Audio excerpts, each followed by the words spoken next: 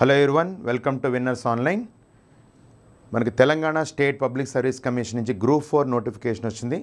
ఈ గ్రూప్ ఫోర్లో మనకి జనరల్ స్టడీస్తో పాటు సెక్రటేరియల్ ఎబిలిటీ అనే ఒక పేపర్ ఉంది. ఆ పేపర్లో మనకి మెంటల్ ఎబిలిటీ రీజనింగ్కి సంబంధించి లాస్ట్ టైం మనం తీసుకుంటే కనుక సెవెంటీ క్వశ్చన్స్ అబోవ్ మనకి క్వశ్చన్స్ అడగడం అనేది జరిగింది. ఆ సెవెంటీ క్వశ్చన్స్ సంబంధించి కానీ అంతకంటే ఎక్కువ కానీ లేదా అంతకుముందు పేపర్స్లో కానీ అది కాకుండా మనకి ఎన్ని ఎగ్జామినేషన్స్ అయినా ఉపయోగపడేలాగా మనకి తీసుకుంటే కనుక ఈ మెంటల్ ఎబిలిటీ అనేది ఓన్లీ గ్రూప్ ఫోర్ ఫోర్కి మనకి స్టాండర్డ్స్ని బేస్ చేసుకుని ఇస్తూ దాంతోపాటు ఏంటంటే అదర్ ఎగ్జామినేషన్స్ కూడా ఉపయోగపడేలా ఒకసారి రీజనింగ్ అనలైజేషన్ మనం చూద్దాం ఒకసారి. దీన్ని మనం మెంటల్ ఎబిలిటీ అని చెప్పొచ్చు రీజనింగ్ అని చెప్పొచ్చు లేదా జనరల్ ఇంటెలిజెన్స్ ఏ కాన్సెప్ట్లో మనకు క్వశ్చన్స్ ఇచ్చినా సరే మనం దానికి సంబంధించి ఎలా ఉంటాయి క్వశ్చన్స్ ఏంటనేది ఒక సిలబస్ని అనాలిసిస్ చేసి మనం చూద్దాం. ఎగ్జామినేషన్లో ఎక్కువ మార్కులు సంపాదించుకునే అవకాశం మనకి ఈ సబ్జెక్ట్ నుంచి ఉంది కాబట్టి దీని గురించి సమగ్రమైన అవగాహన మనం తెలుసుకుంటే కనుక మంచిగా మార్కులు సంపాదించుకోవడానికి అవకాశం ఉంది. ఓకే? దాని గురించి అనలైజేషన్ మనం చూద్దాం. ఇక సబ్జెక్ట్ గురించి మనం ఒక్కసారి మాట్లాడితే కనుక రీజనింగ్ అనే సబ్జెక్ట్ గురించి మనం మాట్లాడితే కనుక కాంపిటేటివ్ ఎగ్జామినేషన్స్లో మనకి ఖచ్చితంగా కనబడే సబ్జెక్ట్ ఇది. అంటే ఈ సబ్జెక్ట్ మనం యాక్చువల్గా ఏంటంటే కనుక ఎక్కడ మనం కాంపిటేటివ్ ఎగ్జామినేషన్లో కనబడదు కానీ ముందు ఎక్కడ మనం నేర్చుకోం. ఎక్కడ? అంటే కాంపిటేటివ్ ఎగ్జామినేషన్స్కి ముందు మనం అకాడమీ కాన్సెప్ట్ చేస్తాం కాబట్టి అకాడమీలో ఎక్కడా కూడా మనం ఈ సబ్జెక్ట్ నేర్చుకోం. అంటే ఈ మధ్యకాలంలో కొన్ని ఎగ్జామినేషన్స్లో అంటే మనకి ఏదో ఇంజనీరింగ్ కాలేజ్లో కనుక సిఆర్టీ ప్రోగ్రామ్ అలాంటివి వస్తే కనుక వాళ్ళ క్యాంపస్ రిక్రూట్మెంట్ ట్రైనింగ్లో మనకి సబ్జెక్ట్ చెప్పడం జరుగుతుంది. కానీ మిగిలిన మనం డిగ్రీ చదివినప్పుడు కానీ పీజీ చదివినప్పుడు కానీ లేదా రిమైనింగ్ ఏదైనా చదివినప్పుడు మనకి ఏంటంటే కనుక ఇది మనకి మనకి అకాడమిక్లో కనబడదు. కానీ ప్రతి కాంపిటేటివ్ ఎగ్జామినేషన్లో కూడా ఒక చిన్న ఎగ్జామినేషన్ నుంచి మన విఆర్ఓ ఎగ్జామినేషన్ అనుకుంటే ఒక పెద్ద ఎగ్జామినేషన్ మన సివిల్స్ కింద మనం తీసుకుంటే కనుక ఇటు స్టేట్ గవర్నమెంట్ కానీ అటు సెంట్రల్ గవర్నమెంట్ కానీ అంటే మనకి డిఫరెంట్ డిఫరెంట్ స్టైల్స్లో మనకి ఎగ్జామ్స్ జరుగుతూ ఉంటాయి యాక్చువల్గా. అంటే స్టేట్ గవర్నమెంట్కి సంబంధించి తీసుకుంటే కనుక గ్రూప్స్ సంబంధించి ఎగ్జామినేషన్ జరిగితే వన్ టూ త్రీ ఫోర్ అని చెప్పి అలాగే సివిల్స్ ఎగ్జామినేషన్ జరుగుతాయి. అలాగే నెక్స్ట్ కానిస్టేబుల్ జరుగుతుంది ఎస్ఐ జరుగుతుంది అలాగే ఏంటంటే కనుక పంచాయతీ సెక్రటరీ జరుగుతుంది. అలాగే నెక్స్ట్ ఏంటంటే కనుక బీసీ వెల్ఫేర్ కానీ హాస్టల్ వెల్ఫేర్ సంబంధించి బీసీ హాస్టల్ వెల్ఫేర్కి సంబంధించి వార్డెన్స్ కానీ ఇవన్నీ డిఫరెంట్ డిఫరెంట్ ఎగ్జామ్స్ కేటగిరీలో జరుగుతూ ఉంటాయి. అలాగే మనం ఇంకొకటి తీసుకుంటే కనుక స్టాఫ్ సెలక్షన్ కమిషన్ ఎస్ఎస్సి గురించి మనం మాట్లాడచ్చు బ్యాంకింగ్ సెక్టర్ గురించి మాట్లాడచ్చు. ఇవన్నీ వాటిల్లో కూడా మనకి కామన్గా కనబడే సబ్జెక్ట్ ఏంటంటే రీజనింగ్ కనబడదు. అది తక్కువ మార్కులో ఎక్కువ మార్కులు అనేది డిఫరెంట్ డిఫరెంట్ ఎగ్జామినేషన్లో వాడిచ్చిన సిలబస్ ప్రకారం కానీ అది వాడిచ్చిన క్వశ్చన్స్ ప్రకారం మనం మారుతూ ఉంటుంది. కొన్ని ఎగ్జామినేషన్లో కొన్ని ఇరవై క్వశ్చన్స్ ఇస్తాడు కొన్ని ఎగ్జామ్ అట్లీస్ట్ కనీసం ఏంటంటే తక్కువలో తక్కువ అనుకుంటే మినిమం ఒకట టెన్ టు క్వశ్చన్స్ నుంచి స్టార్ట్ అవ్వడం అనేది జరుగుతుంది. ఈ టెన్ టు క్వశ్చన్స్ నుంచి హండ్రెడ్ క్వశ్చన్స్ వరకు మనం అనుకుంటే కనుక ఏ ఎగ్జామినేషన్స్లో ఎన్ని క్వశ్చన్స్ వచ్చాయి అనేది మనం ఒకసారి తీసుకుంటే కనుక ప్రతి ఎగ్జామినేషన్లో కూడా ఇంచుమించు చాలా వరకు టాపిక్స్ని కామన్గా టచ్ చేయడానికి వాడు ప్రయత్నం చేస్తాడు యాక్చువల్గా. కానీ అంటే లాజికల్గా మనం ఎంతవరకు బాగున్నాం అలాగే ఎనలైటికల్ కాన్సెప్ట్లో ఎలా ఆలోచిస్తున్నాం? ఇక్కడ ఎందుకు ఈ పదాలు వాడుతున్నాం అంటే రీజనింగ్ కాన్సెప్ట్కి వచ్చేటప్పుడు మనకి ఏం జరుగుతుందంటే రెండు కనబడతాయి. ఏంటది? ఒకటి వెర్బల్ రీజనింగ్ రెండోది ఏంటంటే నాన్ వెర్బల్ రీజనింగ్ అని కనబడుతుంది అంటే వెర్బల్ రీజనింగ్ అంటే మనకి పలకడానికి రాయడానికి మనకి వీలుగా ఉన్నదాన్ని మనం చెప్పుకోవడానికి వెర్బల్ రీజనింగ్ చెప్తాం. నాన్ వెర్బల్ అంటే ఎటువంటి అంటే వర్డ్ రూపంలో కానీ నెంబర్ రూపంలో కానీ పలకడానికి వీలుగా లేనిది కనబడుతుంది. అంటే మరి ఆ వర్డ్ అండ్ నెంబర్ లేకపోతే ఎలా చెప్తామంటే కనుక సింబల్స్ రూపంలో కానీ డయాగ్రామ్స్ రూపంలో క్వశ్చన్ కనబడి ఈ రెండాట్ల కింద మనకి విడగొడతాం. మళ్ళీ వెర్బల్ కాన్సెప్ట్లో మళ్ళీ వాడు ఏం చేశాడు కనుక analytical reasoning and logical reasoning అని చెప్పి రెండు మళ్ళీ సబ్జెక్ట్స్ కింద విడగొట్టడం అనేది జరిగింది. ఇప్పుడు మనం దీంట్లో మనం మాట్లాడితే అసలు ఈ సబ్జెక్ట్ మనకి ఎందుకు ఇస్తున్నాడు ఎగ్జామినేషన్లో? ఒక్కసారి మనం ఆలోచించుకుంటే కనుక ఇది కేవలం ఏంటంటే కనుక మీ యొక్క ఆలోచన పరిధిని పెంచడానికి మాత్రమే గుర్తుపెట్టుకోండి. అంటే మీరు ఎంతవరకు ఆలోచించగలుగుతున్నారు? ఎక్కడ మనకు అనిపించవచ్చు? ఇది రేపు ఎగ్జామినేషన్ కాకుండా రేపు ఎక్కడైనా రీ రియల్ లైఫ్లోకి వెళ్ళిన తర్వాత ఈ రీజనింగ్ ఎక్కడైనా ఉపయోగపడుద్ది అంటే డైరెక్ట్గా కనబడదండి. కానీ ఇండైరెక్ట్గా ప్రతి మనం చేసే ప్రతి పనిలో కూడా కంపల్సరీ మనకి రీజనింగ్ అనేది ఉండడం జరుగుతుంది. అంటే ఏ పనన్నా చేసామంటే దానికి ఒక కారణం ఉంటుంది. అంతే అంతేగాని ఏదో చేసి చెయ్యాలని కాన్సెప్ట్లో మనం ఎట్టి పరిస్థితిలో చేయం కాబట్టి ఏ డిసిజన్ తీసుకున్నా సరే ఒక ఆలోచన విధానంతోనే మనం చేయడం జరుగుతుంది. రేపు మీరు ఏంటంటే జాబ్లోకి వెళ్ళిన తర్వాత కూడా రకరకాల సమస్యలు మీ దగ్గరికి వచ్చినప్పుడు దాన్ని మీరు ఏంటంటే కనుక ఆలోచించి పరిష్కరించడానికి ప్రయత్నం చేస్తారు. అన్నీ కూడా ఏంటంటే డైరెక్ట్గా మనకి చేయడానికి అవకాశం. కొన్ని మనం తెలివితేటలతో కూడా ఆలోచన చేయాలి. అందుకని ఇక్కడ సబ్జెక్ట్ పరంగా కూడా చూస్తే అన్నీ చూసిన తర్వాత మనకు ఎలా ఉంటుందంటే అన్నీ మనకి తెలిసిన సబ్జెక్ట్ కింద అంటే మనం చూసినప్పుడు ఒక లెటర్ చూడగానే ఈ లెటర్స్ ఆల్ఫాబెట్స్లో చూసాం కదా ఒక నెంబర్ చూడగానే ఈ నెంబర్ మనం చూసాం కదా బ్లడ్ రిలేషన్ చూస్తే మన ఇంట్లో కనబడుతుంది కదా డైరెక్షన్ చూస్తే మన అందరికీ ఈస్ట్ వెస్ట్ నార్త్ సౌత్ కదా అలాగే ఒక కంపారిజన్ చూస్తే అతని కంటే ఇతని పొడవు ఇతని కంటే పొట్టని మనం చెప్తున్నాం కదా అని ఇవన్నీ కూడా ఏంటంటే మనం రెగ్యులర్ లైఫ్లో ప్రతిదీ కనబడుతూ ఉంటుంది. అందుకని సబ్జెక్ట్ చూడగానే కూడా మనకి ఏంటంటే కొంచెం ఇంట్రెస్ట్గా చేయబుద్దేస్తుంది అట్ ది సేమ్ టైం ఏంటంటే చాలా తెలుసున్నట్టు కూడా అనిపించడానికి ఎక్కువ అవకాశం ఉంది. అందువల్ల ఏంటంటే ప్రయత్నం చేసే అవకాశం ఏంటంటే మనకి రీజనింగ్ సబ్జెక్ట్లో కూడా ఉంది యాక్చువల్గా అంటే ఒక క్వశ్చన్ మనకి తెలియకపోయినా సరే దాని గురించి కొంచెం జాగ్రత్తగా ఆలోచించి ఆ క్వశ్చన్ చదివినప్పుడు అర్థం చేసుకుని ఒకవేళ మనకి పూర్తిగా అవగాహన లేకపోయినా ప్రయత్నం చేసి ఆన్సర్ చేయడానికి అవకాశం ఉన్న సబ్జెక్ట్ ఏంటంటే మన రీజనింగ్ అంటే ఏం లేదు. మిగిలిన వాటి గురించి మనం తీసుకుంటే కనుక అక్కడ ఫార్లాస్ గుర్తుండాలి లేదంటే కనుక కొన్ని సందర్భాల్లో షార్ట్ కట్స్ గుర్తుండాలి. అలాగే ఇంకో చోట తీసుకుంటే జనరల్ స్టడీస్లో మనం తీసుకుంటే అవన్నీ కూడా చదివి బైహార్ట్ చేసుకుని గుర్తుపెట్టుకుని ఆన్సర్ చేయడానికి ప్రయత్నించాలి. ఇక్కడ రీజనింగ్కి వచ్చేటప్పటికి ఏమవుతుందంటే మీరు ఏమీ బైహార్ట్ చేయాల్సిన అవసరం ఉండదు.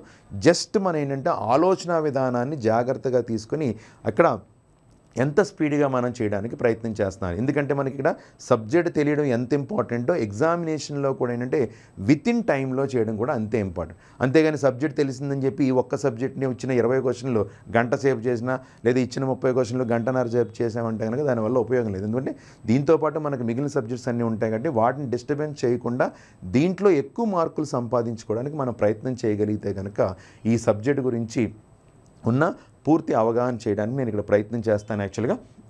దీనికి సంబంధించి ఏమేం టాపిక్స్ మనకు కనబడితే ఆ టాపిక్స్లో క్వశ్చన్స్ ఎలా ఉంటాయి అనేది ఒక్కొక్క దాని గురించి మనం బ్రీఫ్గా కంటిన్యూ చేసుకుందాం. ఓకే? చూడండి ఇక్కడ ఫస్ట్ మనకి సంఖ్యా శ్రేణి అని ఇచ్చారు. సంఖ్యా శ్రేణి అంటే నెంబర్ సిరీస్. ఎప్పుడైతే నెంబర్స్ అని చెప్తున్నామో మనకి బేసిక్గా ఉన్న నెంబర్స్ని బేస్ చేసుకుని వెళ్ళాలి. అంటే బేసిక్గా మనకున్న నెంబర్స్ అంటే మనం చెప్పినప్పుడు ఏం చెప్తామంటే యాజ్ పర్ నెంబర్ సిస్టమ్ ప్రకారం మనం తీసుకుంటే హోల్ నెంబర్స్ ఉన్నాయి ఈవెన్ నెంబర్స్ ఉన్నాయి ఆడ్ నెంబర్స్ ఉన్నాయి అలాగే ప్రైమ్ నెంబర్స్ ఉన్నాయి నెక్స్ట్ రేషనల్ నెంబర్స్ ఉన్నాయి ఇర్రేషనల్ నెంబర్స్ ఉన్నాయి. ఇవన్నీ కరణీయ సంఖ్యలు అకరణీయ సంఖ్యలు అని చెప్తాం. అలాగే బేస్ సంఖ్యలు సరి సంఖ్యలు పూర్ణ సంఖ్యలు సహజ సంఖ్యలు ఇవన్నీ నెంబర్స్ ఉన్నాయి మనకి. అంటే ఈ ఇండైరెక్ట్గా వాడు చెప్తుందంటే ఆ నెంబర్స్ యూస్ చేసుకోండి. వీటితో పాటు యూస్ చేసుకుని ఎలా యూస్ చేసుకోమన్నాడు? సిరీస్. సిరీస్ అంటే ఆర్డర్ శ్రేణి అని చెప్తాం. ఒక ఆర్డర్లో ఉన్నదాన్ని అరేంజ్ చేసుకుంటూ చేయండి. అంటే వాడు ఏం చేస్తాడంటే ఎగ్జామినేషన్లో మనకు ఒక ఆర్డర్ పెట్టిస్తాడు. ఆ ఆర్డర్ని మనం ఐడెంటిఫై చేసి ఆ తర్వాత వచ్చే నెంబర్ ఏంటని చెప్పాలి. మరి చెప్పాలి అంటే ముందు మనకి ఏం తెలియాలంటే ఇందులో మీరు ఖచ్చితంగా నేర్చుకోవాల్సింది ఏంటంటే కనుక హోల్ నెంబర్స్. ఒక విధంగా మనకు కావాల్సిన అన్ని నెంబర్స్ మనకి ఇందులోనే కనబడుతూ ఉంటాయి హోల్ నెంబర్స్ తీసుకుంటే అంటే జీరో నుంచి మనం మొదలు పెడితే zero one two three four and so అంటే మనకు కావాల్సింది ఏంటంటే ఇందులో మనకి వీటితో పాటు మనం డిఫరెన్షియేట్ చేసుకుంటే కనుక ఈవెన్ నెంబర్స్ కావాలి ఇది మీరు గుర్తించగలరు. ఆడ్ నెంబర్స్ కావాలి ప్రైమ్ నెంబర్స్ కావాలి అలాగే స్క్వేర్ నెంబర్స్ కావాలి క్యూబ్ నెంబర్స్ కావాలి. ఇవన్నీ కావాలి. అలాగే ఎన్ పవర్ ఎన్ వాల్యూస్ కావాలి n power n plus or minus one ఈ వాల్యూస్ అన్నీ మీకు రావాలి. ఎంతవరకు మీరు నేర్చుకోవాలంటే ప్రైమ్ నెంబర్స్ కనీసం వంద లోపు మీరు ప్రైమ్ నెంబర్స్ నేర్చుకోవాలి. బై హార్ట్ చేసుకోవాలి. అలాగే స్క్వేర్స్ గురించి మాట్లాడితే ఫార్టీ వన్ టు ఫిఫ్టీ వరకు స్క్వేర్స్ నేర్చుకుంటే చాలా మంది. అలాగే ఫిఫ్టీన్ టు ట్వంటీ వరకు స్క్వేర్స్ నేర్చుకుంటే సరే అలాగే ఎన్ పవర్ ఎన్ వాల్యూస్ ఏంటంటే సిక్స్ పవర్ సిక్స్ వరకు సరిపోతుంది. అలాగే ఇక్కడ ఏంటంటే సిక్స్ పవర్ ఫైవ్ కానీ సిక్స్ ఫైవ్ పవర్ సిక్స్ ఇవి మనకేంటే రెగ్యులర్గా ఎక్కువగా వచ్చి మీకు చెప్తున్నాను నేను ఇక్కడ. ఈ వాల్యూస్ అన్నీ మీరు రాసుకోవాలి. అంటే ఓన్గా ఇక్కడ మనకి జస్ట్ అనలైజేషన్ కాబట్టి నేను జస్ట్ బ్రీఫ్గా చెప్తాను కాబట్టి ఇది మనం క్లియర్గా మన అంటే మనకున్న ప్రైమ్ అంటే ఈవెన్ ఆర్డ్ మనం అందరం గుర్తిస్తాం. ప్రైమ్ నెంబర్స్ వందలోపు ఉన్న ప్రైమ్ నెంబర్స్ మనం బై హార్ట్ చేసుకోవడం రావాలి. అలాగే కనీసం నలభై స్క్వేర్స్ వరకు మినిమం రావాలి. మీరు యాభై వరకు నేర్చుకుంటే చాలా మంచిది. ఇరవై వరకు సరే పదిహేను వరకు మినిమం స్క్వేర్స్ రావాలి ఇరవై వరకు నేర్చుకుంటే ఇంకా మంచిది. అలాగే ఎన్ పవర్ ఎన్ అంటే వన్ పవర్ వన్ నుంచి సిక్స్ పవర్ సిక్స్ వరకు అలాగే సిక్స్ పవర్ ఫైవ్ ఫైవ్ అంటే ఇక్కడ కూడా ఏంటంటే ఇవే నేర్చుకుంటే సరిపోద్దని కూడా కాదు. అంటే ఇంతవరకు నేర్చుకుంటే మనకి ఏంటంటే ఎక్కువ శాతం క్వశ్చన్ చూడగానే ఎక్కువ శాతం స్పీడ్గా ఆన్సర్ చేయడానికి అవకాశం ఉంటుందని చెప్పడం కోసం. ఇది మీకు అలవాటు అయితే ఏమవుతుందంటే దీనికంటే పెద్ద నెంబర్లు వచ్చినా సరే ఎక్కడో చోట కింద చిన్న నెంబర్ స్టార్ట్ చేయడం జరుగుతుందంటే అవి గుర్తించారనుకోండి. దాన్ని మనం ఏంటంటే కంటిన్యూ చేసే అవకాశం మనకి ఇందులో కనబడుతుంది కాబట్టి మనం బేసిక్గా ఇది రావాలి. దీంతో పాటు ఇంకా మనకి రావాల్సింది ఏంటంటే చెప్పాలంటే కనుక ఇరవై ఇరవైల వరకు ఎక్కాలు వస్తే కూడా చాలా మంచిది. టేబుల్స్ ట్వంటీ ఇంటూ ట్వంటీ వరకు వస్తే చాలా మంచిది. మ్యాక్సిమం చేయడానికి ప్రయత్నం చేయండి. అంటే ఇవి మనం చేస్తాం కానీ ఇవి మనం చెయ్యం యాక్చువల్గా. అంటే క్యాలిక్యులేషన్ పార్ట్ మనం ఏదో అనుకుంటాం కానీ ఎగ్జామినేషన్ పాయింట్ ఆఫ్ వ్యూలో మనకి క్యాలిక్యులేషన్ పార్ట్ చాలా టైం కలిసి వస్తాయి అంటే ఎగ్జామినేషన్లో మనకేంటి? క్వశ్చన్ ఎంత స్పీడ్గా చేయాలి ఎంత యాక్యురేట్గా చేయాలి అది రెండు ఉండాలి. స్పీడ్ ఎంత ఇంపార్టెంట్? స్పీడ్తో పాటు యాక్యురేషన్ కూడా యాక్యురేట్ కూడా అంతే ఇంపార్టెంట్. కాబట్టి ఆ రెండు కూడా మనం ఎప్పటికప్పుడు చేసుకుంటూనే బ్యాలెన్స్ చేసుకుంటూ వెళ్తేనే మనం ఎక్కువ మార్కులు సంపాదించుకోవడానికి అవకాశం. అంటే ఇందులో మనం సింపుల్గా మనం మాట్లాడితే ఎలా ఇవ్వచ్చు అంటే కనుక ఇది ఇలా అన్నాడు అనుకోండి. Two four six eight next number అన్నాడు అనుకో. చూడగానే మనం అందరం చెప్పొచ్చు. చిన్న క్వశ్చన్స్ కాబట్టి టూ ఫోర్ సిక్స్ అనగానే సరి సంఖ్యలు కాబట్టి ఎయిట్ తర్వాత టెన్ అని చెప్పి. ఇంకొకళ్ళు ఏమంటారంటే సరి సంఖ్యలు కాకపోతే కనుక వాడు శ్రేణి అని చెప్పాడు కాబట్టి plus two plus two plus two. అప్పుడు ఎయిట్ ప్లస్ టూ అంటే ఏం చెప్పొచ్చు? టెన్ అని చెప్పి. ఇప్పుడు ఈ శ్రేణిలో వచ్చిన అంకెలు ఏవైతే ఉన్నాయో దీన్ని డైరెక్ట్గా ఉపయోగించుకోవడానికి అవకాశం ఉంది. లేదంటే కనుక అందులో మనకి ఏంటంటే కనుక గ్యాప్ కింద యూజ్ చేసి అంటే ఫర్ ఎగ్జాంపుల్ ఇదే క్వశ్చన్ వాడు ఇలా అన్నాడు అనుకోండి. పది పన్నెండు పదహారు ఇరవై రెండు ముప్పై డాష్ ఇలా ఇచ్చాను. ఇప్పుడు చూడండి నెంబర్ పెరుగుతున్నట్టుంది కాబట్టి ఇక్కడ ఇలా అనొచ్చా? Plus two plus four plus six plus eight అంటే ఈ సరి సంఖ్యల సిరీస్ని ఏం చేసాడు అందులో కాకుండా గ్యాప్ కింద యూస్ చేసుకుంటూ వచ్చాడు. అంటే అదే గ్యాప్ను మనం కంటిన్యూ చేస్తే ప్లస్ అవుతుంది కంటే ప్లస్ టెన్ అని చెప్తే ఫార్టీ అని ఆన్సర్ చెప్తాం అది. అది ఎడిషన్ అవ్వచ్చు సబ్ట్రాక్షన్ అవ్వచ్చు మల్టిప్లేషన్ అవ్వచ్చు డివిజన్ అవ్వచ్చు. సింగిల్ మ్యాథమెటికల్ ఆపరేషన్లో ఏదైనా వర్కౌట్ చేసుకుని వాడు సిరీస్ తయారు చేయడానికి అవకాశం ఉంది. లేదా రెండోది ఏంటంటే దీనికి కాంబినేషన్ వర్కౌట్ చేయొచ్చు. అంటే ఫర్ ఎగ్జాంపుల్ ఇలా ఇచ్చాను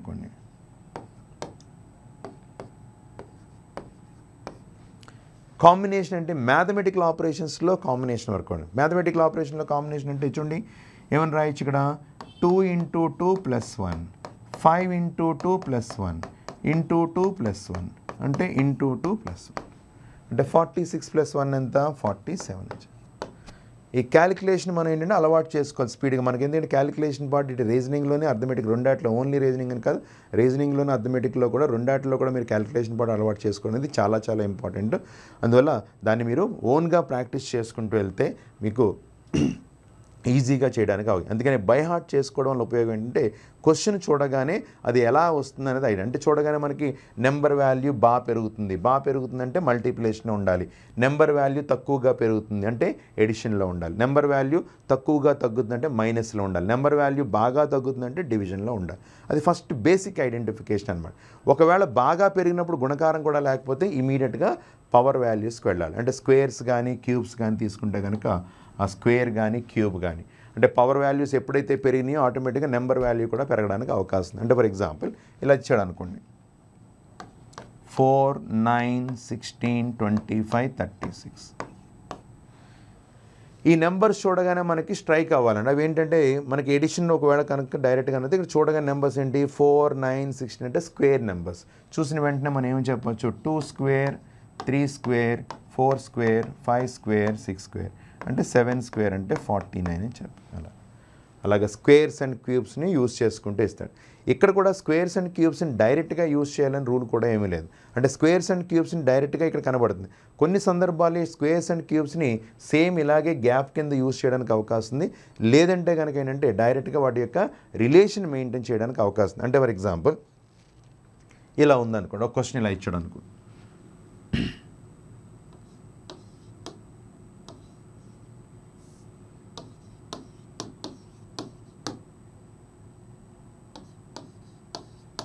ఇలా ఇస్తాను.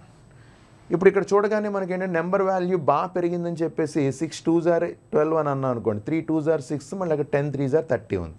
ఇక్కడ టూ టైమ్స్ ఇక్కడ టూ టైమ్స్ అనుకుంటే అక్కడ త్రీ టైమ్స్ అంటే సీక్వెన్స్ ఫాలో అవుతుందా? సీక్వెన్స్ ఫాలో అవ్వట్లేదు. అంటే ఇది మల్టిప్లేషన్ అనే కాన్సెప్ట్. పెద్ద నెంబర్ పెరుగుతుంది కానీ మల్టిప్లేషన్ అనుకుంటే మల్టిప్లేషన్లో లేదు.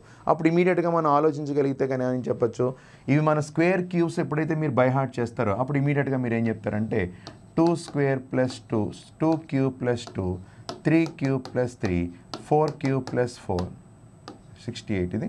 Four cube plus four five cube plus five అంటే ఏ నెంబర్ని అయితే క్యూబ్ చేస్తున్నామో అదే నెంబర్ని మనం తీసుకుంటున్నాం కాబట్టి తర్వాత కూడా మనం తీసుకుంటే ఏం చెప్పచ్చు? సిక్స్ క్యూబ్ ప్లస్ సిక్స్ అంటే త్రిబుల్ టూ అని చెప్తాం. Two sixteen two sixteen plus six అంటే టూ ట్వంటీ టూ అని చెప్తాం. అంటే మనకి ఎప్పుడు చెప్పగలం అంటే ఆ వాల్యూస్ చూడగానే ఇది క్యూబ్ వాల్యూకి దగ్గరగా ఉంది లేదా ఈ క్యూబ్ వాల్యూ స్క్వేర్ వాల్యూకి దగ్గరగా ఉంది అనేది ఐడెంటిఫికేషన్ చేయగలిగితేనే మనం తీసుకుంటాం. ఇందులోనే మనకి ఎప్పుడు even numbers odd numbers prime squares cubes ఇవి కాకుండా మనకి ఏంటంటే డెసిమల్ నెంబర్స్ ఇస్తాడు ఫ్రాక్షన్స్ ఇస్తాడు ఇలా క్వశ్చన్స్ ఇవ్వచ్చు. అంటే ఫ్రాక్షన్స్ అంటే ఫర్ ఎగ్జాంపుల్ ఏదో క్వశ్చన్ ఇలా ఇచ్చాడు అనుకుందాం.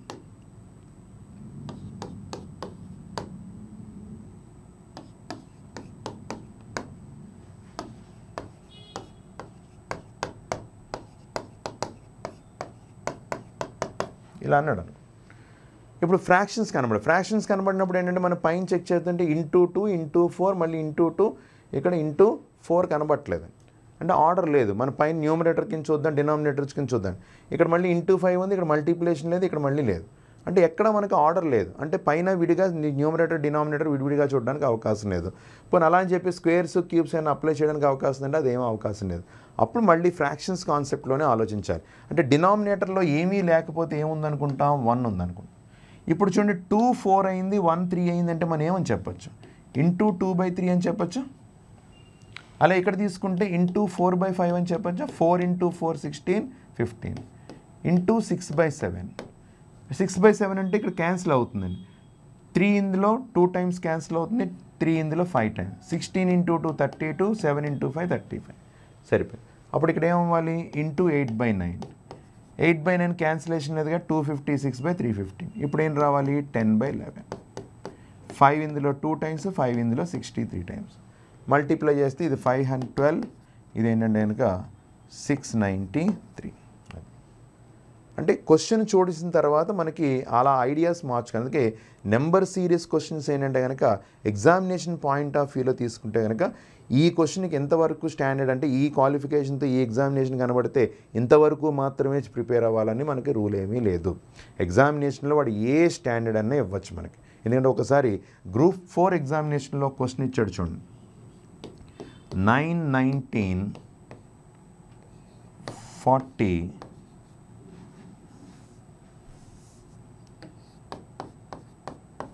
ఇలా ఇచ్చాడు. ఇది మామూలుగా మనం చూసినప్పుడు ఏమనిమింది నెంబర్ పెరుగుతున్నట్టు కనిపిస్తుంది కాబట్టి తొమ్మిది రెండు పద్దెనిమిది ప్లస్ ఒకటి పంతొమ్మిది. పంతొమ్మిది రెండు ఇరవై ముప్పై రెండు ప్లస్ ఒకటి. ఇక్కడ ఇంటూ టూ ప్లస్ వన్ రాసుకున్నాం అనుకోండి. చూడండి ఇక్కడ క్లియర్గా మనకి ఏమనిపిస్తుంది? Nine into two plus one. Into two plus two. అంటే ఇంటూ టూ ప్లస్ త్రీ రావాలి. అంటే ఎయిటీ ప్లస్ త్రీ అంటే ఎయిటీ త్రీ. కానీ ఎప్పుడైనా మధ్యలో బ్లాంక్ ఉన్నప్పుడు తర్వాత నెంబర్ కన్ఫర్మ్గా సాటిస్ఫై అవుతుందో లేదో చూసుకోవాలి. అంటే మీకు ఇంటూ టూ ప్లస్ ఫోర్ రావాలి. ఇక్కడ ఇంటూ టూ చేస్తేనే సిక్స్టీన్ హండ్రెడ్ కనబడుతుంది. సిక్స్ వన్ సిక్స్టీ కనబడుతుంది. ఇక్కడ వన్ ఫార్టీ ఉంది. అంటే ఇక్కడ మనకి సాటిస్ఫై అయింది యాక్చువల్గా serious into two plus one plus two plus three కానీ ఇక్కడ సాటిస్ఫై అవుతుందా? ఎప్పుడైనా ఫిలింది బ్లాంక్ దగ్గర తర్వాత సాటిస్ఫై అవ్వకపోతే ఈ రాసిన సీరియస్ ఆర్డర్లో ఉన్నా సరే ఇది కూడా తప్పు అనమాట అది. అంటే ఇది తప్పు అని తెలుస్తుంది. ఇప్పుడు దీన్ని ఎలా ఆలోచించాడో ఒకసారి నేను డైరెక్ట్ చెప్తున్నాను చూడండి ఒకసారి. దీన్ని ఎలా ఆలోచించాడంటే దీన్ని టూ స్క్వేర్ ప్లస్ ఫైవ్ అని చెప్పాడు. దీన్ని three square plus ten five square plus fifteen eleven square plus twenty five. చూడండి. Two three five eleven. ఏ నెంబర్స్ అంటే ప్రధాన సంఖ్యలు prime numbers. Two three five తర్వాత మీకు రావాల్సింది seven. Five ten fifteen twenty five. అంటే ఇక్కడ ఏం రావాలి? ట్వంటీ రావాలి. అంటే ఫార్టీ నైన్ ప్లస్ ట్వంటీ అంటే సిక్స్టీ నైన్. అంటే ఇది మనం ఆలోచించగలగాలంటే దీని మీద ఒక పూర్తి అవగాహనతో మనం నేర్చుకుంటే. కనుక అందుకనే నెంబర్ సీరియస్ క్వశ్చన్స్కి వచ్చేటప్పుడు ఏంటంటే ఎగ్జామినేషన్లో మనం చిన్నప్పటి నుంచి మన నెంబర్స్ తెలిసిన విషయంతో ఉంటాడు కాబట్టి అన్ని టెన్త్ క్లాస్ క్వాలిఫికేషన్తోనే పైనే మనకి ఎప్పుడూ ఎగ్జామినేషన్స్ కనబడుతున్నాయి కాబట్టి మీరందరూ కూడా ఈ టెన్త్ క్లాస్ లోపు మీ నెంబర్స్ స్క్వేర్స్ ఇవన్నీ చదివే ఉంటారన్న ఉద్దేశంతో ఏంటంటే నెంబర్ సిరీస్కి ఏంటంటే కనుక ఇంతవరకు మాత్రమే ఇవ్వాలి ఇంతవరకు మాత్రమే ఇవ్వకూడదు అనేది అలాంటి రూల్స్ ఏమీ లేవు. వాడు ఏ కాన్సెప్ట్లో ఉన్నా ఎంతవరకు అని ఇవ్వడానికి అవకాశం. జాగ్రత్తగా మనం చేసుకుంటే కనుక సాలిడ్గా ఎందుకంటే ఎగ్జామినేషన్లో మనకి దీనికి సంబంధించి కనీసం మనకి ఎగ్జామినేషన్లో మూడు క్వశ్చన్స్ మినిమం కనబడతాయి. కాంపిటేటివ్ ఎగ్జామినేషన్ తీసుకుంటే అట్లీస్ట్ టూ లేదా మ్యాక్స్ మినిమం టూ త్రీ కనబడితే మ్యాక్సిమం ఐదు అంతకంటే ఎక్కువ క్వశ్చన్స్ కూడా కనబడడానికి అవకాశం ఉందన్నమాట. ఇది నెంబర్ సిరీస్ గురించి ఒక చిన్న ఇన్ఫర్మేషన్ ఓకే నెక్స్ట్ టాపిక్ ఏంటో చూద్దాం. సంఖ్యల సారూప్యత పోలిక నెంబర్ ఎనాలజీ ఇక్కడ ఏంటంటే సిరీస్ అంటే వరుస చేసుకుంటూ వెళ్ళాం. ఎనాలజీకి వచ్చేటప్పటికి ఏంటంటే కనుక ఆ అంకెల మధ్యన రిలేషన్ ఏంటో ముందు ఐడెంటిఫై చేయాలి. అంటే వాడు ఒక రిలేషన్ మనకు చూపించి సేమ్ రిలేషన్ కంటిన్యూ చేయమంటాడు. అంటే సేమ్ రిలేషన్ మనం కంటిన్యూ చేయమంటే ఫర్ ఎగ్జాంపుల్ సింపుల్గా మనం మాట్లాడుకో. Two is to eight is as four is to question mark okay ఇదంటే బెస్ట్ ఎగ్జాంపుల్ మనకి. ఎందుకంటే మన ఐడియాస్ని ఎందుకంటే ఇప్పటివరకు మన సిరీస్లో వరుసగా వచ్చినప్పుడు మనకి ఏంటంటే కంటిన్యూ చేసుకుంటూ వెళ్ళాం. అంటే అక్కడ మనకు ఒక సిరీస్ వాడు చూపించిన తర్వాత అది కంటిన్యూ చేస్తాం. ఇక్కడ మనకు అలాంటి అవకాశం ఉంది ఇక్కడ ఏంటంటే ఎప్పుడు రిలేషన్ చూసినప్పుడు ఇక్కడి నుంచి ఇక్కడికి ఏం జరుగుతుందో చూసి అదే విధముగా ఈజ్ యాజ్ అలాగే ఇక్కడ చూడాలి. అంతేగాని అనాలజీ చేసినప్పుడు ఇక్కడి నుంచి ఈ నెంబర్కి కానీ ఈ నెంబర్ నుంచి ఈ నెంబర్కి కానీ ఎట్టి పర్సులో రిలేషన్ చూడకూడదు. ఖచ్చితంగా ఈ రిలేషన్ చూడాలి ఈ రిలేషన్ ఏం చేశాడో చూసి దాన్ని యాజిటీజ్గా కాకపోతే ఎనాలజీకి వచ్చేటప్పటికి ఏం జరుగుతుందంటే కనుక మన ఐడియాని ఎప్పటికప్పుడు చేంజ్ చేసుకుంటూ వెళ్ళాలి. ఎందుకంటే ఎప్పుడు ఒకే రకంగా ఇవ్వడానికి అవకాశం ఆప్షన్స్ని బట్టి ఐడియాని మార్చుకుంటాను ఎందుకంటే ఒక చిన్న ఎగ్జాంపుల్ ఇక్కడ మనం చేసుకుంటే కనుక ఈజీగా ఇక్కడ మనం చెప్పుకోవడానికి ఎక్కువ అవకాశం ఉంది కాబట్టి నేను ఇది మనకు చెప్తున్నాను. అంటే ఇక్కడ చూడండి. నేనేమనొచ్చు అంటే రెండు ప్లస్ ఆరు కలిపితే ఎనిమిది. అప్పుడు నాలుగు ప్లస్ ఆరు కలిపితే పది అని చెప్పచ్చు. అప్పుడు రెండు ఇంటూ నాలుగు కూడా ఎనిమిది. అప్పుడు నాలుగు ఇంటూ నాలుగు అంటే పదహారు అని చెప్పచ్చు. రెండు ఇంటూ రెండు ప్లస్ నాలుగు అనొచ్చు. Four plus four eight into two plus four twelve అని చెప్పచ్చు. తర్వాత టూ క్యూబ్ అంటే ఫోర్ క్యూబ్ సిక్స్టీ ఫోర్ అని చెప్పచ్చు. Two cube eight four cube sixty four లేదా two square plus four four square plus four twenty అని చెప్పచ్చు. లేదా టూని స్క్వేర్ చేసి అదే టూని డబుల్ చేసా అనుకుంటే అప్పుడు ఫోర్ని స్క్వేర్ చేసి అదే ఫోర్ని డబుల్ చేస్తే ట్వంటీ ఫోర్ అని చెప్పచ్చు. అంటే చాలా రకాలుగా మనం చెప్పడానికి అవకాశం. ఉంది అంటే ఏం జరుగుతుంది ఇక్కడ చూడండి ఎప్పటికప్పుడు మన ఆలోచన విధానాన్ని మనం మార్చుకుంటున్నాం. ఒకసారి ప్లస్ అనే మ్యాథమెటికల్ ఆపరేషన్ అంటే ఒక single mathematical operation plus minus into divide బైతో తర్వాత వాటి యొక్క కాంబినేషన్ వాటి యొక్క కాంబినేషన్తో మనం ఆలోచించాం. తర్వాత పవర్ వాల్యూస్ పవర్ వాల్యూస్తో మ్యాథమెటికల్ ఆపరేషన్స్. ఇక్కడ కూడా వాడు ఎప్పుడు కూడా ఏం చేస్తాడంటే రెండు పద్ధతులు పాటిస్తాడు. ఒకటి ఏంటంటే నెంబర్ని నెంబర్ కింద ట్రీట్ చేయడం లేదా నెంబర్ని డిజిట్ కింద ట్రీట్ చేయడం. అంటే సంఖ్యని కింద భావించడం లేదా అంకె కింద భావించడం. అది ఈ రెండు పద్ధతుల్ని వాడు పాటించుకుంటాడు. ఏంటి సంఖ్య కింద అంకె కింద? ఒక చిన్న ఎగ్జాంపుల్ మనం చూద్దాం. అంటే ఫర్ ఎగ్జాంపుల్ ఇరవై నాలుగు ఎనిమిది అయితే ముప్పై ఆరు ఏమవ్వాలి ఇదే క్వశ్చన్ మనకి ఇరవై నాలుగు ఈస్టు ఎనిమిది ముప్పై రెండు ఈస్టు క్వశ్చన్ మార్క్ అని అడిగాడు. ఇప్పుడు చూడండి ఒకసారి ఆలోచన విధానం గురించి మనం మాట్లాడితే ఇక్కడ ఇరవై నాలుగు ఎనిమిది ఇక్కడ ఇరవై నాలుగు కూడా ఎనిమిది. కానీ ఇక్కడ ఇరవై నాలుగు ఎనిమిది అని రాసినప్పుడు నెంబర్ కింద భావించడం అంటే ఇరవై నాలుగుని ఇరవై నాలుగు కింద తీసుకుని. అప్పుడు దీన్ని మూడుతో నేను భాగించాను అనుకోండి. అప్పుడు ఇక్కడ కూడా నేను మూడుతో భాగిస్తే పన్నెండుని ఆన్సర్ చెప్పచ్చు. మరి ఇక్కడికి వచ్చేటప్పటికి ఇరవై నాలుగు నేను మూడుతో భాగిస్తే ఏంటంటే ముప్పై రెండుని మూడుతో భాగించే అవకాశం ఉందా? లేదు. ఎప్పుడైతే మనకు అది లేదో ఇమీడియట్గా ఆలోచించాలి. అంటే ఇరవై నాలుగు అనే నెంబర్ కింద నేను ట్రీట్ చేస్తే నాకు రానప్పుడు అప్పుడు ఇరవై నాలుగు నేను ఏమనుకోవాలి? డిజిట్ కింద కన్వర్ట్ చేసుకోవాలి. అంటే అంకె కింద. అంకె సంఖ్య అంటే తేడా ఏంటి? ఇరవై నాలుగు అని చెప్తే సంఖ్య అవుతుంది. రెండు నాలుగు అన్నాను అనుకోండి అప్పుడు అవి అంకెల కింద విడగొట్టినట్టు. అప్పుడు ఏమనొచ్చు? రెండు ఇంటూ నాలుగు అన్నాను అనుకో. రెండు నాలుగులు ఎనిమిది. అప్పుడు మూడు రెండు ఏమవుతుంది? ఆరు అని చెప్పి అందుకని క్వశ్చన్ ఎప్పుడు కూడా ఎనాలజీలో మన ఐడియాని ఎప్పటికప్పుడు మార్చుకుంటూ వెళ్ళాలి. ఆలోచించినప్పుడప్పుడు కూడా సంఖ్యని సంఖ్య కింద సంఖ్యని అంకె కింద భావించుకుంటూ ఆ రిలేషన్ మనం కంటిన్యూ చేయడానికి ప్రయత్నం చేయాలి. ఇది త్రూ ఆప్షన్లో ఉన్న ఐడియాస్ని అది ఆప్షన్స్లో ఉన్న ఆన్సర్స్ని బేస్ చేసుకుని అది లేకపోతే వెంటనే ఆలోచన మార్చుకుని చేయడానికి మనం ప్రయత్నం చేస్తే ఈ మార్కులు కూడా మనం నెంబర్ సిరీస్ కంటిన్యూషన్లో ఇది కూడా ఖచ్చితంగా మనకి రెండు క్వశ్చన్స్ మనకు కనబడుతూ ఉంటే ఒకటి లేదా రెండు క్వశ్చన్స్ ఈజీగా ఆన్సర్ చేసుకోవడానికి అవకాశం ఉంది. ఓకే దీని తర్వాత కంటిన్యూషన్లో మనం చూద్దాం. మిస్సింగ్ నెంబర్ సేమ్ ఎనాలజీకి దీనికి డిఫరెన్స్ ఏంటంటే ఇది కొన్ని సింబల్స్ రూపంలోని కొన్ని డయాగ్రామ్స్ రూపంలో కనబడుతుంటాయి. అంటే మిస్సింగ్ నెంబర్ అంటే ఫర్ ఎగ్జాంపుల్ తీసుకుంటే ఎగ్జాంపుల్స్ చూడండి. ఇది ఇలా ఇచ్చాడు three dollar four equal to twenty five six dollar eight equal to hundred eight dollar nine equal to question mark ఇలా ఇస్తాం అయితే క్వశ్చన్ అలా కానీ లేదంటే కనుక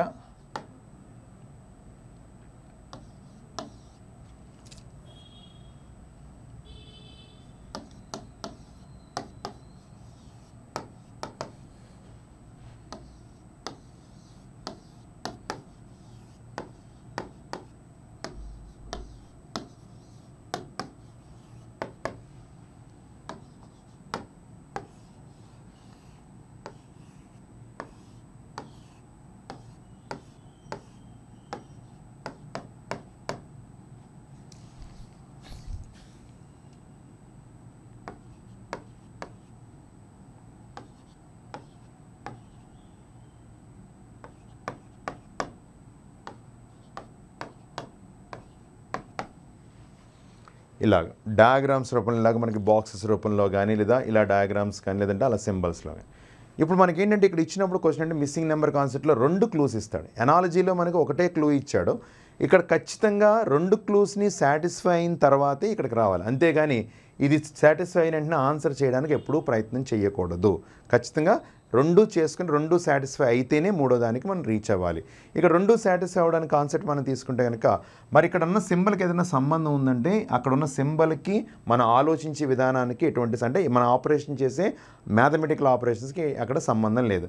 ఒక డాలర్ అనేది ఒక ఐడెంటిఫికేషన్ సింబల్ మాత్రమే. అది ప్లస్ కింద మాట్లాడుకోండి మీరు అంటే కోడ్ చేసుకున్నాడు వాడు అది ప్లస్ అనొచ్చు ఇంటూ అనొచ్చు డివైడ్ బై అనొచ్చు స్క్వేర్ అనొచ్చు క్యూబ్ అనొచ్చు మీ ఇష్టం ఎలాగైనా రాసుకోవచ్చు. దానికి వాడు రూల్స్ అండ్ రెగ్యులేషన్స్ ఏం పెట్టాడో? మనం ఎలాగ ఆలోచించినా సరే రెండు ఒకే స్ట్రీమ్లో మనకి వర్కౌట్ అయితే దాన్ని కంటిన్యూ చేయడానికి మనం ప్రయత్నం చేస్తే ఇప్పుడు ఇక్కడ చూడండి. ఏమని చెప్పచ్చు? Three square plus four square. తొమ్మిది ప్లస్ పదహారు ఇరవై ఐదు. Six square plus eight square. ముప్పై ఆరు ప్లస్ అరవై నాలుగు వంద. అంటే ఈ రెండు ఒకటే ప్యాటర్న్ ఫాలో అయింది. అంటే సేమ్ ప్యాటర్న్ మనం వాడు ఇచ్చిన దానికి ఫాలో చేయాలి. అంటే ఎనిమిది స్క్వేర్ ప్లస్ తొమ్మిది స్క్వేర్. అంటే అరవై నాలుగు ప్లస్ ఎనభై ఒకటి అంటే నూట నలభై ఐదు అని చెప్పాలి. అదే ఇక్కడ కూడా అంతే. ఇక్కడ చూడండి ఇక్కడ క్వశ్చన్ మార్క్ ఇచ్చి అంటే ఈ రెండు నెంబర్స్ నుంచి ఈ నెంబర్ తయారు చేయండి. అలాగే ఇక్కడ నేను తయారు చేసింది ఏంటో గుర్తించి మీరు తయారు చేయండి అని అంటున్నాడు. ఇక్కడ వాడు ఏం చేశాడు? సేమ్ ఇక్కడ కాన్సెప్ట్ కూడా చూడండి. Three square plus four square twenty five ఆ ట్వంటీ ఫైవ్ని ఏం చేశాడంటే డబల్ చేశాడు. Fifty six square plus eight square hundred అది కూడా డబల్ చేశాడు. ఇప్పుడు మీరు ఏం చేయాలి? Eight square plus nine square అంటే వన్ ఫార్టీ ఫైవ్. దాన్ని మీరు డబల్ చేస్తే ఏమని చెప్పాలి? టూ నైంటీ అని చెప్పాలి. అలాగే ఇక్కడ సేమ్ ప్యాటర్న్ ఫాలో అంటే అదే ప్యాటర్న్ ఇక్కడ కంటిన్యూ చేస్తాం. ఇక తర్వాత ఏంటంటే ఇలా బాక్సెస్ రూపంలో కానీ సర్కిల్స్ రూపంలో కానీ ఇంకా డిఫరెంట్ షేప్స్ కనబడుతూ ఉంటే ఆ క్వశ్చన్ మార్క్ని బట్టి మనం చెప్పొచ్చు. అంటే ఇక్కడ చూడండి ఇక్కడ క్వశ్చన్ మార్క్ ఉంది కాబట్టి వాడు రిలేషన్ ఎలా తీసుకోవచ్చు అంటే రో వైజ్ అన్న తీసుకోవచ్చు కాలం వైజ్ అన్న తీసుకోవచ్చు. వాడి ఇష్టం అది. అంటే ఇలా తీసుకుంటే ఈ ఆన్సర్ వర్కౌట్ అవుతుంది ఇలా తీసుకుంటే వర్కౌట్ అవుతుంది తీసు. కానీ ఇలా తీసుకుంటే మనకు అన్ని దగ్గర నెంబర్స్ ఉన్నాయి కానీ ఎక్కడ రిలేషన్ కనబడట్లేదు. ఇక్కడ మళ్ళీ దూరం నెంబర్స్ కనబడుతున్నాయి. కానీ ఇలా తీసుకుంటే చిన్న నెంబర్స్తో పాటు ఒక పెద్ద నెంబర్ ఇచ్చాడు కాబట్టి ఈ మూడు నెంబర్స్ నుంచి ఈ నెంబర్ ఇక్కడ క్వశ్చన్ మార్క్ ఉంది కాబట్టి ఈ మూడు నెంబర్స్ నుంచి ఈ నెంబర్ తయారు చేయడానికి అవకాశం. ఎస్పెషల్లీ ఇక్కడ మళ్ళీ స్క్వేర్ నెంబర్స్ కనబడుతుంది. ఆ ఐడెంటిఫికేషన్ రావాలి. ఇవన్నీ నెంబర్ సిరీస్ కాన్సెప్ట్లు మీకు ఆల్రెడీ చెప్పాను. అక్కడ ఉన్నది మనం నేర్చుకుంటూ వెళ్ళాలన్నమాట. అంటే ఇక two eighty nine two twenty five అంటే ఏంటి ఇక్కడ? మనం తీసుకుంటే కనుక ఇక్కడ స్క్వేర్స్ కనబడి ఎప్పుడైతే స్క్వేర్స్ కనబడుతున్నాయో తీసుకుంటే మనం ఏం చెప్పొచ్చు?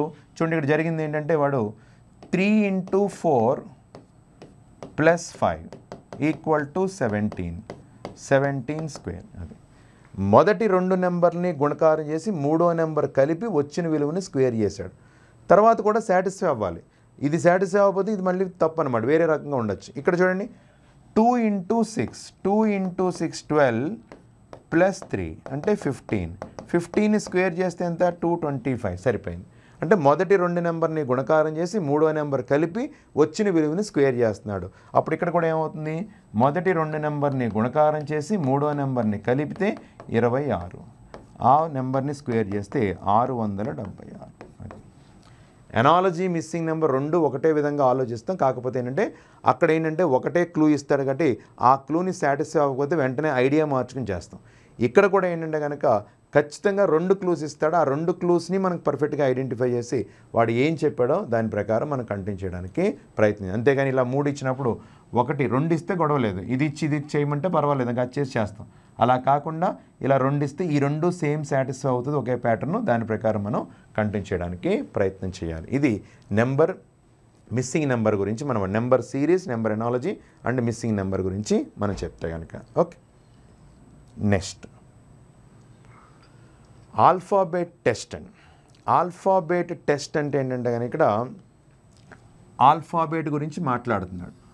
మనకున్న ఆల్ఫాబేట్స్ అంటే ఏ నుంచి మొదలు పెడితే ఏబిసిడి ఎక్స్వై జెడ్ అంటే ఒకటి నుంచి ఇరవై ఆరు అక్షరాలు.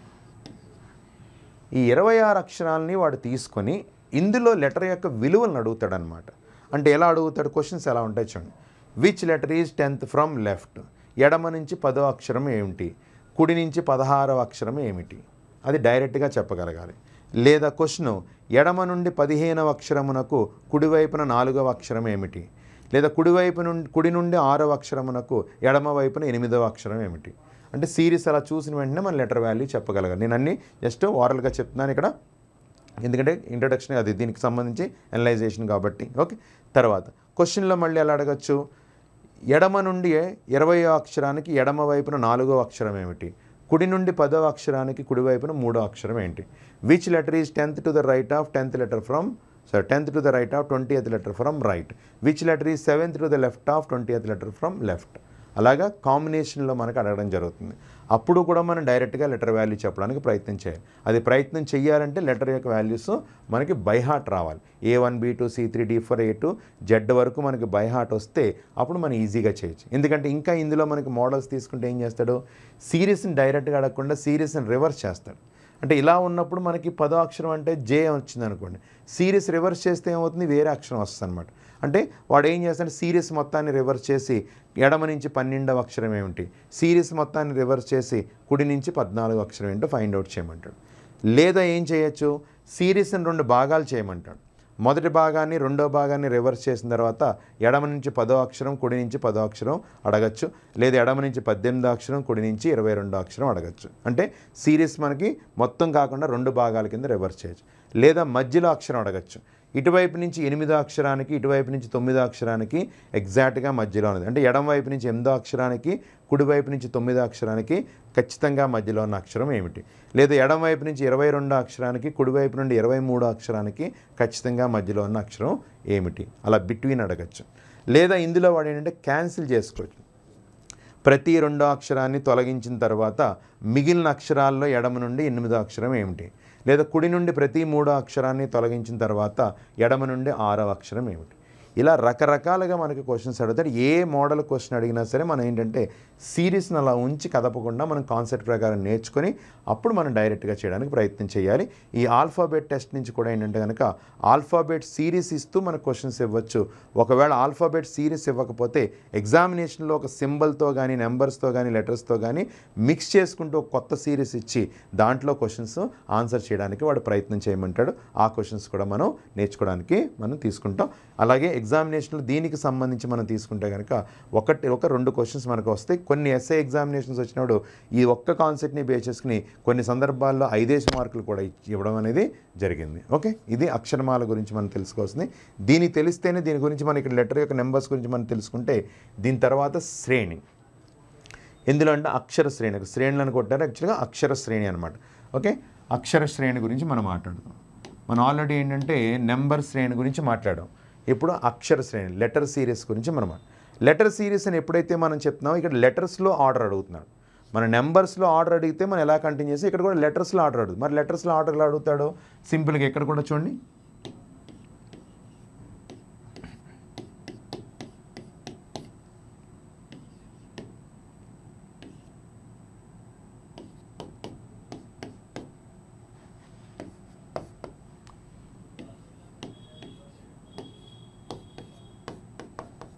ఇలా అనమాట ఇది శ్రేణి అంటే. అది ఒక అక్షరంతో నేను మీకు చెప్తున్నాను. ఇంట్రడక్షన్లో మనకి రెండు అక్షరాలతోని మూడు అక్షరాలతోని ఎలా అన్నా ఇవ్వచ్చు. అంటే జస్ట్ ఎలా చేయాలని నాకు తెలియాలి కాబట్టి అంటే మిస్సింగ్ రాసుకుంటాం.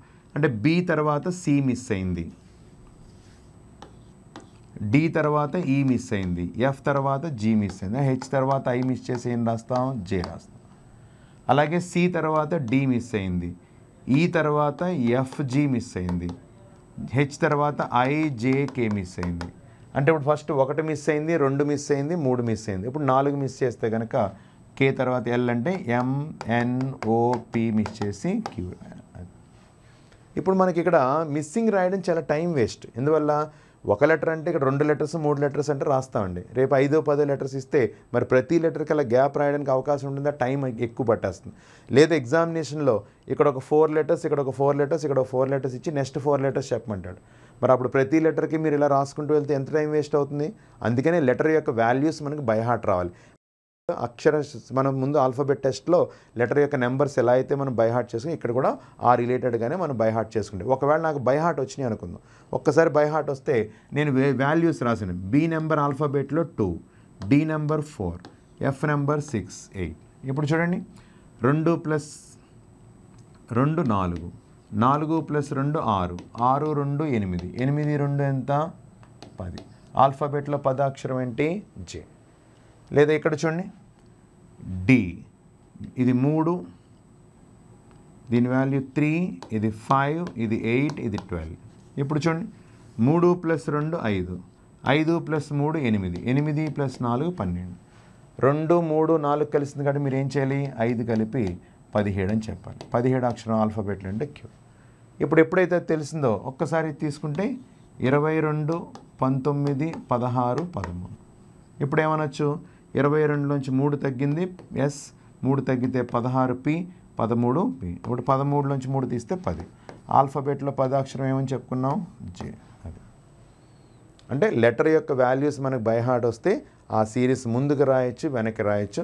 ఆ సిరీస్తో పాటు మనకి ఇందులో ఓవెల్స్ కాన్సనెంట్స్ యూస్ చేసుకోవచ్చు. వాటి యొక్క నెంబర్స్తో రిలేషన్ మెయింటైన్ చేసుకుంటూ మనకు ఎగ్జామినేషన్లోకి వస్తుంది. కానీ ఆల్ఫాబెట్ టెస్ట్ సిరీస్ని బేస్ చేసుకుని ఎగ్జామినేషన్లో ఖచ్చితంగా ఒక టూ క్వశ్చన్స్ రావడానికి అవకాశం ఉంది. ఓకే? నెంబర్ సిరీస్లో మనకి త్రీ క్వశ్చన్స్ కనబడితే ఆల్ఫాబెట్ సిరీస్ నుంచి మనకి టూ క్వశ్చన్స్ మనకి ఎక్కువగా తీసుకుని టూ క్వశ్చన్స్ వరకు రావడానికి అవకాశం ఉంది. మిగిలిన analogy and number analogy missing number తీసుకుంటే కనుక ఒక నాలుగు క్వశ్చన్స్ అలాగే ఆల్ఫాబెట్ టెస్ట్ తీసుకుంటే కొన్ని ఎగ్జామినేషన్లో వన్ ఆర్ టూ క్వశ్చన్స్ వస్తే కొన్ని ఎగ్జామినేషన్స్లో మనకి దగ్గర ఫైవ్ మార్క్స్ వరకు రావడానికి కూడా అవకాశం ఉంది. ఓకే నెక్స్ట్ తర్వాత చూడండి. ఇందులో వర్ణమాల సారూప్యత. ఇందాక ఏం చేసాం మనం? లెటర్స్లో నెంబర్స్లో చూసాం సారూప్యత. అంటే నెంబర్ ఎనాలజీలో చూసాం. ఇప్పుడు దేనికి సంబంధించి అడుగుతున్నాడు? లెటర్నాలజీ గురించి అడుగుతున్నారు కాబట్టి ఆ లెటర్నాలజీ గురించి మనం మాట్లాడితే కనుక దీని గురించి మనం ఎలా ఆలోచించాలో ఒకసారి చూద్దాం. అంటే ఫర్ ఎగ్జాంపుల్ ఇలా అన్నాడు అనుకోండి.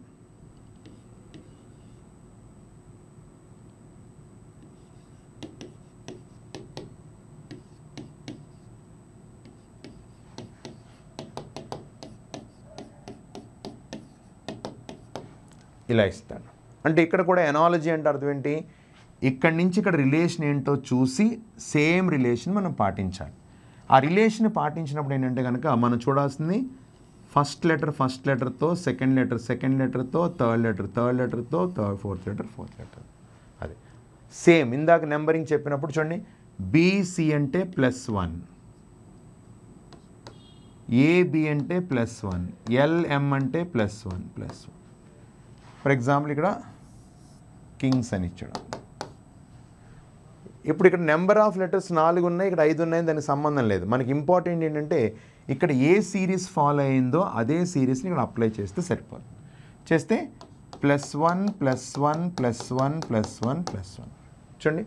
కే ప్లస్ వన్ అంటే L IJ NM sorry NO GH ST LGOHT అని మనం చెప్పొచ్చు. అలాగా ఆల్ఫాబెట్ సిరీస్ని మనకి కంటిన్యూస్లో ఎనాలజీ కాన్సెప్ట్ని యూజ్ చేయడం. దీంట్లో వాడు ఏం చేస్తాడు కనుక ఇప్పుడు లెటర్స్లో మనం చూసినట్టే ఎప్పుడు ఇలాగే ఫస్ట్ లెటర్తో చూడడం కాదు. ఒక్కోసారి ఏం చేస్తుంటే క్వశ్చన్లో ఇలా కూడా ఇవ్వచ్చు. ఫర్ ఎగ్జాంపుల్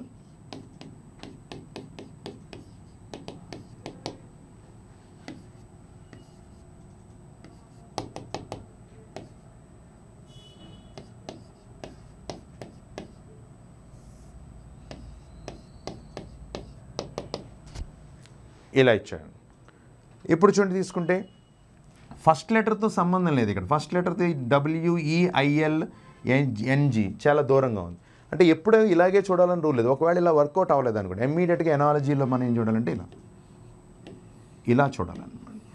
లాస్ట్ లెటర్ని ఫస్ట్ లెటర్ ఇప్పుడు చూడండి ఇది సెవెన్ ఇది ఫోర్టీన్ ఇది నైన్ ఇది ట్వంటీ త్రీ ఇది ఫైవ్ ఇది ట్వెల్వ్ ఇది సెవెన్ ఇది twenty two okay UA twenty. చూడండి seven minus two five. Fourteen minus two twelve. Minus two minus two. అంటే ఇక్కడ మొత్తం అన్ని మైనస్ టూ కాబట్టి ఇక్కడ కూడా రాస్తే minus two. Nineteen minus two అంటే seventeen Q. Eleven minus two అంటే nine I. Three minus two అంటే first letter A. Fifteen minus two అంటే కనుక thirteen M. Fifteen eighteen minus two అంటే సెవెంటీన్ పి అది అలా డైరెక్ట్గా మనం చేసుకోవచ్చు. అలాగే ఇందులో వాడు ఏం చేస్తాడంటే నెంబర్తో రిలేషన్ ఇస్తాడు. ఇప్పుడు లెటర్స్తో మనం ముందుకు వెనక్కి రాస్తాం. అలాగే ఇంకో మిగిలిపోయింది అంటే ఆల్ఫాబెట్ నెంబర్స్ కట్టి ఆ ఆల్ఫాబెట్ నెంబర్స్కి ఇస్తాడు. For example cat is to five seventy six then dog is to అని క్వశ్చన్ మార్క్ అడ ఏంటి క్యాట్ ఫైవ్ సెవెంటీ సిక్స్ అంటే ఎందుకు వచ్చిందంటే ఇది స్క్వేర్ నెంబర్. దేని యొక్క స్క్వేరు? ఇరవై నాలుగు స్క్వేర్. అది ముందు మనకు స్ట్రైక్ అవ్వాలి. ఇప్పుడు ఇరవై నాలుగు తీసుకురావాలి. ఇరవై నాలుగు ఎక్కడి నుంచి వస్తుందంటే C number three A number one T number మూడు టోటల్ చేస్తే ఎంత? ఇరవై నాలుగు. ఆ వచ్చిన ఇరవై నాలుగుని స్క్వేర్ చేశాడు అప్పుడు ఇక్కడ అదే చేస్తే D number four fifteen seven. Twenty six. ఆ ట్వంటీ సిక్స్ని స్క్వేర్ చేస్తే సిక్స్ సెవెంటీ సిక్స్. అది. ఎనాలజీ కాన్సెప్ట్కి వచ్చేటప్పటికి ఏంటంటే మనకి ఇన్ని రకాలుగా మనకి క్వశ్చన్ అంటే ఫస్ట్ లెటర్ ఫస్ట్ లెటర్తో కానీ లాస్ట్ లెటర్ కానీ వాటి యొక్క నెంబర్ రిలేషన్తో వాటి సీక్వెన్స్ని పాటించుకుంటూ వెళ్ళడం అనేది జరుగుతుంది. అది ఏం చేశాడో గమనించి యాజ్ ఇట్ ఈజ్గా మనం చేయం. ఒక విధంగా చెప్పాలంటే దీనికి రిలేటెడ్గా మనకి తర్వాత వచ్చే టాపిక్ అంటే కోడింగ్ డీ కోడింగ్ అంటే ఇక్కడ ఎలా ఆలోచించామో అక్కడ కూడా సేమ్ అదే పద్ధతిలో ఆలోచిస్తాం. ఇక్కడ మనకి క్వశ్చన్ ఏమో ఈస్ట్ రూపంలో ఇస్తే అక్కడ ఏంటంటే క్వశ్చన్ క్వశ్చన్ సెంటెన్స్ రూపంలో మనకి క్వశ్చన్ కనబడుతుంది. అంటే క్వశ్చన్ ఎలా ఉంటుంది అనేది ఒక్కసారి మనం ఇది గురించి తెలిసింది కాబట్టి కోడింగ్ డీ కోడింగ్ ఒక విధంగా దీనికి రిలేటెడ్గానే కాకపోతే ఏంటంటే కోడింగ్ డీ కోడింగ్లో మనకి నెంబర్ ఆఫ్ కాన్సెప్ట్స్ ఉంటాయి ఇందులో. అంటే కోడింగ్ డీ కోడింగ్ పేర్లోనే ఉంది. మనం కోడింగ్ చేయడం అంటే సీక్రెసీ మెయింటైన్ చేసుకుంటున్న లాజిక్ని తీసుకొని మళ్ళీ డీకోడ్ చేస్తాడు. అంటే ఇదే క్వశ్చన్ మనకు ఎలా ఇస్తా అంటే ఎనాలజీతో పోలిస్తే ఎనాలజీతో పోలిస్తే ఒక వర్డింగ్ రూపంలో ఇస్తాడు. అంటే ఒక పరిభాషలో బాలును సిబిఎంఎంగా రాయగా అదే పరిభాషలో కింగ్స్ని ఎలా రాయగలము? In a certain code ball is coded as CBMM then how is kings be coded అని అడుగుతాడు. అంటే సేమ్ ఇక్కడ ఆలోచించినట్టు ఎలా అయితే ఆలోచించా అక్కడ కూడా ఇలాగే రాసుకొని చేయాలి. కాకపోతే ఏంటి ఇందులో మనకి డిఫరెంట్ మోడల్స్ మనకు కనబడతాయి. అందులో చూడండి గుర్తులతో కోడింగ్ ఇస్తాడు. అంటే కోడింగ్ మనకి సింబల్స్తో ఇస్తే అండ్ ఫర్ ఎగ్జాంపుల్ ఏదో ఇలా ఇచ్చాడు అనుకోండి. Bore is to dollar at the rate of star pound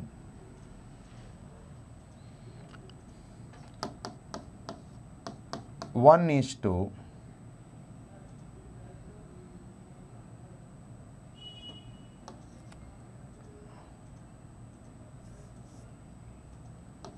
question mark at the rate of equal to. Then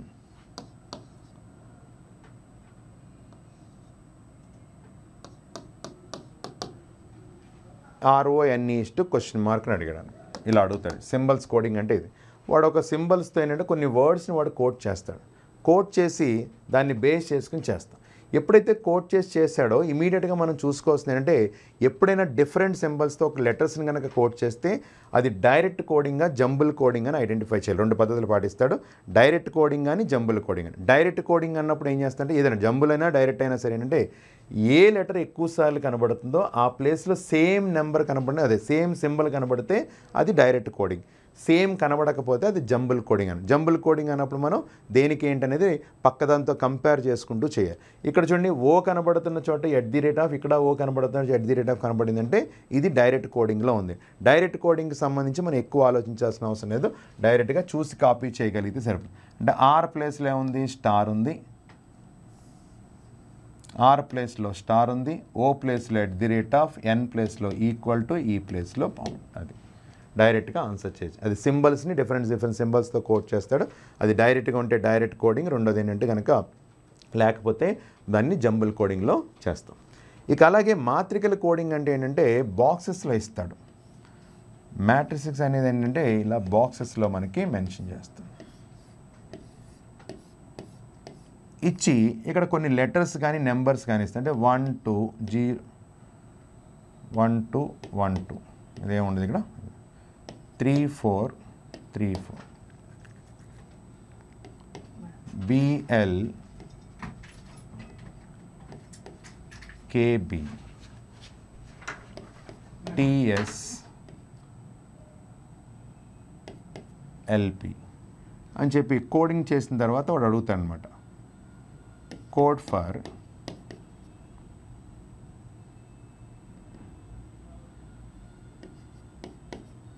LKT అనడు. కోడ్ ఫర్ ఎల్కేటి అనగానే మీరు చూసుకోవాలి ఒకసారి. అంటే కోడింగ్ ఇది ఆప్షన్స్ ద్వారా చేయాలి. ఎప్పుడు కూడా ఈ మ్యాట్రిక్స్ కోడింగ్ అనేది ఆప్షన్స్ ద్వారా చేస్తే చాలా మంచిది. కారణం ఏంటంటే ఇప్పుడు ఎల్ గురించి మాట్లాడచ్చండి ఎల్ నేను రెండు నెంబర్స్ రాయొచ్చు. వాడు చెప్తాడు నెంబర్ ఏంటంటే ఫస్ట్ రో కింద తీసుకోండి సెకండ్ కాలం కింద తీసుకోండి అని చెప్పి. వాడు ఎలా ఆర్డర్ చెప్పాడో ఆర్డర్ పాటించాలని. ఫస్ట్ కాలం కింద తీసుకుంటే అంటే చూడండి కోడింగ్ చేసినప్పుడు అంటే వాడు క్లూ ఇస్తాడు. ఎల్ కోడింగ్ ఎలా తీసుకుంటారంటే వన్ టూ అని తీసుకోండి. అలాగే కే కోడింగ్ ఎలా తీసుకుంటారంటే టూ వన్ అని తీసుకోండి. ఇప్పుడు ఎల్ ఎందుకు వన్ టూ తీసుకున్నంటే ఎల్ తీసుకుంటే ఇక్కడ కనబడుతుంది రోలో ఏం కనబడుతుంది? One two. అంటే అందుకనే వన్ టూ తీసుకున్నాడు. కేకి టూ వన్ ఎందుకు తీసుకున్నాడు? Two one. అందుకని టూ వన్. ఇప్పుడు వాడు చెప్పిన దాని ప్రకారం మనం తీసుకుంటే చూడండి ఎల్ దగ్గర తీసుకుంటే ఎల్ రెండు చోట్ల ఉంది. అంటే నేను ఎల్ ప్లేస్లో వన్ టూ తీసుకోవచ్చు ఇక్కడ ఫోర్ త్రీ తీసుకోవచ్చు. కే ఒక చోటే ఉంది కాబట్టి టూ వన్ తీసుకోవచ్చు. టీ ఒక చోటే ఉంది కాబట్టి త్రీ త్రీ తీసుకోవచ్చు. అందుకే ఆప్షన్స్ ద్వారా వెళ్తాను అనమాట అంటే ఎగ్జామినేషన్లో ఆప్షన్స్లో ఇదన్నా ఉండొచ్చు ఇదన్నా ఉండొచ్చు. ఓకే? అందువల్ల అక్కడ ఉన్న దానికి బేస్ చేసుకుని మనం వెళ్ళాలి. మాట్రిక్స్ కోడింగ్ అనేది కనీసం ఒక నాలుగు నెంబర్లు ఇలా కానీ నాలుగు నెంబర్లు కానీ ఐదు నెంబర్లు ఇలా కానీ ఐదు నెంబర్లు ఇచ్చి సింగిల్ మ్యాట్రిక్స్ ఇవ్వచ్చు లేదా రెండు మ్యాట్రిక్స్ కూడా రెండు ఇచ్చి మనకి క్లూజ్ ఫైండ్ అవుట్ చేసుకుని చేయమంటాడు. కానీ ఈ క్వశ్చన్ చేసినప్పుడు ఒకటే మీరు పాటించాల్సింది ఏంటంటే క్వశ్చన్ చదివినప్పుడు మాత్రం చూసుకోవాలి. వాడు ఫస్ట్ రో తీసుకొని సెకండ్ కాలం తీసుకోమన్నాడా? ఫస్ట్ కాలం తీసుకొని సెకండ్ రో తీసుకోమని తీసుకొని వాడు ఒక ఎగ్జాంపుల్ ఇస్తాడు. దాన్ని ఐడెంటిఫై చేసి దాన్ని బేస్ చేసుకుని వాడిచ్చిన వర్డ్స్కి త్రూ ఆప్షన్స్ ఆప్షన్ నుంచి చేస్తే మనం డైరెక్ట్గా చేయడానికి అవకాశం. ఇక జంబుల్ కోడింగ్ అండి. జంబుల్ కోడింగ్ అంటే చాలా సింపుల్. మనం చెప్పాలంటే ఫర్ ఎగ్జాంపుల్ ఇలా రాశాడు అనుకోండి రాక్ ఈజ్ టు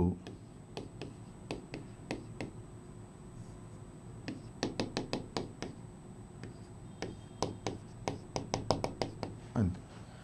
చూడండి జంబుల్ కోడింగ్ అంటే అందులో ఉన్న వర్డ్సే జంబుల్ లెటర్స్ జంబుల్ అవుతాయి. ఇప్పుడు రాక్లో మనకి ఏం జరిగిందంటే ఈ రెండు ఇంటర్చేంజ్ అయింది ఓ అండ్ ఆర్ అనేది ఇంటర్చేంజ్ అయింది. సి అండ్ కే అనేది ఇంటర్చేంజ్ ఇక్కడ మీరు అది చేస్తే ఓ అండ్ బి అనేది ఇంటర్చేంజ్ చేయాలి. ఈ అండ్ ఆర్ అనేది ఇంటర్చేంజ్ అది. అలా ఇంటర్చేంజ్ చేయొచ్చు రీప్లేస్ ఒకదాని ప్లేస్లో ఒకటి దాన్ని తీసుకెళ్ళచ్చు లేదా రివర్స్ చేసుకోవచ్చు. అలాగే రకరకాలుగా జంబులు చేసుకుంటూ మనకి వర్కౌట్ చేయడానికి అవకాశం ఉంది. ఇక తర్వాత ఏంటంటే ఆర్ నమూనా క్వశ్చన్స్ అంటే ఈ ఆర్ అనే లెటర్తో తీసుకునే ఆర్త్ ఏంటంటే ఎగ్జామినేషన్లో ఆర్త్ లెటర్ అనే ఇవ్వాలని రూల్ లేదు. ఇక్కడ మాత్రం నేను ఆర్త్ లెటర్ మెన్షన్ చేసుకున్నాను అంటే ఎగ్జామినేషన్లో ఆర్త్ లెటర్ అని ఇవ్వచ్చు కేత్ లెటర్ అని ఇవ్వచ్చు ఎంత్ లెటర్ అని ఇవ్వచ్చు ఎలాగైనా ఇవ్వచ్చు. ఆ ఇచ్చినప్పుడు ఏంటంటే ఆ లెటర్ యొక్క అర్థం ఏంటంటే ఏ టు జెడ్ అనమాట ఏ లెటర్ ఇచ్చినా దాన్ని మీరు ఎలా రిప్రజెంట్ చేసుకోవాలి? ఏ టు జెడ్ అంటే one to twenty six letters దీనికి ఒక కండిషన్ పెడతాడు. ఒక కండిషన్ అంటే rth letter is coded as twenty seven minus rth letter అంటాడు. అంటే ఆర్త్ లెటర్ అంటే నేను ఏం చెప్పాను? ఏ టు జెడ్ లెటర్ తీసుకోండి. దాన్ని మళ్ళీ twenty seven minus rth letter కిందే కోడ్ చేయండి. అంటే చిన్న ఎగ్జాంపుల్ చెప్తాను చూడండి for example R equal to one అని తీసుకున్నాను అనుకోండి. ఆర్ యొక్క వాల్యూ వన్ అంటే ఏంటి? ఏ అంటే ఏకి కోడ్ చెప్పాలి. ఎలా చెప్పాలి? Twenty seven minus R value ఎంత? One twenty six. ఈ వచ్చిన ట్వంటీస్ దీన్ని సాల్వ్ చేస్తే వచ్చింది ట్వంటీ సిక్స్. ఆ ట్వంటీ సిక్స్ మళ్ళీ ఏ లెటర్ అయిందండి ఆర్త్ లెటర్ అయింది. ఆర్త్ లెటర్లో ట్వంటీ సిక్స్ ఏమవుతుంది? జెడ్. అంటే ఏకి కోడ్ ఏమైందంటే జెడ్ అనమాట ఫర్ ఎగ్జాంపుల్ ఇందులో ఆర్ ఈక్వల్ టు ఏదో ట్వెల్వ్ అన్నాడు అనుకోండి. ఆల్ఫాబెట్లో ట్వెల్త్ లెటర్ అంటే ఎల్ అనమాట అంటే twenty seven minus twelve.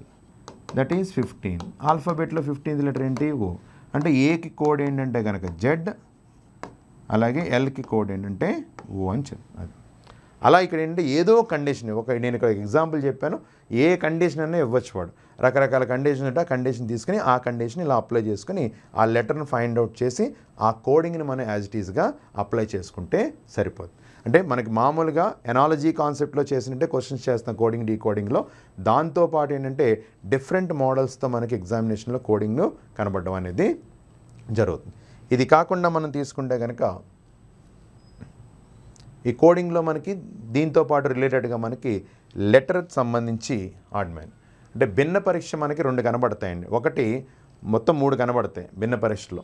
అలా ఏంటంటే కనుక వర్డ్కి సంబంధించి డిఫరెంట్గా ఉన్నది చెప్పడం. అలాగే నెంబర్కి సంబంధించి చెప్పడం. మూడోది ఏంటంటే కనుక లెటర్కి సంబంధించి. మూడు కనబడితే వర్డ్ నెంబర్ లెటర్. ఈ మూడాటిని యూస్ చేసుకుంటూ వాడు క్వశ్చన్స్ ఇస్తాడు. ఇందులో మనకి ఏంటంటే భిన్న పరీక్ష అంటే ఎప్పుడు గుర్తుపెట్టుకోవాల్సింది అంటే మనకి ఫోర్ ఆప్షన్స్ ఇస్తాయి ఆప్షన్స్ కనుక ఫోర్ ఇస్తే కనుక త్రీ ఇస్ టు వన్ అని విడగొట్టుకోవాలి. అదే ఫైవ్ ఆప్షన్స్ ఇస్తే కనుక ఫోర్ ఇస్ టు వన్ కింద విడగొట్టాలి. ఏ వన్ అయితే మిగిలిపోయిందో అదే మీ ఆన్సర్ అవుతుంది. ఎందువల్ల? భిన్న పరీక్షలో మనకు చెప్పాల్సింది అంటే డిఫరెంట్గా ఉన్నది చెప్పండి.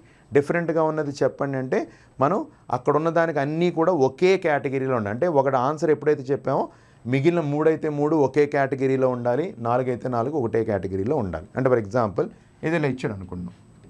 వర్డ్స్ ఇలా ఇచ్చాడు అనుకోండి. Orange banana brinjal grapes. లేదా పప్పయ్య తీసుకో ఇప్పుడు చూడండి ఆరెంజ్ బనానా బ్రింజాల్ ప్యా- పపాయ తీసుకుంటే ఈ నాలుగాట్లో డిఫరెంట్గా ఉన్నదంటే ఏం చెప్తారు మీరు? ఖచ్చితంగా ఇది ఫ్రూట్ ఇది ఫ్రూట్ ఇది ఫ్రూట్. ఇది వెజిటేబుల్ అని చెప్పి ఆన్సర్ ఇప్పుడు చూడండి అబ్జర్వ్ చేయండి రేషియో. ఇక్కడ నాలుగు ఆప్షన్స్ ఇచ్చినప్పుడు ఇది ఆన్సర్ చెప్పగానే మిగిలిన మూడు సేమ్ కేటగిరీలో ఉండాలి. ఎప్పుడు కూడా ఆడ్ మ్యాన్ అవుట్ చేస్తున్నాడు చిన్న మిస్టేక్ అంటే ఇది అవుతుంది మిగిలిన అవ్వట్లేదనే పదం వాడకూడదు. ఖచ్చితంగా ఇది మీరు ఆన్సర్ చెప్పగానే మిగిలిన మూడు ఒకే కేటగిరీలో ఉందా లేదా మనం ఎప్పటికప్పుడు చెక్ చేసుకుని ఆన్సర్ చెప్పాలి. ఇది వర్డ్లో కనబడుతుంది ఇదే కనుక మనకి నెంబర్లో ఇవ్వచ్చు. నెంబర్లో తీసుకుంటే కనుక ఫర్ ఎగ్జాంపుల్ ఇలా ఇచ్చాడు అనుకోండి. ఇరవై ఏడు నూట ఇరవై ఐదు మూడు వందల నలభై మూడు ఏడు వందల ఇరవై తొమ్మిది. ఇప్పుడు ఈ నెంబర్స్ ఏంటంటే అన్నీ క్యూబ్ నెంబర్స్. అన్నీ క్యూబ్ నెంబర్స్ అంటే ఇది త్రీ క్యూబ్ ఇది ఫైవ్ క్యూబ్ ఇది సెవెన్ క్యూబ్ ఇది నైన్ క్యూబ్. మరి అన్నీ క్యూబ్ నెంబర్స్ కానీ ఒక రేషియో కింద విడగొట్ట త్రీ ఇస్ట్ వన్ కింద విడగొట్టాలి అంటే అప్పుడు నేనేమనొచ్చు అంటే కనుక ఈ మూడు కూడా ప్రధాన సంఖ్యల యొక్క స్క్వేర్ ప్రైమ్ నెంబర్స్ యొక్క క్యూబ్స్ అనమాట ఇదేంటిది? కాంపోజిట్ నెంబర్ సంయుక్త సంఖ్య యొక్క క్యూబ్ అది. అన్నీ కూడా ప్రధాన సంఖ్యల యొక్క క్యూబ్స్ అయితే ఇదొక్కటే సంయుక్త సంఖ్య క్యూబ్ కాబట్టి అప్పుడు డిఫరెంట్గా ఉన్నది ఏంటంటే ఇదని చెప్పవచ్చు ఇదే లెటర్స్లో ఇవ్వచ్చు. ఏ ఈ ఐ కే అన్నాడు. చూసిన వెంటనే మన అందరికీ తెలిసిందే ఏఈఐ e, ఈ మూడాటిని మనం ఏమని చెల్లిస్తాం? ఆల్ఫాబెట్లు ఈ మూడు ఓవెల్స్ అని చెప్తాం. ఇది కాన్సనెంట్ అంటే అప్పుడు ఇది ఆన్సర్ చెప్తాం. అలా ఇచ్చిన దాంట్లో ఎప్పుడైనా మనకి ఎగ్జామినేషన్లు ఇక్కడ నేను నేను నాలుగుతో చెప్పడానికి కారణం అంటే బ్యాంకింగ్ ఎగ్జామినేషన్లో తప్పించి మిగిలిన ఇంచుమించు అన్ని ఎగ్జామినేషన్స్లో ఫోర్ ఆప్షన్స్ మనకు కనబడుతున్నాయి కాబట్టి ఆ ఫోర్ ఎప్పుడైనా మన ఆన్సర్ చేసిన ఆడ్ మేనర్ చేస్తున్నారు గుర్తుపెట్టుకోవాల్సిన ఇంపార్టెంట్ ఏంటంటే ఒకటి మన ఆన్సర్ చెప్పిన వెంటనే మిగిలిన మూడు ఒకే కేటగిరీలో ఉన్నాయా లేదా చెక్ చేసుకుని ఆన్సర్ చేయాలి అంతేగాని ఇది అవుతుందండి మిగిలిన అవ్వట్లేదనే పదాన్ని ఇక్కడ యూజ్ చేయకూడదు. అందుకనే ఇలా గుర్తు పెట్టేసుకోండి త్రీ ఇస్టు అంటే ఒక ఆన్సర్ చెప్పగానే మీరు రాసుకున్నప్పుడు అనుకుంటున్నారు కాబట్టి మిగిలిన మూడు ఒకటే కేటగిరీలో ఉన్నాయా లేదా అనేది చెక్ చేసుకుంటే సరిపోతుంది ఇది లెటర్కి సంబంధించి కానీ వర్డ్కి సంబంధించి కానీ నెంబర్కి సంబంధించిన ఆడ్మెన్ని తెలుసుకునే విధానం. క్వశ్చన్స్ ఎలా ఇస్తాడనేది తెలుసుకోవడానికి. ఓకే. చూడండి వర్డ్ ఫార్మేషన్. వర్డ్ ఫార్మేషన్లో మనకి మనకి రెండు మూడు రకాలు కనబడతాయి. ఒకటి ఏంటంటే కనుక కొన్ని లెటర్స్ ఇచ్చి ఆ లెటర్స్తో వర్డ్ ఫార్మేషన్ చేయడం ఒకటి లేదా కొన్ని వర్డ్స్ ఇచ్చి ఆ వర్డ్స్ని ఆర్డర్లో పెట్టడం ఒకటి లేదా డిక్షనరీ ఆర్డర్ ఆల్ఫబెటికల్ ఆర్డర్ అని చెప్పినా డిక్షనరీ ఆర్డర్ అని చెప్పినా ఏదైనా ఏదైనా వర్డ్ ఫార్మేషన్లోకి మనం తీసుకోవచ్చు ఇక్కడ చూడండి ఇక్కడ ఉన్న లెటర్స్ని ఉపయోగించుకొని ఏ వర్డ్ తయారు చేయొచ్చు. తయారు చేసిన తర్వాత వాడు అడుగుతాడు ఇందులో సెకండ్ లెటర్ చెప్పండి థర్డ్ లెటర్ చెప్పండి ఫోర్త్ లెటర్ చెప్పండి. ఇది చూడగానే మనకి ఒక వర్డ్ ఏమొస్తుంది? బ్రాండ్ అనే వర్డ్ వస్తుంది. మనం తయారు చేసిన తర్వాత వాడు ఏమంటే పైన చెప్తాను మీరు వర్డ్ తయారు చేసిన తర్వాత అప్పుడు అందులో ఇది ఏదైతే వర్డ్ పర్ఫెక్ట్గా తయారైందో మీనింగ్ఫుల్ వర్డ్ అందులోంచి మనకి ఏంటంటే ఇన్నో లెటర్ కానీ సెకండ్ లెటర్ కానీ ఫోర్త్ లెటర్ కానీ ఫిఫ్త్ లెటర్ కానీ అడగడం జరుగుతుంది. తర్వాత చూడండి ఇక్కడ ఇక్కడ ఉన్నదాన్ని ఏంటంటే ఆర్డర్లో పెట్టమంటున్నాడు.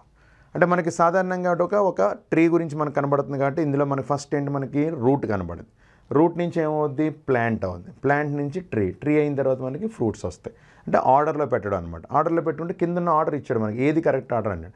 అంటే రూట్ తర్వాత వన్ తర్వాత ట్రీ రాదు మనకి. రూట్ తర్వాత ఏం రావాలి? ప్లాంట్ రావాలి కాబట్టి వన్ తర్వాత సారీ రూట్ తర్వాత ప్లాంట్? వన్ తర్వాత ఫోర్ రావాలి. వన్ తర్వాత ఫోర్ రావాలంటే ఇది ఫెయిల్ అయిపోతుంది. ఇది ఫెయిల్ అవుతుంది. ఈ రెండు ఇది కూడా ఫెయిల్ అయ్యి డైరెక్ట్ ఆన్సర్ అటెన్షన్ తర్వాత టూ అంటే ట్రీ అయింది. ట్రీ తర్వాత ఫ్రూట్ అవుతుంది. ఇప్పుడు ఇక్కడ చూడండి ఆల్ఫాబెటికల్ ఆర్డర్ అనే పదం వాడతాడు లేదా కొన్ని సందర్భాల్లో డిక్షనరీ ఆర్డర్ అంటాడు. డిక్షనరీ ఆర్డర్ అంటే తెలుసు కదా ఏ వర్డ్ ముందు వస్తే ఏ వర్డ్ తర్వాత. ఆర్డర్లో పెట్టిన తర్వాత మళ్ళీ థర్డ్ వర్డ్ అడిగాడు మళ్ళీ. ఆర్డర్లో పెట్టండి ఫస్ట్ తర్వాత అందులో వచ్చిన వర్డ్లో ఏది థర్డ్ ప్లేస్లో వస్తుందని అడుగుతుంది ఇక్కడున్న వర్డ్స్లో ఇప్పుడు ఇక్కడ ఉన్న దాంట్లో మనకి తీసుకుని డిక్షనరీ ఆర్డర్ అంటే ఏంటి? ఫస్ట్ బీతో స్టార్ట్ అవుద్ది. ఒక బీతో ఇక్కడ బీ చెప్తాను కాబట్టి బీతో స్టార్ట్ అయితే బీ స్టార్ట్ అవుతుంది బీ తర్వాత బీ పక్కన ఏ స్టార్ట్ అవుతుంది బీఏ స్టార్ట్ అవుతుంది బీఏ తర్వాత మళ్ళీ బీ స్టార్ట్ అవుతుంది అంటే అలా కంటిన్యూ అవుతుంది మనందరికీ ఆర్డర్ తెలుసు కాబట్టి ఇప్పుడు చూడండి ఇక్కడ బీ ఫస్ట్ లెటర్లో మనకి ఏమీ వర్కౌట్ అవ్వట్లేదు. ఎందుకంటే అన్నిటిలో బీ ఉంది. సెకండ్ లెటర్లో ఇక్కడ ఎల్ ఉంది ఎల్ ఉంది ఇక్కడేమో ఆర్ ఉంది ఇక్కడ ఆర్ ఉంది. ఆల్ఫాబెట్లో ఎల్ ముందు వస్తా ఆర్ ముందు వస్తే అంటే మీరు ఏం చెప్తారు? ఎల్ అని చెప్తారు. ఎల్ ముందు వస్తుంది కాబట్టి ఎల్ అనేది మనకి ఇక్కడ కనబడుతుంది. ఇప్పుడు ఎల్ తర్వాత ఈ రెండు మళ్ళీ సేమ్ అంటే ఈ రెండు ఖచ్చితంగా వన్ టూ ప్లేస్లో ఆక్యుపై చేస్తాయి. ఎగ్జామినేషన్లో చేసినప్పుడు వీటి గురించి పట్టించుకోకూడదు. ఎందువల్ల? మనకి థర్డ్ అడిగాడు. వన్ టూ ఆల్రెడీ ఇది మనకి ఇది ముందు వచ్చినా ఇది ముందు వచ్చినా మనం పట్టించుకోవాల్సిన అవసరం లేదు యాక్చువల్గా. తర్వాత ఆర్డర్లో పెడదాం. ఎగ్జామినేషన్లో చేసినప్పుడు చూసాను ఒకసారి. అంటే వన్ టూ పెట్టేసుకున్నాం. అంటే త్రీ ఫోర్ అంటే రెండు అట్లు ఏదో వస్తుంది. ఇప్పుడు త్రీలో తీసుకుంటే బీఆర్ తర్వాత ఏ వచ్చింది బీఆర్ తర్వాత ఈ వచ్చింది. అంటే ఆల్రెడీ వన్ టూ అయిపోయింది కాబట్టి ఇది థర్డ్ ప్లేస్ అవుద్ది ఖచ్చితంగా ఇది ఫోర్త్ ప్లేస్ అవుతుంది ఇప్పుడు వీటికి కూడా మనం ఒకసారి తీసుకుంటే కనుక బిఎల్ఈ తర్వాత ఏ వచ్చింది బిఎల్ తర్వాత ఐ వచ్చింది. ఏ ముందు వస్తుంది కాబట్టి ఇది ఫస్ట్ అవుతుంది ఇదేమవుతుంది సెకండ్ అవుతుంది. అడిగింది ఏంటి థర్డ్ ప్లేస్లో వచ్చింది ఏంటంటే బ్రాండ్ అని చెప్తాను అనమాట. అలాగా మనకి వర్డ్ ఫార్మేషన్లో మనకి డిఫరెంట్ కాన్సెప్ట్స్లో మనకి ఎగ్జామినేషన్లో క్వశ్చన్స్ ఇది జనరల్గా మన అక్కడ ఉన్న పైన చెప్పిన దాని ప్రకారం మనం అరేంజ్ చేయొచ్చు. అందులో ఇక్కడ మనం కొన్ని ఎగ్జాంపుల్స్ మనం ఇక్కడ తీసుకున్నాం. ఓకే తర్వాత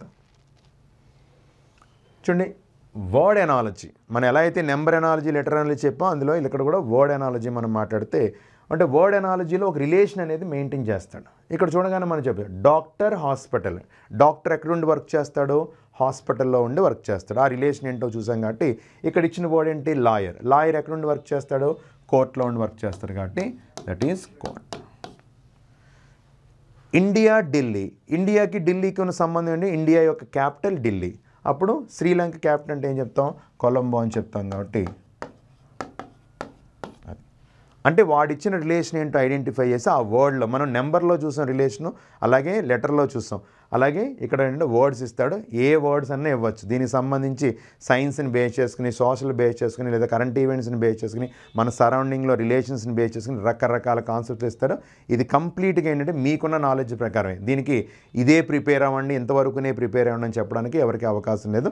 ఇది మీకున్న నాలెడ్జ్ ప్రకారం మీకున్న మొత్తం సబ్జెక్ట్ జనరల్ స్టడీస్ అండ్ మిగిలిన దాంట్లో ఉన్న నాలెడ్జ్ ప్రకారం ఏంటంటే ఇది ఆన్సర్ చేయడానికి మీరు ప్రయత్నం చేయాలి. ఓకే. నెక్స్ట్. తర్వాత ర్యాంకింగ్ ర్యాంకింగ్ కాన్సెప్ట్ చూడండి ఒకసారి అబ్జర్వ్ చేస్తే కనుక ర్యాంకింగ్లో మనకి ఎగ్జామినేషన్లో తీసుకుంటే కనుక ఇందులో మనకు ఒక ఐదు మోడల్స్ ఉంటాయి. ఇంకా మోడల్స్ పరంగా నేను చెప్తాను మరి. క- మనకి క్వశ్చన్స్ పరంగా ఎన్ని రావడాన్ని తీసుకుంటే కనుక ఒక టూ మార్క్స్ మనకి రావాలి. ఒక రెండు మార్కులు మనకి రావడానికి అవకాశం ఉంది ర్యాంకింగ్ పరంగా. ఈ ర్యాంకింగ్ పరంగా మనం తీసుకుంటే ఎన్ని మోడల్స్ మనకు కనబడతాయంటే కనుక టోటల్ స్ట్రెంగ్త్ ఇచ్చి ఒక ర్యాంక్ ఇచ్చి రెండో ర్యాంక్ ఫైండ్ అవుట్ చేయడం. లేదా బోత్ ర్యాంక్స్ ఇచ్చి టోటల్ ఫైండ్ అవుట్ చేయడం. తర్వాత ఇచ్చిన టోటల్ టో- టోటల్ కాకుండా ఈ రెండాటిని మిక్స్ చేసుకుంటూ అంటే టోటల్ ఫైండ్ అవుట్ చేసుకుంటూ అదర్ ర్యాంక్ ఫైండ్ అవుట్ చేయడం. రెండు మిక్స్ చేసుకుంటూ క్వశ్చన్ ఇవ్వడం. ఇక మూడోది బిట్వీన్ అనే కాన్సెప్ట్ని యూజ్ చేసుకుంటూ క్వశ్చన్స్ ఇవ్వడం. అంటే ఏ అనేవాడు ఇటువైపు నుంచి టెన్త్ ప్లేస్లో ఉన్నాడు బి అనేవాడు ఇటువైపు నుంచి ట్వెల్త్ ప్లేస్లో ఉన్నాడు వీళ్ళిద్దరికి మధ్యలో ఒక ఫైవ్ మెంబర్స్ ఉన్నారు. అలా అయితే ఆ రోలో మొత్తం ఎంతమంది ఉన్నారని చెప్పడం. లేదా ఇందులో ఇంటర్చేంజ్ అనే కాన్సెప్ట్ యూస్ చేయడం.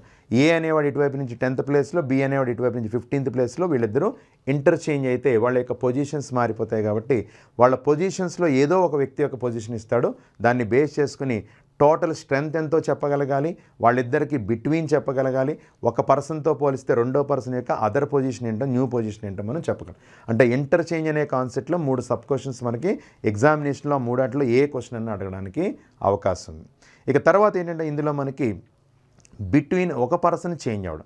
అంటే ఒక రోలో ఒక ట్వంటీ మెంబర్స్ ఉన్నారు. సమ్ ఏ అనే పర్సన్ ఇక్కడ ఉన్నవాడు ఏదో లెఫ్ట్ హ్యాండ్ సైడ్కి కానీ రైట్ హ్యాండ్ సైడ్కి కానీ మూవ్ అవుతాడు. మూవ్ అయిన తర్వాత ఒక న్యూ పొజిషన్కి వస్తాడు కాబట్టి ఆ న్యూ పొజిషన్ యొక్క వాల్యూ మనకి మెన్షన్ చేస్తాడు. దీన్ని బేస్ చేసుకుని ఆ వ్యక్తి ప్రీవియస్గా ఎక్కడ కూర్చున్నాడు అనేది చెప్పగలగాలన్నమాట. అలాగే ఇంక లాస్ట్ ఏంటంటే కనుక ఇందులో మనకి బిట్వీన్ మనం ఫైండ్ అవుట్ చేయడం.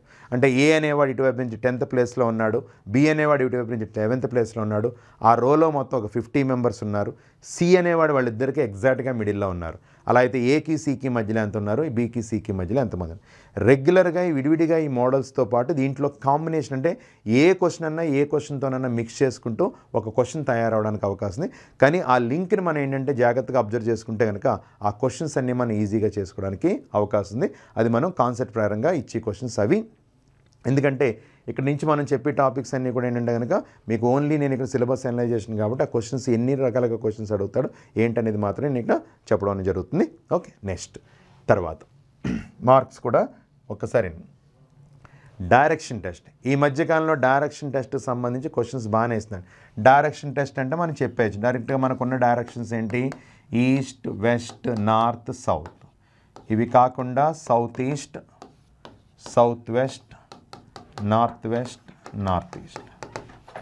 ఇవన్నీ బేస్ చేసుకుని క్వశ్చన్స్ అడుగుతారు. ఎన్ని రకాలుగా మనకు అడగచ్చు అంటే డైరెక్ట్గా ఫస్ట్ ఏంటంటే కనుక ఓన్లీ డైరెక్షన్స్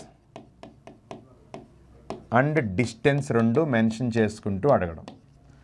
డైరెక్షన్స్ చెప్తాడు దాంతోపాటు డిస్టెన్స్ ఇంక్లూడ్ చేసుకుంటూ వెళ్తాం. లేదా రెండోది ఏంటంటే డైరెక్షన్స్ చెప్తూ లెఫ్ట్ అండ్ రైట్ కాన్సెప్ట్ని యూస్ చేసుకుంటూ క్వశ్చన్స్ ఇవ్వడం. థర్డ్ వన్ ఏంటంటే కనుక యాంగిల్ కాన్సెప్ట్ని యూజ్ చేయడం. అంటే రొటేషన్లో మనకి ఇంత యాంగిల్ రొటేషన్ అయ్యాడు ఇంత యాంగిల్ రొటేషన్ అయ్యాడు అనేది కాన్సెప్ట్ని యూజ్ చేసుకుంటూ వెళ్ళడం. తర్వాత ఏంటంటే కనుక పర్సన్ టు పర్సన్ రిలేషన్ చెప్పడం అంటే A is east of B C south of D ఇలాగా. అంటే ఇది డైరెక్షన్స్ కింద మాట్లాడడమే. అంటే డైరెక్షన్స్ పర్సన్స్ మధ్య ఒక నలుగురినో ఐదుగురినో ఆరుగురినో తీసుకుని వాళ్ళ మధ్య రిలేషన్ అనేది మెన్షన్ చేసుకుంటూ ఎవరి నుంచి ఎవరికైనా రిలేషన్ అడగచ్చు. అంటే సి నుంచి బీకి అడగచ్చు బి నుంచి సికి అడగచ్చు. లేదా ఇంకో పర్సన్ డి ఎవరైనా ఉంటే బి నుంచి డీకి అడగట్టు డి నుంచి ఏకి అడగచ్చు. ఎలాగైనా అంటే వాడు డైరెక్షన్స్ చెప్తూ ఉంటాడు. కొన్ని సందర్భాల్లో దీంతో డిస్టెన్స్ కూడా మిక్స్ అంటే ఇందులో ఇందులో కాన్సెప్ట్ రెండు ఒకలాగే. ఇదేమో ఒక పర్సన్ మూవ్ అవుతూ ఉంటాడు. ఇది డిఫరెంట్ పర్సన్స్ని యూజ్ చేసుకుంటేవాడు. ఇందులో మళ్ళీ తర్వాత ఏంటంటే క్లాక్ని మిస్ చేసుకుంటూ డైరెక్షన్స్ అంట అంటే క్లాక్లో ఒక టైం మెన్షన్ చేసి ఏదో అవర్ హ్యాండ్ కానీ మినిట్ హ్యాండ్ గురించి మనకి ఇస్తాడు. ఆ మినిట్ హ్యాండ్ అవర్ హ్యాండ్ గురించి మనం తీసుకుంటే ఇది అడిగితే అది ఆ డైరెక్షన్ ఆ డైరెక్షన్ అడిగితే ఈ డైరెక్షన్ మనం చెప్పడానికి ప్రయత్నం చేయాలి. తర్వాత ఇందులో మనకి ఏంటంటే కోడింగ్ని అప్లై చేస్తాడు. అంటే ఇచ్చిన డైరెక్షన్స్ని కోడ్ చేసుకుంటాడు. అంటే ఈస్ట్నేమో నార్త్ ఈస్ట్ అని పిలవచ్చు. సౌత్ ఈస్ట్నేమో వెస్ట్ అని పిలవచ్చు. ఒక డైరెక్షన్ని ఇంకో డైరెక్షన్తో కోట్ చేసి వాడు కోడింగ్ అంతా చెప్పిన తర్వాత ఫైనల్గా ఒక డైరెక్షన్లోని అడగడం అనేది జరుగుతుంది. ఇక తర్వాత ఏంటంటే కనుక sun rises and sunsets sun rises and sunsets అలాగే ఇందులో యోగా పర్ఫార్మెన్స్. అంటే యోగా పర్ఫార్మెన్స్ అంటే ఏదైనా పర్సన్ ఏంటంటే తలకిందులుగా నిలబడినప్పుడు అతని ఫేస్ ఈ డైరెక్షన్లో ఫేస్ చేస్తుంది లేదా అతను లెఫ్ట్ హ్యాండ్ ఈ డైరెక్షన్లో ఫేస్ చేసి ఉంటుంది. అలాగేంటంటే ఆ యోగా పర్ఫార్మెన్స్ గురించి చెప్తూ వాడు చెప్తాడు. ఇందులో ఏ మోడల్ క్వశ్చన్ అంటే ఫైనల్గా మనం అడిగేటప్పటికి అయితే ఎంత డిస్టెన్స్లో ఉందని కానీ అతను ఫైనల్గా ఏ డైరెక్షన్లో ఉంది. ఈ అన్ని మోడల్స్ని యూజ్ చేసుకుని ఈ మధ్యకాలంలో ఏంటంటే డైరెక్షన్ సెన్స్ని ఎక్కువగా మనకి త్రీ క్వశ్చన్స్ మినిమం అడుగు అడగడం అనేది జరుగుతుంది. కనీసం రెండు క్వశ్చన్లు కనబడితే లేదా ఎక్కువగా తీసుకుంటే కనుక మూడు క్వశ్చన్స్ ఎందుకంటే మోడల్స్ మనకి ఎక్కువ మోడల్స్ ఉన్నాయి కాబట్టి ఈ ఎనిమిది కాన్సెప్ట్స్ని యూజ్ చేసుకుని వాడు ఎగ్జామినేషన్లో ఎలాగైనా క్వశ్చన్స్ ఆడడానికి అవకాశం ఇది మనం డైరెక్షన్ టెస్ట్ గురించి తెలుసుకోవాల్సింది. తర్వాత blood relations. Blood relation is nothing but మన ఫ్యామిలీ రిలేషన్స్. మన ఫ్యామిలీలో ఎన్ని రిలేషన్స్ అయితే ఉంటా ఆ రిలేషన్స్ అన్నీ ఇక్కడ తీసుకోవడం జరుగుతుంది. కాకపోతే ఫ్యామిలీలో చెప్పే రిలేషన్స్ ఏవైతే ఉన్నాయో కొన్ని రిలేషన్స్ మన ఇంట్లో పిలిచే రిలేషన్స్కి సంబంధం లేకుండా టాపిక్ పరంగా కొన్ని రిలేషన్స్ మనం ఖచ్చితంగా పాటించాలి. ఈ రిలేషన్స్ పరంగా ఇచ్చినప్పుడు ఏం చేస్తంటే క్వశ్చన్స్ మనకి ఇందులో ఫస్ట్ ఏంటంటే కనుక కంటిన్యూషన్ చేసుకుంటూ క్వశ్చన్ అంటే రిలేషన్ కంటిన్యూ చేసుకుంటూ అండ్ అంటే సింపుల్ ఎగ్జాంపుల్ తీసుకుంటే కనుక ఇలా అన్నాం అనుకోండి. ఒక బాలుడను చూపుతూ ఒక వ్యక్తి ఈ విధముగా చెప్పాను. అతను నా సోదరి యొక్క సోదరుని యొక్క తండ్రి కుమారుడు. అయినా ఆ వ్యక్తి నాకు ఏ మగును అన్నాను ఒక బాలుని చూపించి ఏం చెప్తున్నాను? అతను ఎవరంట నా సోదరి యొక్క సోదరుడు. నా సోదరి యొక్క సోదరుడు నాకేమవుతాడు? సోదరుడు అవుతాడు నా సోదరుని యొక్క తండ్రి నాకేమవుతాడు? తండ్రి అవుతాడు నా తండ్రి యొక్క కుమారుడు. నా తండ్రి యొక్క కుమారుడు నాకేమవుతాడు? మళ్ళీ సోదరుడు అవుతాడు అంటే రిలేషన్ చెప్పినప్పుడు ఏంటంటే అలాగే ఒకళ్ళ నుంచి ఒకళ్ళని కంటిన్యూ చేసుకుంటే రిలేషన్ మనకి ఇద్దరు గురించి కానీ ముగ్గురు గురించి కానీ రిలేషన్ చెప్తాను తర్వాత కంటిన్యూస్ రిలేషన్ అయిన తర్వాత సెకండ్ వన్ ఏంటంటే కోడెడ్ రిలేషన్స్ అని చెప్తాం.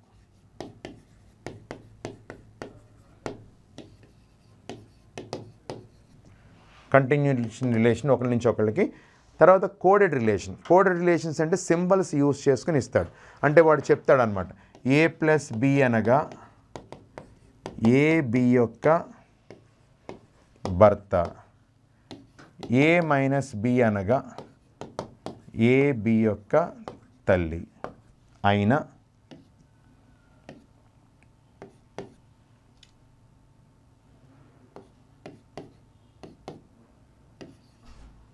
అయినా క్యూ పీకి ఏమగను అంటాడు? క్యూ అనే వ్యక్తి పీకి ఏమగను అంటున్నాడు? చూడండి.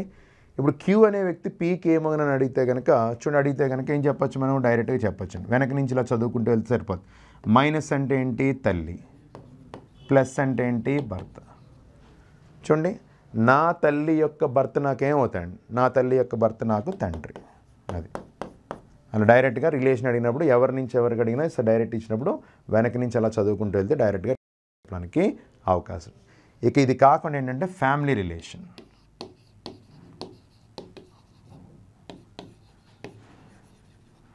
అంటే ఫ్యామిలీ రిలేషన్స్ అంటే ఇందులో మనకి గ్రూప్ ఆఫ్ మెంబర్స్ కనబడతారు. ఒకన నలుగురు కానీ ఐదుగురు కానీ ఆరుగురు కానీ ఇలాగా కొన్ని ఫ్యామిలీ తీసుకుని వాళ్ళ మధ్య రిలేషన్ చెప్తాడు. ఆ రిలేషన్స్ అంతటినీ కూడా మనం కొన్ని సింబల్స్ ఇక్కడ నేర్చుకొని ఆ సింబల్స్ ప్రకారం మనం ఆర్డర్లో పెట్టుకోవడానికి ప్రయత్నం చేస్తాం.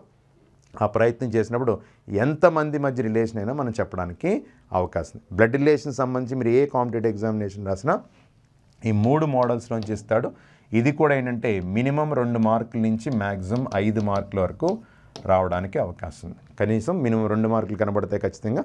మ్యాక్సిమం ఏంటంటే ఈ ఫ్యామిలీ రిలేషన్ ఇచ్చినట్టు వరుసగా ఒక నాలుగైదు క్వశ్చన్స్ కూడా మనకి ఇవ్వడం అనేది జరుగుతుందన్నమాట. Okay next. తర్వాత. Seating arrangement. సీటింగ్ అరేంజ్మెంట్ గురించి మనం మాట్లాడితే కనుక ఉన్న షేప్స్ మాత్రమే మనం ఇక్కడ చెప్పుకోవచ్చు. ఒకటి సర్కిల్ని బేస్ చేసుకుని ఇవ్వచ్చు. లేదా స్క్వేర్ని బేస్ చేసుకు ఇవ్వచ్చు. లేదా రెక్టాంగిల్ని బేస్ చేసుకు ఇవ్వచ్చు. పెంటాగన్ని బేస్ చేసుకుని ఇవ్వచ్చు. హెగ్జాగన్ని బేస్ చేసుకుని ఇవ్వచ్చు. అంటే ఇక్కడ హెగ్జాగన్ వరకు చెప్పాను. ఆక్టాగన్ కూడా ఏదైనా ఇవ్వడానికి అవకాశం ఉంది. ఇందులో వాడు ఏం చేస్తాడంటే ఒక నలుగురు వ్యక్తులు కానీ ఐదుగురు వ్యక్తులు కానీ ఒక వృత్తాకారంలో కూర్చున్నారని కానీ ఒక నలుగురు వ్యక్తులు ఒక స్క్వేర్ టేబుల్లో కూర్చున్నారని కానీ లేదా ఒక ఆరుగురు వ్యక్తులు ఒక రెక్టాంగిల్ టేబుల్లో కూర్చున్నారని కానీ ఇలా. అలా మనకి ఏంటంటే డైరెక్ట్గా మనకి మెన్షన్ చేసుకుంటూ ఇవ్వడం అనేది జరుగుతుంది. అలాగా క్వశ్చన్స్ మనకి ఇచ్చినప్పుడు అంటే ఏ టేబుల్ అయినా కానీ యూజ్ చేసుకోవచ్చు లేదా ఏ పద్ధతిలోనైనా వాడు కూర్చోవచ్చు. ఇది కాకుండా ఎడిషన్గా మీకు ఇస్తే ఒక సింగిల్ రోని బేస్ చేసుకుని ఇస్తాడు లేదా ఒక టూ రోస్ని బేస్ చేసుకు ఇస్తాడు. టూ రోస్ అంటే ఇక టూ రోస్ ఆపోజిట్ డైరెక్షన్లో కూర్చోడానికి అవకాశం ఉంది. లేదా ఒకరి వెనక ఒకరు కూర్చోవడం. దీన్ని వాడు ఏమంటే row one row two column one column two column three. లేదా ఇలా ఇచ్చాడు అనుకో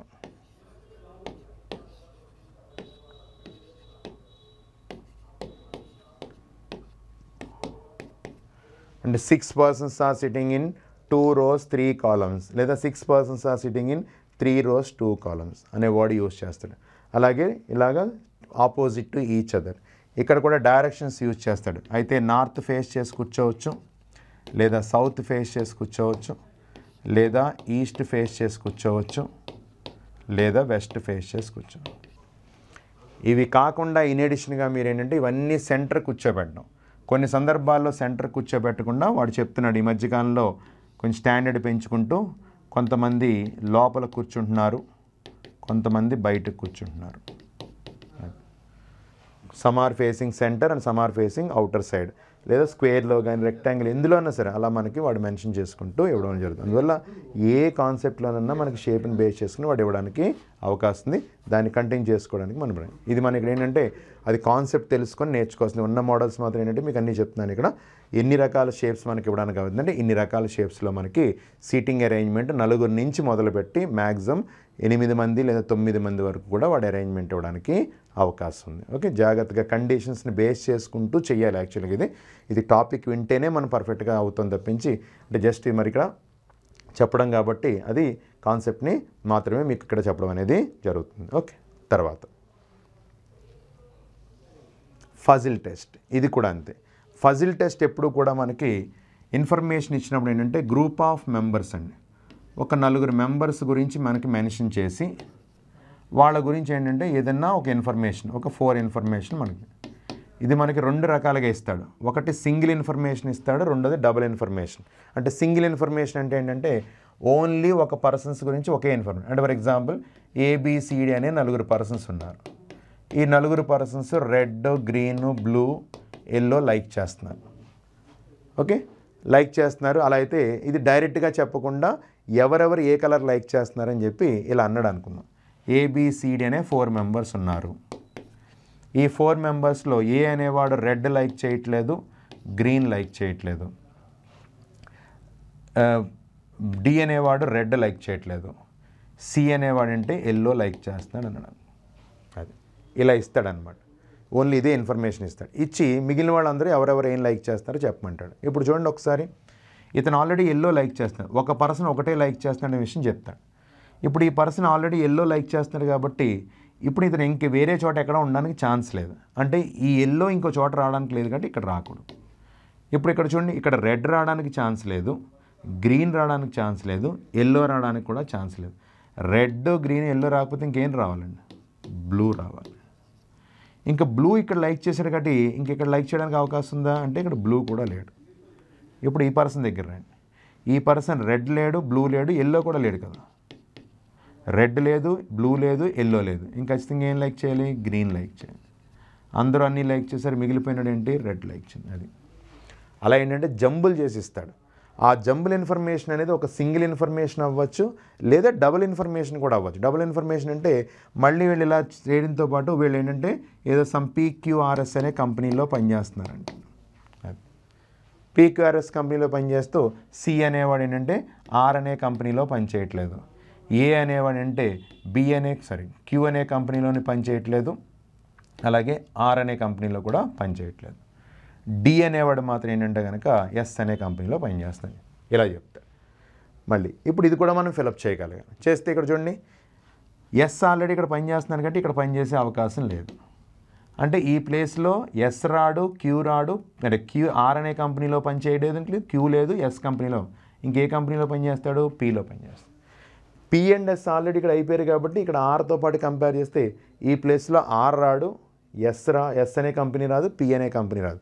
ఇంకా మిగిలిపోయిన కంపెనీ ఏంటి క్యూ అన్ని కంపెనీలు వచ్చింది మిగిలిన కంపెనీ ఆర్ ఇప్పుడు చూడండి ఎవరు ఏ కంపెనీలో పనిచేసి ఏ కలర్ యూజ్ చేస్తున్నారు అనేది మనం చెప్పచ్చు లేదా? అలాగా సింగిల్ ఇన్ఫర్మేషన్ ఇవ్వచ్చు డబుల్ ఇన్ఫర్మేషన్ ఇవ్వచ్చు ఎట్ ఏ టైం మనం చేయడానికి ప్రయత్నం చేయాలి అందువల్ల ఈ జంబుల్ కాన్సెప్ట్ని యూజ్ చేస్తాడు. ఫజిల్ అంటే ఫజిల్ అంటే డిఫరెంట్ అంటే జంబుల్గా ఇస్తున్నట్టు అనమాట దాన్ని మనం ఆర్డర్లో పెట్టుకుని ఫైనల్గా మనం ఎవరు ఏ కంపెనీలో పనిచేస్తాం ఎవరు ఎందులో అని అంటే చాలా డిఫరెంట్ కాన్సెప్ట్స్ ఇస్తాడు.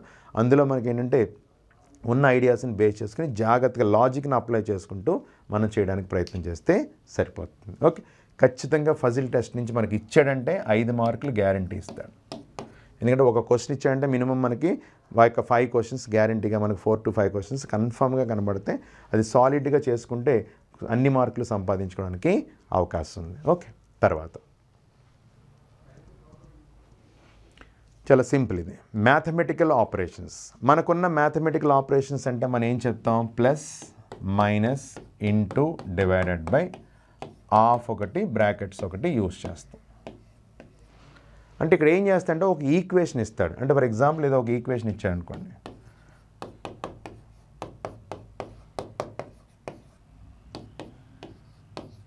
ఇలా ఇచ్చాడు. ఇలా ఈక్వేషన్ ఇచ్చినప్పుడు థర్టీకి ఫార్టీ నేను యాడ్ చేసి సెవెన్తో డివిజన్ చేసి ఫైవ్ సమ్ మల్టీప్లై చేసి చేయకూడదు. దీనికి ఒక ఆర్డర్ ఉంది. ఆర్డర్ని మనం ఏమని చెప్తాం? బాడ్మాస్ అంటాం. బాడ్మాస్ అంటే B stands for brackets O stands for of D stands for division M stands for multiplication A stands for addition and S stands for subtract అదే ఆర్డర్లో మనం చెప్పుకుంటూ వెళ్ళాలి. ఇప్పుడు ఇక్కడ తీసుకుంటే కనుక ఫస్ట్ బ్రాకెట్స్ ఉంటే చేస్తాం. లేదు. ఆఫ్ ఉంటే చేస్తాం. లేదు. డివిజన్ ఉంది కాబట్టి ఈ రెండు నెంబర్స్ మధ్య డివిజన్ ఉంది. నలభై తొమ్మిది ఏడుతో భాగిస్తే ఏడు. ఏడు ఐదులు ఎంత? ముప్పై ఐదు. Plus thirty minus twenty. చూడండి తర్వాత ఎడిషన్ చేయమన్నాడు. అంటే అరవై ఐదు. అరవై ఐదులోంచి తర్వాత మైనస్ అని అరవై ఐదులోంచి ఇరవై ఐదు పోతే నలభై ఐదు. అది బాడ్మాస్ అప్లై చేయడం అనమాట అలా ఈక్వేషన్ బాడ్మాస్ అప్లై చేసుకుంటూ ఒక ఈక్వేషన్ సాల్వ్ చేయమంటాడు. ఖచ్చితంగా మ్యాథమెటికల్ ఆపరేషన్ నుంచి ఒక మార్క్ రావడం అనేది జరుగుతుంది. ఓకే. ఇందులో ఉన్న మోడల్స్ అన్నీ కూడా ఇంకొక ఇంటర్చేంజ్ చేయమని ఒక కాన్సెప్ట్ ఇస్తాడు లేదా ఇంటర్చేంజ్ చేసి ఈక్వేషన్ నెంబర్స్ ఈ నెంబర్స్ సింబల్స్ ఇంటర్చేంజ్ చేసి ఈక్వేషన్ కరెక్ట్ చేయమంటాడు. ఏ క్వశ్చన్ చేసినా సరే మీరు బాడ్మాస్ అప్లై చేసి మాత్రమే చేయాల్సిన అవసరం ఉంది. ఓకే. తర్వాత. Logical Venn diagrams logical Venn diagrams గురించి మనం మాట్లాడితే వాడు ఏం చేస్తాడంటే కొన్ని వర్డ్స్ ఇస్తాడు. అంటే ఫర్ ఎగ్జాంపుల్ ఇది ఇలా అన్నాడు అనుకోండి. ఇండియా ఆగ్రా తాజ్మహల్ మనం వెన్ డయాగ్రామ్ అనే పదం ఎప్పుడైతే మాట వెన్ డయాగ్రామ్ దేంతో డినోట్ చేస్తామంటే సర్కిల్తో డినోట్ చేస్తాం. అంటే ఇక్కడ కూడా వాడి ఉద్దేశం ఏంటి? ఈ మూడాటిని మూడు సర్కిల్స్ కింద ముందు డినోట్ చేసుకోండి. అప్పుడు వాటి మధ్య రిలేషన్ ఏంటో చెప్పండి. వాటి మధ్య రిలేషన్ చెప్పగానే మనం చూడగానే ఏం తెలుస్తుంది మనకి? ఇండియా. ఇక్కడ ఇండియా ఉంది. ఇండియాలో ఏముంది? ఆగ్రా ఉంది. ఆగ్రాలో ఏముంది? తాజ్మహల్ ఉంది.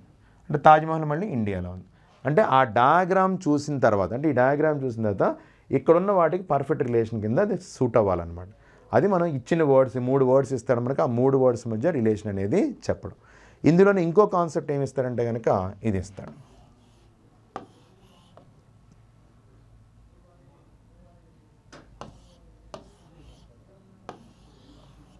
కొన్ని జామెట్రికల్ ఫిగర్స్ని క్లబ్ చేస్తాడు.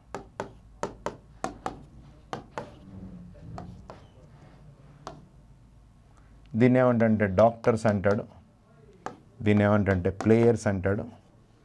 దీన్ని ఏమంటే సింగర్స్ అంటాడు. చేసి ఏం చేస్తాడంటే ఒక ఒక ఏరియాని లొకేట్ చేస్తాడు. అంటే ఒక ఏరియాని లొకేట్ చేస్తే ఫర్ ఎగ్జాంపుల్ ఇలా అన్నాను అనుకోండి. ఏ సంఖ్య వైద్యులు ఆటగాళ్ళు అయ్యి పాటలు కూడా పాడువారిని సూచిస్తుంది. Which number represents doctors who are players and singers అంటే డాక్టర్ అవ్వాలి ప్లేయర్ అవ్వాలి సింగర్ అవ్వాలి. అంటే మూడు అవ్వాలి. ఇక్కడ మూడు కనబడుతుంది ఏంటి? స్క్వేర్లో రావాలి ట్రయాంగిల్లో రావాలి సర్కిల్ రావాలి. చూడండి స్క్వేర్లో ట్రయాంగిల్లో సర్కిల్లో కనబడుతుంది. ఏ నెంబర్ కనబడుతుంది? టెన్ అంటే ఆన్సర్ ఏం చెప్తాం? టెన్ అని చెప్తాం అది. అలా ఒక ఏదే ఏరియా ఒకటి లొకేట్ చేసి మాట్లాడతాడో ఆ ఏరియాలో ఉన్న నెంబర్ ఏంటో చెప్పగలుగుతారు logical Venn diagrams reasoning concept ఇచ్చినప్పుడు అయితే ఈ పద్ధతిలో కానీ ఈ పద్ధతిలో కానీ మనకి క్వశ్చన్స్ ఇవ్వడం అనేది జరుగుతుంది. ఓకే తర్వాత. క్యాలెండర్ క్యాలెండర్ని బేస్ చేసుకుని తెస్తే కనుక ఇందులో మన మోడల్స్ మాత్రం నేను చెప్తున్నాను. ఇప్పుడు ఇందులో ఫస్ట్ ఏం చేస్తానంటే if today is Monday then what is the day on hundred days after and hundred days before okay ఈరోజు సోమవారం అయితే ఇన్ని రోజుల క్రితం ఏంటి? ఇన్ని రోజుల తర్వాత ఏంటి అని అడుగుతాడు. అది వంద రోజులన్నా అవ్వచ్చు ఇంకెన్ని రోజులన్నా అవ్వచ్చు ముందు కానీ దాన్ని. అంటే రోజుల మధ్య తేడా అడుగుతాడు. తర్వాత వాడు ఏం చేస్తాడు కనుక డైరెక్ట్గా fifteenth August nineteen fifty four ఏమవుతుందని అడుగుతాడు. డేట్ మంత్ ఇయర్ ఇచ్చి ఆ రోజు సోమవారమా మంగళవారమా బుధవారమా గురువారమా శుక్రవారం అనేది చెప్పగలగాలి ఇదే క్వశ్చన్ రివర్స్లో అడుగుతాడు. On what date of August nineteen fifty four did Monday falls ఒక నెలలో మనకి ఏ ఆగస్ట్ నెలలో ఏ తేదీ సోమవారం వస్తుంది? ఈ క్వశ్చన్ చూడగానే మనకి ఏం డౌట్ వస్తుంది? ఒక నెలలో మనకి మండే ఒకసారి రాదు కదా. మరి నాలుగు సార్లు కానీ ఐదు సార్లు కానీ వస్తుంది కదా. మరి ఏ డేట్ చెప్పాలంటే? ఫోర్ వస్తే ఫోర్ డేట్స్ ఫైవ్ వస్తే ఫైవ్ డేట్స్ చెప్పాలి. ఒకవేళ క్లియర్గా second Monday first Monday third Monday అని అడిగితే అప్పుడు మీరు ఏంటంటే ఆ first Monday second Monday date చెప్పాల్సిన అవసరం. ఇక తర్వాత ఏంటంటే కనుక స్పాన్ ఇస్తాడు. అంటే మంత్ కానీ డేట్. అంటే for example fifteenth August nineteen fifty four Monday అయితే fifteenth August nineteen sixty four ఏమవుతుంది? అంటే డేట్ అండ్ మంత్లో మార్పు ఉండదు. సంవత్సరాల మధ్య తేడా ఉంటుంది. ఇది ముందుకు కూడా అడగచ్చు. ఇదే క్వశ్చన్ మళ్ళీ ఫిఫ్టీన్త్ ఆగస్ట్ నైన్టీన్ ఫార్టీ ఏమవుతుందని కూడా అడగచ్చు. అంటే ముందుకు అడగడానికి అవకాశం ఉంది అట్ ది సేమ్ టైం వెనక్కి అడగడానికి కూడా అవకాశం ఉంది. ఇక తర్వాత ఏంటంటే కనుక ఇందులో మనకి fifteenth April nineteen fifty four Monday అయితే twenty fourth October nineteen fifty four ఏమవుతుంది? ఇప్పుడు చూడండి ఇయర్లో మార్పు లేదు. ఇందాక డేట్ అండ్ మంత్లో మార్పు లేదు ఇప్పుడు ఇయర్లో మార్పు లేదు. ఇయర్లో మార్పు లేదు. కానీ ఇందులో మార్పు ఉంది డేట్ అండ్ మంత్లో అందుకని ఆ డిఫరెన్స్ అనేది చెప్ప ఇది ముందుకు కూడా అడగచ్చు. అంటే sixteenth January nineteen fifty four ఏమవుతుంది? అది. ఇక్కడ కూడా ఇయర్లో మార్పు లేదు ఓన్లీ డేట్ అండ్ మంత్లో. తర్వాత ఈ రెండు క్లబ్ చేసుకుంటూ మనకి fifteenth August nineteen fifty four Monday అయితే twenty fourth December nineteen eighty four ఏమవుతుంది? చూడండి మంత్ డేట్ చేంజ్ అయింది మంత్ చేంజ్ అయింది ఇయర్ కూడా చేంజ్ అయింది. ఇది కూడా బ్యాక్ అడగచ్చు. ట్వెల్త్ ఏప్రిల్ నైన్టీన్ ఫార్టీ ఏమవుతుంది అంటే మళ్ళీ వెనక్కి కూడా చేయడానికి అవకాశం. ఇక తర్వాత ఏంటంటే కనుక next calendar next same calendar. Next same క్యాలెండర్లో రెండు ఆఫ్టర్ అడగచ్చు బిఫోర్ అడగచ్చు. అంటే టూ థౌజండ్ టూ క్యాలెండర్ వచ్చింది కదా ఇలాంటి క్యాలెండర్ సేమ్ తర్వాత ఎప్పుడు వస్తుంది ఆల్రెడీ ఈ టూ థౌజండ్ టూ క్యాలెండర్ ఇదివరకు ఎప్పుడు వచ్చింది అలా రెండు మనం ఫైండ్ అవుట్ చేయాలి. అందులోనే మనకి ఏంటంటే కనుక సేమ్ మంత్. ఒక మంత్ మనకి ఎలా కనబడదు? అది కూడా రెండు రకాలుగా అడుగుతాడు. ఫస్ట్ డేట్ సేమ్ అవడం అడుగుతాడు లేదా మంత్ అంతా సేమ్ అవడం. అంటే ఫస్ట్ నుంచి లాస్ట్ వరకు లాస్ట్ డేట్ వరకు సేమ్ అవడం. అది కూడా మళ్ళీ ఏంటి? ఆర్డినరీ ఇయర్లో అడుగుతాడో అలాగే లీప్ ఇయర్లో కూడా అడుగుతాడు. అది. అంటే జనవరి లాగా వచ్చే సేమ్ మంత్ క్యాలెండర్ మళ్ళీ ఎప్పుడు రిపీట్ అవుతుంది ఆర్డినరీ ఇయర్లో? అంటే డేస్ సరిపోవాలి అలా ఒకలా అడగచ్చు. లేదా ఇక్కడ ఫస్ట్ తారీఖు అక్కడ ఫస్ట్ తారీఖు మళ్ళీ ఎప్పుడు వస్తుంది? అలా అడగచ్చు. ఎలాగైనా అడగచ్చు వాడు. ఎలా అడిగినా మనం ఈ కాన్సెప్ట్స్ని యూజ్ చేసుకుని క్యాలెండర్లో మనకి క్వశ్చన్స్ అడగ ఖచ్చితంగా క్వశ్చన్స్ అడిగాడంటే కనుక minimum two to three questions two to three marks మనకు కనబడుతుంది అంటే ఓవరాల్గా ఎప్పుడు మన క్యాలెండర్ క్లాక్స్ రెండు బేస్ చేసుకుని ఏమవుతుందంటే ఒక ఆరు క్వశ్చన్స్ కానీ ఎప్పుడు కనబడుతుంది? అంటే ఐదు ఆరు క్వశ్చన్స్ కనబడుతున్నాయి. మూడు రెండు కానీ రెండు మూడు కానీ లేదా మూడు మూడు కానీ ఓవరాల్గా క్లాక్స్ క్యాలెండర్స్ని బేస్ చేసుకుని కంపల్సరీ క్వశ్చన్స్ అడుగుతున్నాడు. అందులో క్యాలెండర్ సంబంధించింది. అలాగే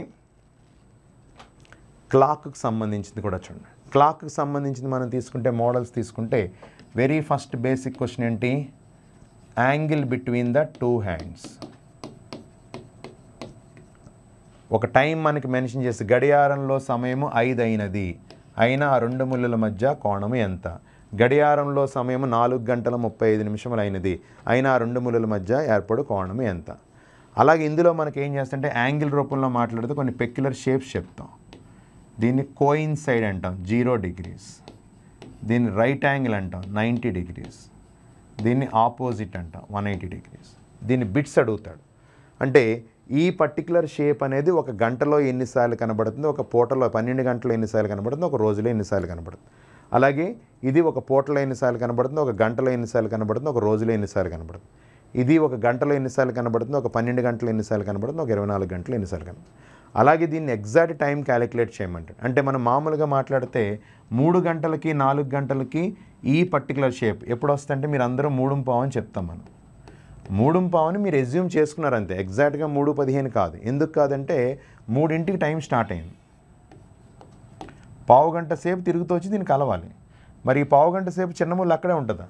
మరి అది కూడా కొంచెం ముందుకు వెళ్తుందా లేదా? అంటే మూడు పదిహేను దాటి ఏదో టైం కనబడుతుంది. ఆ ఎగ్జాక్ట్ టైంని ఇక్కడ క్యాలిక్యులేట్ చేయడం అనేది జరుగుతుంది. ఇక తర్వాత ఇందులో మనకు కావాల్సింది ఏంటంటే స్ట్రైకింగ్ రేట్ అండి. స్ట్రైకింగ్ రేట్ అంటే ఏంటి? ఒక గడియారం ఐదు గంటలు కొట్టడానికి ఇరవై సెకండ్లు పడితే అదే గడియారం తొమ్మిది గంటలు కొట్టడానికి ఎన్ని సెకండ్లు పడుతుంది? లేదా ఒక గడియారం ఐదు సెకండ్లో ఇరవై ఐదు గంటలు కొట్టడానికి ఇరవై సెకండ్లు పడితే అదే గడియారం నలభై సెకండ్లో ఎన్ని గంటలు కొడుతుంది? అది.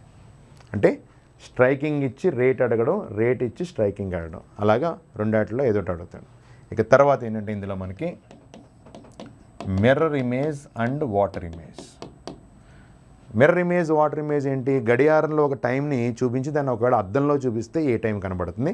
లేదా గడియారం యొక్క ప్రతిబింబం ఆల్రెడీ అద్దంలో పడితే ఒరిజినల్గా గడియారంలో టైం ఎంత అయింది లేదా అదే గడియారాన్ని మీరు కింద నీటిలో చూపిస్తే ఏ టైం అవుతుంది? నీటిలో కనబడుతున్న టైంని ఒరిజినల్ గడియారంలో తీసుకుంటే ఏ టైం కనబడుతుంది? అంటే మిర్రర్ ఇమేజ్ ఇచ్చి ఒరిజినల్ ఇమేజ్ కానీ ఒరిజినల్ ఇచ్చి మిర్రర్ కానీ అలాగే వాటర్ ఇమేజ్ ఇచ్చి ఒరిజినల్ కానీ ఒరిజినల్ ఇచ్చి వాటర్ ఇమేజ్ కానీ చెప్తాం. ఇక దీని తర్వాత మనకు కావాల్సిందంటే గడియారం కరెక్ట్గా తిరుగుతుంది స్లోగా తిరుగుతుంది ఫాస్ట్గా తిరుగుతుందని చెప్తాం అసలు ఏ సందర్భంలో మనం కరెక్ట్గా తిరుగుతుందని చెప్పాలి ఏ సందర్భంలో ఫాస్ట్గా తిరుగుతుంది ఏ సందర్భంలో స్లోగా తిరుగుతుంది అనేది చెప్పాలి. అంటే దీని సింపుల్ క్వశ్చన్ చెప్తాను ఒకటి. ఈరోజు ఒక గడియారాన్ని ఏంటంటే ఒక గడియారం తీసుకున్నాను నేను. ఈ గడియారం ఏంటంటే ప్రతి గంటకి ఐదు నిమిషాలు స్లోగా తిరుగుతుంది. ఈ గడియారం ప్రతి గంటకి ఐదు నిమిషాలు స్లోగా తిరుగుతుంది. ఈ గడియారం నేను morning eight o'clock set చేశాను. ఇదే గడియారాన్ని రాత్రి ఎనిమిది గంటకి వెళ్ళి చూస్తే గడియారంలో టైం ఎంత అవుతుంది అని అడిగాడు అనుకోండి. సింపుల్గా మనం జనరల్గా ఆలోచించవచ్చు. అంటే పొద్దున్న ఎనిమిది గంటల నుంచి రాత్రి ఎనిమిది గంటల వరకు అంటే పన్నెండు గంటలు పట్టింది. ప్రతి గంటకి ఐదు నిమిషాలు స్లోగా తిరుగుతుందంటే పన్నెండు ఐదులు అరవై నిమిషాలు స్లోగా తిరగాలి. ఒరిజినల్గా రాత్రి టైం ఎంత అయింది? ఎనిమిది అయింది. కానీ గడియారంలో అరవై నిమిషాలు స్లోగా తిరుగుతుంది కాబట్టి గడియారంలో టైం ఎంత అవుతుంది? సెవెన్ అవుతుంది అనమాట. అలా అడగకుండా మనకి మర్నాడు కానీ ఆ మర్నాడు కానీ అడుగుతాడు. అది మనం క్యాలిక్యులేట్ చేయడం వస్తే సరిపోదు. ఈ కాన్సెప్ట్స్ అన్నీ యూస్ చేసుకుంటూ క్లాక్లో మనకి ఇది కూడా two to three questions compulsory మనకి అడగడం అనేది జరుగుతుంది అందుకని క్లాక్స్ అండ్ క్యాలెండర్స్ రెండు యూస్ చేసుకుని మీకు ఏం జరుగుతుందంటే ఓవరాల్గా ఫైవ్ క్వశ్చన్స్ కంపల్సరీ కనబడుతుంటే ఒక్కోసారి సిక్స్ క్వశ్చన్స్ వరకు ఇవ్వడానికి అవకాశం ఉంది. ఓకే. నెక్స్ట్. సమయ శ్రేణి పరీక్ష టైం సీక్వెన్స్ టెస్ట్. ఇది జనరల్ కాన్సెప్ట్గా చేస్తే క్వశ్చన్స్? అంటే ఫర్ ఎగ్జాంపుల్ ఏదో క్వశ్చన్ ఇలా ఇచ్చాడు అనుకుందాం. అంటే హైదరాబాద్ నుంచి వరంగల్ వెళ్ళడానికి ప్రతి హాఫ్ అన్ అవర్కి ఒక ట్రైన్ ఉందంట. ఓకే? హైదరాబాద్ నుంచి వరంగల్ వెళ్ళడానికి ప్రతి హాఫ్ అన్ అవర్కి ఒక బస్ తీసుకుందాం ఒక బస్ ఉందంట. నేను వెళ్ళి ఏంటంటే బస్కి ఎంక్వైరీ ప్లేస్కి వెళ్ళి నేను అడిగాను. ఏమని అడిగానంటే వరంగల్ వెళ్ళడానికి బస్సు ఎలా ఉందనంటే అతను నేను చెప్పంటే ప్రతి హాఫ్ అన్ అవర్కి ఒక బస్సు ఉంది. తర్వాత బస్సు ఏమో నైన్ థర్టీకి ఆల్రెడీ బిఫోర్ బస్ వెళ్ళి టెన్ మినిట్స్ అయ్యిందని చెప్పాడు. ఓకే? జాగ్రత్త వినండి. తర్వాత బస్సు ఏంటంటే తొమ్మిది గంటల ముప్పై నిమిషాలకి ప్రతి అరగంటకి ఒక బస్సు ఉంది. ప్రీవియస్ బస్సు వెళ్ళి ముందు బస్సు వెళ్ళి ఏంటంటే కనుక టెన్ మినిట్స్ అయింది అన్నాడు ఇప్పుడు చూడండి ప్రతి అరగంటకు ఒక బస్సు ఉంది. నెక్స్ట్ బస్సు తొమ్మిది గంటల ముప్పై నిమిషాలకి. అంటే తొమ్మిది గంటల ముప్పై నిమిషాలకి నెక్స్ట్ బస్సు. ప్రతి అరగంటకి ఒక బస్సు ఉందంటే దీని ముందు బస్సు ఎన్నింటికి వెళ్ళిపోయి ఉండాలి? Nine o'clock. అంటే టైం వెనక్కి వస్తాం వెనక్కి వచ్చినప్పుడు ఏం చేస్తాం? తీసేస్తాం. ముప్పై నిమిషాలు తీసేస్తే నైన్. ఇది ప్రీవియస్ బస్ యాక్చువల్ ముందు బస్సు వెళ్ళింది. కానీ వాడు చెప్పింది ఏంటి? మనకి ఇన్ఫర్మేషన్ ఎప్పుడు ఇచ్చాడు? బస్సు వెళ్ళి ఆల్రెడీ పది నిమిషాలు అయిపోయిందండి అంటే బస్సు వెళ్ళిన పది నిమిషాలకి మీరు వెళ్ళారు. అంటే బస్సు వెళ్ళిన తర్వాత మీరు వెళ్ళారు కాబట్టి ముందుకు వెళ్తున్నాం కాబట్టి యాడ్ చేసుకో. Nine ten. వాడు అడుగుతాడండి ఎంక్వైరీ ఎప్పుడు జరిగింది అని అడుగుతాడు. ఎంక్వైరీ ఏ టైంకి జరిగింది? ఏ టైంకి జరిగింది? నైన్ టెన్కి జరిగింది అనమాట అంటే ఇక్కడ ఏం లేదు ఈ క్వశ్చన్స్ చేసినాడు ఏంటంటే కనుక వెనక్కి వెళ్తున్నప్పుడు ఏంటంటే కనుక మైనస్ చేసుకుంటా ముందుకు వచ్చినాడు ప్లస్ చేసుకుని ఆ టైంను ముందుకు వెళ్తున్నాం వెనక్కి వెళ్తున్నాం మన క్వశ్చన్ చదవగానే అర్థం అవుతుంది కాబట్టి దాన్ని బేస్ చేసుకుని మనకి అది ట్రైన్ అవ్వచ్చు బస్ అవ్వచ్చు లేదా ఒక పర్సన్ టూ పర్సన్ అవ్వచ్చు ఈ లై ముందుకు వెళ్ళడం వెనక్కి వెళ్ళడం అనే కాన్సెప్ట్స్ని యూజ్ చేసుకుంటూ ఆ టైమింగ్ చెప్తాడు. దాన్ని బేస్ చేసుకుని ఈ క్వశ్చన్స్ చేయడానికి ప్రయత్నం వెనక్కి వెళ్తే సింపుల్గా మైనస్ చేసుకుంటూ ముందుకు వెళ్తే ప్లస్ చేసుకుని ఆన్సర్ చేస్తాయి. జనరల్ క్వశ్చన్స్ ఇవి యాక్చువల్గా తర్వాత పాచికలు అండి డైస్. డైస్లో మనకి రెండు రకాల పాచికలు కనబడతాయి. రెండు రకాల పాచికలు అంటే ఒకటి ఏంటంటే క్లోజ్డ్ డైస్. రెండవది ఏంటంటే ఓపెన్ డైస్. క్లోజ్డ్ డై అంటే ఇది. ఓపెన్ డై అంటే ఇది. పాచికని ఇలా ఇచ్చి ఏం చేస్తాయంటే ఇప్పుడు మనకి ఏం కనబడుతుంది? త్రీ సర్ఫేసెస్ కనబడుతున్నాయి. ఇంకో మూడు కనబట్టలేదు ఏం కనబట్టలేదు ఇది కనబడితే ఇది ఆపోజిట్ కనబట్టలేదు ఇది కనబడితే ఆపోజిట్ కనబట్టలేదు ఇది కనబడితే ఆపోజిట్. అంటే ఏది కనబడిందో దాని ఎగ్జాక్ట్గా ఆపోజిట్లో ఉన్నది కనబడట్లేదు. అంటే మనం వాడు అడిగే క్వశ్చన్ కూడా ఏంటంటే కనుక కొన్ని డైస్ని మనకి త్రో చేస్తాడు. త్రో చేసి అంటే ఫర్ ఎగ్జాంపుల్ ఇది ఇలా అన్నాడు అనుకుందాం. ఒక డైని త్రో చేసాను ఇలా ఒక మూడు సార్లు త్రో చేశాను. ఒకటి రెండు మూడు సార్లు చేసి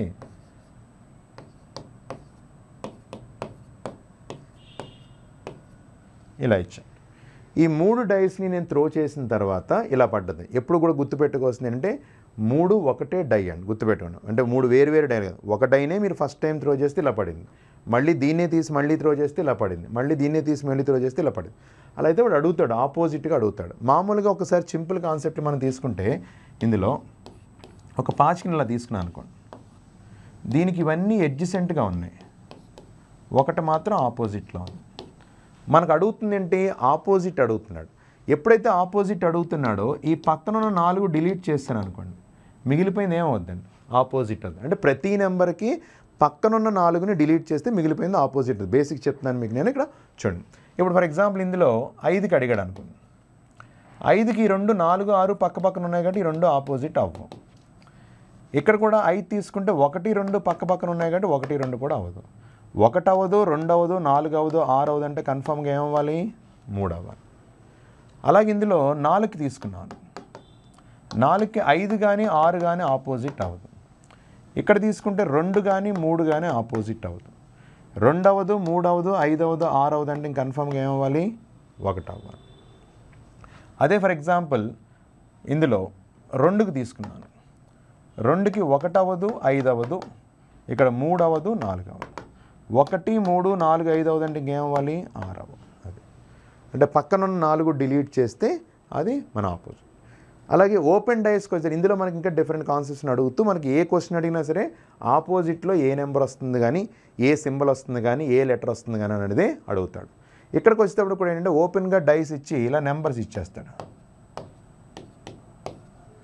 దీన్ని ఫోల్డ్ చేస్తే అప్పుడు ఏదేదో ఆపోజిట్గా వచ్చిందని అడుగుతారనమాట అంటే దీన్ని ఫోల్డ్ చేశాను అనుకోండి ఎప్పుడు ఫోల్డింగ్ ఏం చేయాలి? ఇలా వెనక్కి చేయాలి. ఎప్పుడు కూడా ఫోల్డింగ్ అనేది ఇలా బ్యాక్వర్డ్ చేయాలి. ఎందుకంటే నెంబర్స్ మనకు కనబడాలంటే ఇలా వెనక్కి చేయాలి కాబట్టి ఇప్పుడు రెండు ఇలా ఫోల్డ్ చేశాను అనుకోండి ఈ రెండు ఆపోజిట్ అవుతాయి. అంటే ఐదుకి ఆపోజిట్ ఆరు.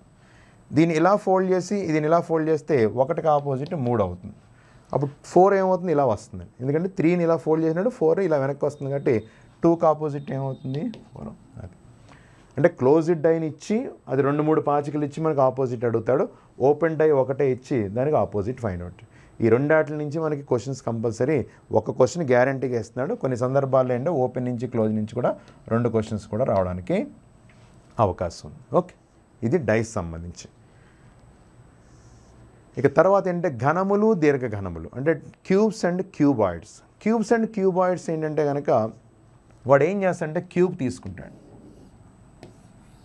జస్ట్ ఇవన్నీ ఐడియా మాత్రం చెప్పడానికి తప్పించి కాన్సెప్ట్ మొత్తం చెప్పడానికి అవ్వదు కాబట్టి జస్ట్ మీకు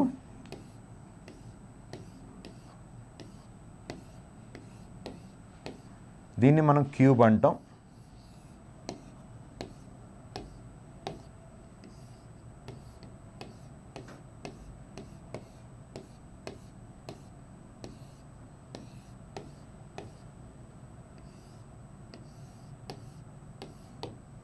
క్యూబాయిడ్ అండి. ఓకే. వాడు ఏం చేస్తాడంటే క్యూబ్ని కానీ క్యూబాయిడ్ని కానీ తీసుకుని దీని చుట్టూ పెయింట్ చేసేస్తాడు. ఏదో కలర్తో పెయింట్ చేస్తాడు. ఒక సింగిల్ కలర్తో చేయొచ్చు. ఒకవేళ సింగిల్ కలర్తో కనుక చేయకపోతే మల్టీ కలర్తో చేయొచ్చు. వాడి ఇష్టం. అది. ఒక సింగిల్ కలర్ యూజ్ చేయొచ్చు టూ కలర్స్ యూజ్ చేయొచ్చు త్రీ కలర్స్ యూజ్ చేయొచ్చు. మొత్తం ఆరు సర్ఫేస్ ఉంటాయి కాబట్టి ఆరు సర్ఫేస్లో ఆరు రంగులు కూడా ఉపయోగించు ఉపయోగించిన తర్వాత వాడు ఏం చేస్తాడంటే ఎక్కడో ఒక చోట నుంచి ఒక మొక్క తీయమంటాడు. ఫర్ ఎగ్జాంపుల్ నేను ఇక్కడ ఈ కార్నర్లో మొక్క తీసాను అనుకోండి. ఈ కార్నర్లో మొక్క తీసుకుంటే నాకు ఇదే కదా వస్తుంది? అంటే ఎన్ని సే సర్ఫేసెస్ మీద పెయింట్ పడుతుంది? మూడు సర్ఫేసెస్ మీద పెయింట్ పడుతుంది. అదే నేను ఈ మొక్క తీసుకున్నాను అనుకోండి. అంటే ఇది.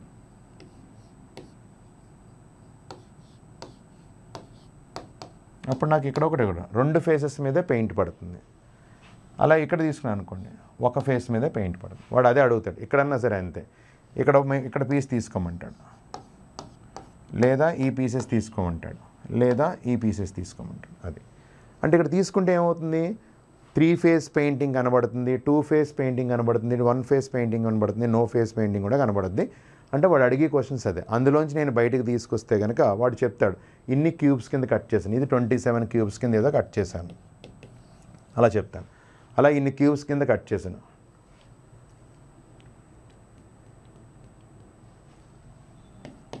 ఇది ఒక ఫార్టీ ఫైవ్ క్యూబ్స్ కింద కట్ చేశాను. వాడు చెప్తాడు ఇలా ఇన్ని క్యూబ్స్ కింద కట్ చేశానని చెప్పి అప్పుడు ఎక్కడో ఒక చోట నేను బయటికి తీసుకొస్తే నాకు ఎన్ని త్రీ ఫేస్ పెయింటింగ్ ఉన్నాయి ఎన్ని టూ ఫేస్ పెయింటింగ్ ఉన్నాయి ఎన్ని వన్ ఫేస్ ఉన్నాయి ఎన్ని అసలు పెయింట్ పడలేని ఉన్నాయి. ఇవి మనకి రెగ్యులర్గా అడిగే క్వశ్చన్స్ అనమాట అది మనకి ఏంటంటే సింగిల్ కలర్తో పాటు మల్టీ కలర్ అడుగుతాడు. మల్టీ కలర్ అడిగితే ఎన్ని క్యూబ్స్ నాకు ఇక్కడ పింక్ రెడ్ కనబడింది బ్లాక్ కనబడింది. బ్లాక్ అండ్ పింక్ ఎన్ని ఉన్నాయి లేదా ఇంకో కలర్ ఉంటే బ్లాక్ పింక్ రెడ్ కలిపి ఎన్ని ఉన్నాయి అలాగా ఈ కాన్సెప్ట్లో కాన్సెప్ట్ తెలుసుకొని దాని ప్రకారం చిన్న చిన్న ఫార్ములాస్ ఉంటాయి ఇందులో. ఆ ఫార్ములాస్ ప్రకారం మీరు పర్ఫెక్ట్గా చేసుకుంటే ఇవి కూడా మనం ఏంటంటే వితౌట్ డయాగ్రామ్ మనం చేయడానికి అవకాశం ఉంది. అది జాగ్రత్తగా మనం తెలుసుకుని ఆ కాన్సెప్ట్ని వర్కౌట్ చేసుకుంటే సరిపోతుంది. Okay next. సిలాయిజం ఓకే ప్రవచనములు నెక్స్ట్ ఏంటంటే తీర్మానాలు. కొన్ని సందర్భాల్లో ముగింపులను ఇస్తాడు ఏదైనా ఒకటే. ఇదేంటంటే తీసుకుంటే కనుక చూడండి స్టేట్మెంట్స్ రూపంలో ఇస్తాడు. ఫర్ ఎగ్జాంపుల్ ఇలా ఇచ్చాడు అనుకోండి. All cats are dogs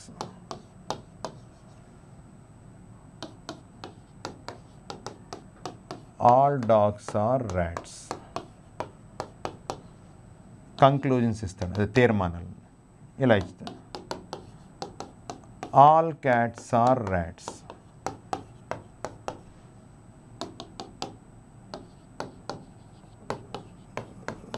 some rats are cats all cats are rats some rats are cats ఇప్పుడు చూడండి. All cats are dogs all cats are dogs cats అన్నీ కూడా ఏ గ్రూప్లో ఉన్నాయి? డాగ్స్ మళ్ళీ డాగ్స్ అన్నీ ఏ గ్రూప్లో ఉన్నాయి? ర్యాట్స్లో డాగ్స్ క్యాట్స్ అన్ని డాగ్స్లో ఉన్నాయి డాగ్స్ అన్ని ర్యాట్స్లో అంటే క్యాట్స్ అన్ని ఖచ్చితంగా ఎందులో ఉన్నట్టు? ర్యాట్స్లో ఉన్నట్టు. అంటే అవి కూడా ఏంటి? అన్ని క్యాట్స్ ర్యాట్స్లో ఉన్నాయి కాబట్టి అన్ని క్యాట్స్ అంటే all cats are rats correct తర్వాత ర్యాట్స్లో కొన్ని క్యాట్స్ ఉన్నాయి. అవునా? అంటే ర్యాట్స్లో కొన్ని మాత్రమే కొన్ని ర్యాట్స్ క్యాట్స్ అవుతాయి. అంటే సమ్ అవుతుంది కాబట్టి సమ్ ర్యాట్స్ ఆర్ క్యాట్స్ ఇది కరెక్టే both one and two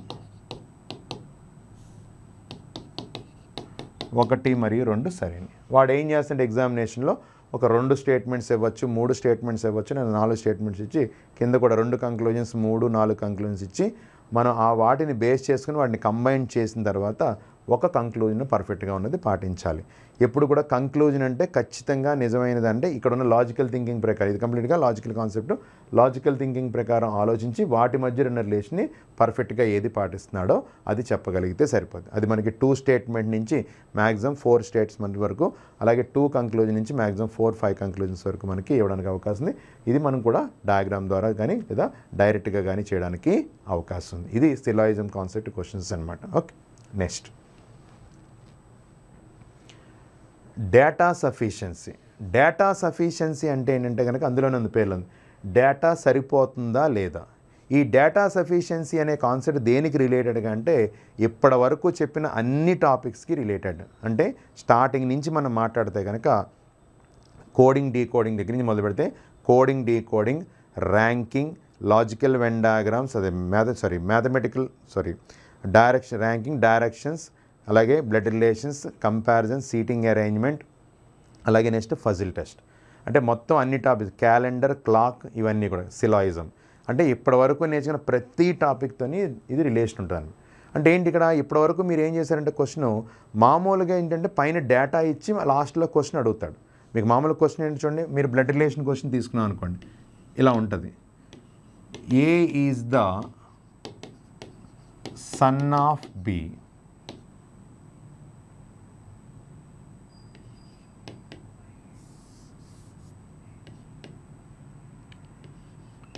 B and C are married couple, then how is A related to, sorry, how is B related, C this one, C related to A. ఇలాగ మనం మామూలుగా ముందు ఇచ్చిన question A B యొక్క కుమారుడు? C మరియు బీలు భార్యాభర్తలు. అయినా సి ఏకు ఏ మగన్ అన్నాడు అనుకోండి. ఇప్పటివరకు మనం ఏం చేస్తామంటే వీళ్ళిద్దరూ భార్యాభర్తలు. వీళ్ళ యొక్క కొడుకు ఎవరో ఏ. అంటే దీన్ని బట్టి మీరు ఏం చెప్పొచ్చు? బి ఏ సి అనే వ్యక్తి తల్లిని అవ్వచ్చు తండ్రిని అవ్వచ్చు అంటే మీరు ఆన్సర్ ఏం చెప్తారంటే మదర్ ఆర్ ఫాదర్ అని ఆన్సర్ చెప్తారు ఇక్కడ. అవునా? ఎందువల్ల? బీసీలు ఇద్దరు భార్యాభర్తలు అన్నాడు కానీ ఎవరి భర్త ఎవరి భార్య తెలియదు వాళ్ళ కొడుకు ఎవరో ఏ. అంటే ఏకి వీళ్ళిద్దరు తల్లిదండ్రులని తెలుసు. కానీ బీ తండ్రా బీ తల్ల ఈ సీ తండ్రా సీ తల్ల తెలుసా తెలుసా? తెలియదు మీకు. అంటే మీ ఆన్సర్ ఏమొచ్చు? Mother or father. ఇక్కడ ఇలా ఆన్సర్ చెప్పారు మీరు. మదర్ అన్న అవ్వచ్చు ఫాదర్. ఇదే డేటా సఫిషియన్సీకి వచ్చి క్వశ్చన్ రివర్స్ అవుద్ది. ముందే క్వశ్చన్ అడుగుతాడు అనమాట ఏమని? How is C related to A అని data one. A is the son of B data two. B and C are married couple ఇలా అంటాడు ఇప్పుడు సి అనేవాడు ఏకి ఏమవుతాడని మనల్ని క్వశ్చన్ అడిగాడు. మీరు చెప్పగలరా లేదు? ఏంటి ఎలా చెప్పగలం? డేటా ఒకటి ఉపయోగించుకుని ఆన్సర్ చెప్పగలరా? డేటా రెండు ఉపయోగించుకుని ఆన్సర్ చెప్పగలరా? ఒకటి రెండు విడివిడిగా ఆన్సర్ చెప్పగలరా? రెండు కలిపితే ఆన్సర్ చెప్పగలరా? రెండు కలిపిన ఆన్సర్ చెప్పలేరా అని అడుగుతాను అనమాట ఇప్పుడు చూడండి మీరు సి అనేవాడు ఏకి రిలేషన్ అవ్వాలంటే ఖచ్చితంగా మీకు ఏం తెలియాలి? ఏ అనేవాడు పురుషుడా స్త్రీ అని తెలిస్తేనే మీరు పర్ఫెక్ట్గా ఆన్సర్ చేయగలరు. ఇక్కడ ఖచ్చితంగా ఆన్సర్ చేయగలను అంటేనే డేటా సరిపోతుందని చెప్తా ఉంటా ఓకే? ఇక్కడ మనకు ఆ ప్రాబ్లం లేదు. డేటా ఉన్నా లేకపోయినా ముందు ఆన్సర్ ఏదో ఒకటి చెప్పడానికి అవకాశం ఉంది. ఇక్కడ అలాగే ఎయిదరారు చెప్పకూడదు. ఎందువల్ల? వాడు మనల్ని అడుగుతున్నాడు. నేను ఇచ్చిన క్వశ్చన్ ఆన్సర్ చేయడానికి నేను ఇచ్చిన డేటాతో మీరు ఆన్సర్ చేయగలరా లేదా? ఓకే చేయగలను అంటే ఏది ఉపయోగపడుతుంది? చేయలేను అంటే కనుక రెండు ఉపయోగపడలేదు అని అర్థం అనమాట ఇప్పుడు చూడండి. ఏ బి యొక్క కుమారుడు అంటే ఏ బి యొక్క కుమారుడిలో సికి ఏకి సంబంధం ఉందా?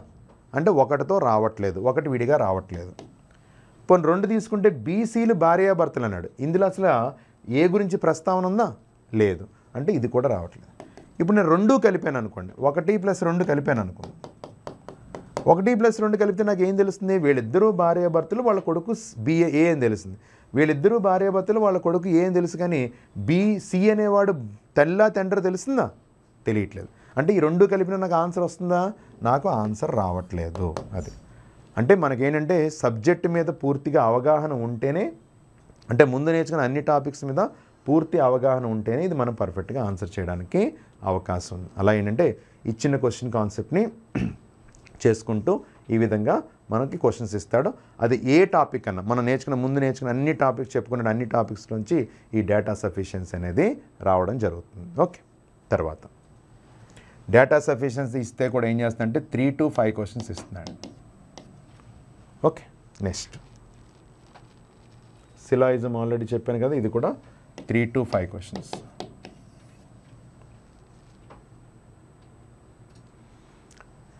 decision making ఇది కూడా మనకి ఇచ్చినప్పుడు ఖచ్చితంగా ఐదు మార్కులు గ్యారంటీ ఇస్తున్నారు మినిమం ఒక్కోసారి పది క్వశ్చన్ కూడా ఇచ్చిన సందర్భాలు ఉన్నాయి. ఒకసారి తెలంగాణ పేపర్లో అయితే కనుక ఇరవై క్వశ్చన్స్ కూడా ఇచ్చిన సందర్భాలు కూడా ఉన్నాయన్నమాట. అందుకని మనం చెప్పలేం. ఏదైనా మినిమం మాత్రం ఫైవ్ క్వశ్చన్స్ మన డిసిజన్ మేకింగ్లో ఎగ్జామినేషన్స్లో అడుగుతున్నాడు. ఏంటి అసలు డిసిజన్ మేకింగ్ ఏంటంటే కనుక ఒక క్రైటీరియా చెప్తాడనమాట ఆ క్రైటీరియా చెప్తూ ఒక వ్యక్తి గురించి ఇన్ఫర్మేషన్ ఇచ్చి పైన ఉన్న దానికి ఇతను పాటిస్తున్నాడు లేదు. ఇది క్రైటీరియా చెప్తూ మళ్ళీ ఏం చేస్తుంటే దానికి కొన్ని కండిషన్స్ కూడా అప్లై చేస్తాడు. అంటే ఫర్ ఎగ్జాంపుల్ సింపుల్గా చూడండి. ఏదో ఒక నోటిఫికేషన్ పడింది అనుకుందాం. SI con SI and constable notification ఏదో పడింది. ఈ నోటిఫికేషన్ పడినప్పుడు మనకి ఒక మెయిన్ క్రైటీరియా ఉంటుంది. ఏంటది? ఫస్ట్ పాయింట్ నెంబర్ వన్ ఇది మెయిన్ మెయిన్ క్రైటీరియా ఏంటంటే కనుక ఎస్ఐ ఎగ్జామ్ కానిస్టేబుల్ పక్కన పెట్టిన ఎస్ఐ ఎగ్జామ్. ఎస్ఐ గురించి ఫస్ట్ ఏంటంటే కనుక ట్వంటీ ఏమన్నాడంటే కనుక ఏజ్ ట్వంటీ సెవెన్ ఇయర్స్ ఉండాలి. Twenty one to twenty seven years age ఉండాలి. సెకండ్ ఏంటి? కంపల్సరీ డిగ్రీ పాస్ అయి ఉండాలి. డిగ్రీ పాస్ అయి ఉండాలి. తర్వాత థర్డ్ ఏంటి? Height one sixty seven point six ఉండాలి. ఓకే. తర్వాత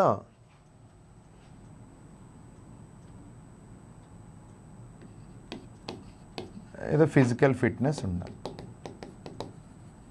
ఇది మెయిన్ క్రైటీరియా. అంటే ఖచ్చితంగా ఒక అభ్యర్థి పోటీ చెయ్యాలి అనుకుంటే కనుక ఎస్ఏ కాంపిటీషన్ ఎగ్జామినేషన్ రాయాలి అంటే అతనికి కన్ఫామ్గా ఉండాల్సింది ఏంటంటే కనుక ఏజ్ ఇరవై ఒకటి నుంచి ఇరవై ఏడు ఉండాలి డిగ్రీ పాస్ అయి ఉండాలి ఇంత హైట్ ఉండాలి అలాగే ఫిజికల్గా ఫిట్నెస్ ఉండాలి. Okay.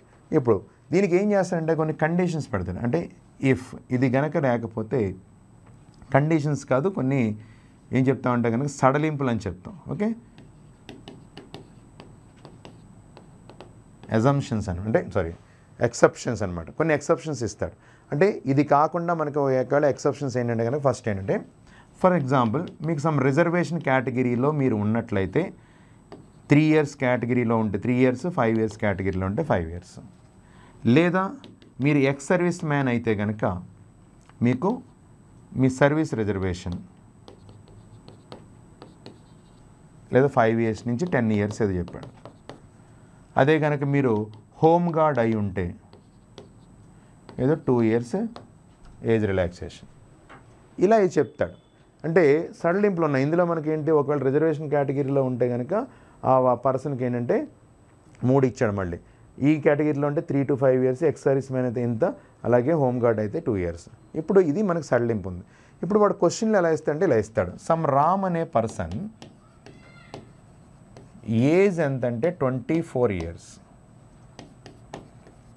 passed degree in second class height is 169 he is fit అని అన్నాడు అనుకోండి. ఇప్పుడు ఇతను ఈ జాబ్కి ఎలిజిబిలిటీ అవుతాడా లేదని మనం డిసిజన్ చేయాలన్నమాట. ఇప్పుడు ఇలా క్వశ్చన్లో మనకి మెయిన్ క్రైటీరియా ఫస్ట్ చూసుకోండి. Age twenty four years satisfy అయింది. తర్వాత డిగ్రీ పాస్ సెకండ్ క్లాస్ అండి. సెకండ్ క్లాస్ మనం చెప్పక్కర్లేదు. పాస్ అన్నాడు అంతే వాడు. వాడు ఫస్ట్ క్లాస్ సెకండ్ క్లాస్ అని మెన్షన్ చేస్తే అప్పుడు దాని గురించి చూసుకోవాలి. అంటే సెకండ్ క్లాస్లో పాస్ అయ్యాడు అన్నాడు కాబట్టి ఇది కూడా okay height one sixty nine. కానీ ఇక్కడ వన్ సిక్స్టీ సెవెన్ పాయింట్ అంటే ఇంకా ఎక్కువ అది కూడా సరే. ఫిజికల్గా ఫిట్నెస్. అంటే ఇతను ఖచ్చితంగా ఏమవుతాడో? ఎలిజిబుల్ అవుతాడు అనమాట అంటే ఇతను దీనికి ఎలిజిబుల్. ఫర్ ఎగ్జాంపుల్ ఇదే క్వశ్చన్ అన్నాడు సమ్ కిరణ్ అనే పర్సన్ ఉన్నాడు. ఏజ్ వచ్చి ఏంటంటే twenty eight years degree pass అయ్యాడు. అలాగే హైట్ వన్ సెవెంటీ ఉన్నాడు. ఫిజికల్గా ఫిట్నెస్ ఉంది. అతను హోమ్ గార్డ్గా వర్క్ చేస్తున్నాడు. అని అన్నాడు అనుకో.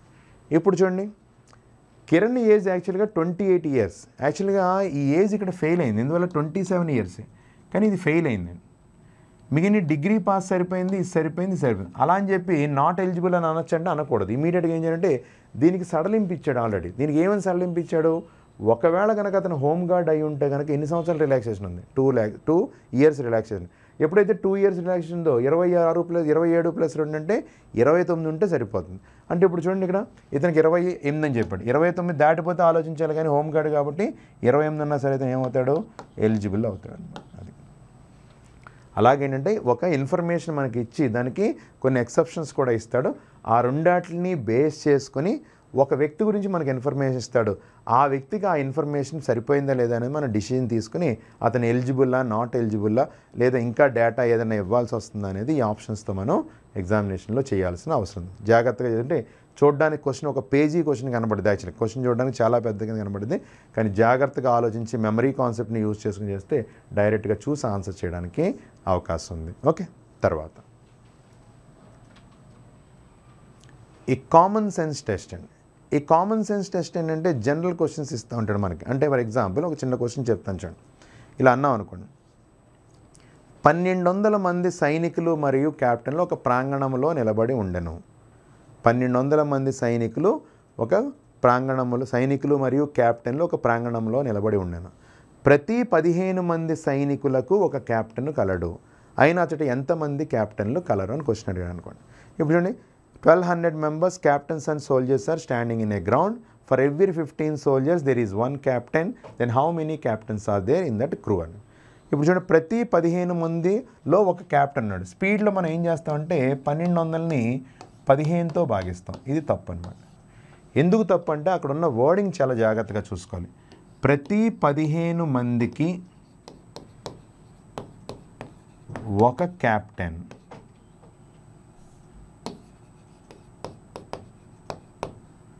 for every fifteen soldiers there is one captain చూడండి. ప్రతి పదిహేను మందికి పదిహేను మంది సైనికులు ఉన్నారు ఇలా సోల్జర్స్ ఉన్నారు. వీళ్ళందరికీ ఏంటంటే ఒక క్యాప్టెన్ ఉన్నాడు. మళ్ళీ ప్రతి పదిహేను మంది సోల్జర్స్కి మళ్ళీ ఒక క్యాప్టెన్ ఉన్నాడు. అంటే ఇప్పుడు క్యాప్టెన్ ఎన్నో అయ్యాడండి. పదిహేను ప్లస్ ఇతని కాలం కలుపుకోవాలి కదా? అంటే ప్రతి పదిహేను మందిలో లేడు. ప్రతి పదిహేను మందికి ఒక క్యాప్టెన్ ఉన్నాడు. అంటే ప్రతి పదిహేను మందికి ఒక క్యాప్టెన్ ఉన్నాడు. అంటే క్యాప్టెన్ ఎన్నో పర్సన్ అయ్యాడు? సిక్స్టీన్త్ పర్సన్ అయ్యాడు. ఎప్పుడైతే సిక్స్టీన్త్ పర్సన్ అయ్యాడో మనం ఏం చేయాలి అప్పుడు? Twelve hundred divided by sixteen. That equal to answer ఏమవుతుందంటే seventy five.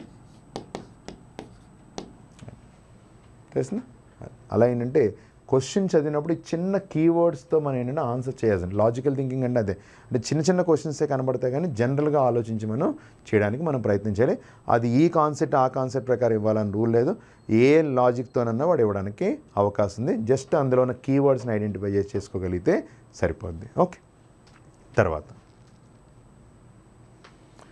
Statement and assumptions statements and ఊహనలు. ఊహనలు అంటే ఏంటంటే కనుక ఏదైనా ఒక స్టేట్మెంట్ ఇస్తే ఎందుకు ఇచ్చాడు అనేది మనం ఊహించుకోవాలండి. ఒక చిన్న ఎగ్జాంపుల్ దీనికంటే బెస్ట్ ఎగ్జాంపుల్ మనం చెప్పుకుంటే కనుక ఈజీగా మనం ట్రైన్లో ట్రావెల్ చేస్తున్నాం. ట్రైన్లో ట్రావెల్ చేస్తున్నప్పుడు ట్రైన్లో మనకు ఒక చోట ఒక చిన్న నెంబర్ కనబడుతుంది ఏమని? అత్యవసర పరిస్థితిలో గొలుసు లాగము అనవసరంగా లాగిన ఐదు వందలు జరిమానా అని రాస్తాడు. అవునా? ఇప్పుడు ఆ స్టేట్మెంట్ ఎందుకు రాశాడు అనేది మనం ఆలోచించాలన్నమాట ఇందువల్ల ట్రైన్లో ట్రావెల్ చేస్తున్నప్పుడు మనం అర్జెంటుగా ఏదైనా ఇమీడియట్గా ట్రైన్ ఆపాలంటే ఇమీడియట్గా ఆపడానికి అవకాశం ఉంది. డ్రైవర్ అది మన పక్కన ఉన్నాడు కాబట్టి. అంటే ఇది ఇమీడియట్గా ఆపాలి అంటే దీనికి ఒక అలారం సిస్టమ్ ఉండాలి కాబట్టి ఇక్కడ చైన్ లాగితే అక్కడ ఇంజిన్ దగ్గర బోగి ఇంజిన్ బోగి దగ్గర డ్రైవర్ దగ్గర ఒక అలారం మోగితే ఇమీడియట్గా అది ఆగి ఏ బోగి దగ్గర మోగిందో ఆ బోగి దగ్గర రావడం అనేది జరుగుతుంది. అంటే ఏంటి అక్కడ? ఎప్పుడైనా అంటే కొన్ని కొన్ని సందర్భాలు. అంతేగాని అత్యవసర పరిస్థితి అని చెప్పి లిస్ట్ అంతా రాయడానికి అక్కడ ప్లేస్ ఉంటుంది ఉంటుందా? ఉండదు. మనకి ఏదో అత్యవసర పరిస్థితి మనకు తెలుసు అందరికీ. అందరికీ తోటి ప్రయాణికులకు ఇబ్బంది కలగకుండా ఖచ్చితంగా ఏదైనా అత్యవసర పరిస్థితి వస్తే అది. ఎందుకు మళ్ళీ రెండోది రాశాడు అక్కడ? అనవసరంగా లాగిన ఐదు వందల జరిమానా. ఇన్ కేస్ అది రాయలేదు అనుకోండి అసలు మనమే టెస్ట్ చేస్తూ ఉంటుంది అది పని చేస్తాం చేస్తాం కాబట్టి అంటే ఎప్పుడైనా ఒక స్టేట్మెంట్ ఇచ్చినప్పుడు అది ఏ ఉద్దేశంతో రాశాడు అనేది మాత్రమే ఆలోచించి వాడు కింద చెప్తాడనమాట ప్రయాణికులకు కొన్ని సందర్భాల్లో అత్యవసర పరిస్థితులు ఏర్పడను. అంటే ఖచ్చితంగా కరెక్ట్ రిలేటెడ్గా ఉంది కాబట్టి. రెండోది ఏమంటాడంటే కనుక రెండో ఊహ ఏంటంటే కనుక కొంతమంది ఆకతాయిలు అనవసరంగా గొలుసు లాగెదరు. అందుకనే కదా ఎందుకు జరిమానా పెట్టాడు? కొంతమంది ఆకతాయిలు అయినా రాగడానికి అవకాశం కాబట్టి అది బట్టి. అంటే ఏదైనా ఒక స్టేట్మెంట్ కనబడినా ఆ స్టేట్మెంట్కి రిలేటెడ్గా ఏది ఊహించుకోవాలనే విషయాన్ని మనం ఇక్కడ చూసుకుని దానికి రిలేటెడ్గా కింద ఎజంప్షన్స్లో ఉంటే దాన్ని మనం చూస్ చేసుకుంటే సరిపోతుంది ఇది డిఫరెంట్ కాన్సెప్ట్స్లో మనకి మనకున్న సరౌండింగ్ రిలేషన్స్ కానీ దేన్ని బేస్ చేసుకుని అడగచ్చు. ఏదైనా స్టేట్మెంట్తోనే కనెక్ట్ ఉన్నదాన్ని మనం కన్సిడర్ చేసుకుంటూ వెళ్ళాల్సిన అవసరం ఉంది. ఓకే తర్వాత స్టేట్మెంట్ అండ్ ఆర్గ్యుమెంట్స్ ఆర్గ్యుమెంట్స్ కూడా మనం మాట్లాడితే వాదనలు అని చెప్తాం. అంటే ఇక్కడ వాదం అనే మాట మాట్లాడినప్పుడు ఎప్పుడు కూడా ఎప్పుడైతే వాదించాలన్నా మనం ముందు అవతలడు అంటే క్వశ్చన్ రూపంలో ఉండాలి. అందుకే మీకు అన్నీ కూడా క్వశ్చన్ రూపంలోనే ఇప్పుడు స్టేట్మెంట్స్ కనబడతాయి. షుడ్ అని స్టార్ట్ అవుతుంది ఎప్పుడు కూడా ఇంగ్లీష్లో తీసుకుంటే. అలాగే తెలుగులో తీసుకుంటే కనుక అది క్వశ్చన్ మార్క్తో ఎండ్ అవుద్ది అనమాట అంటే ఫర్ ఎగ్జాంపుల్ ఇలా తీసుకుని స్టేట్మెంట్ ఇలా ఇచ్చాడు. కట్నము తీసుకొనుట నేరము అని ఇచ్చాడు. నేరం నేరము అని చెప్పి క్వశ్చన్ మార్క్ ఇచ్చాడు. నేను కట్నము తీసుకొనుట నేరమా అని చెప్పి క్వశ్చన్ మార్క్ ఇచ్చాడు. కింద ఏమిచ్చాడంటే కనుక మొదటిది ఏమి అవును అవును కాదని రెండు కండి. Yes no. ఎందుకంటే మనం ఎప్పుడైతే వాదిస్తున్నామో ఒకళ్ళు ఎస్ అని వాదిస్తాం ఒకళ్ళేమో కాదని వాదిస్తాం. ఫస్ట్ ఎస్ అని చెప్పి అవును తీసుకున్నట్టు నేరము వారిని శిక్షించాలి. రెండోది కాదు ఇది అనాదిగా వస్తున్న ఆచారం అన్నాడు అనుకోండి.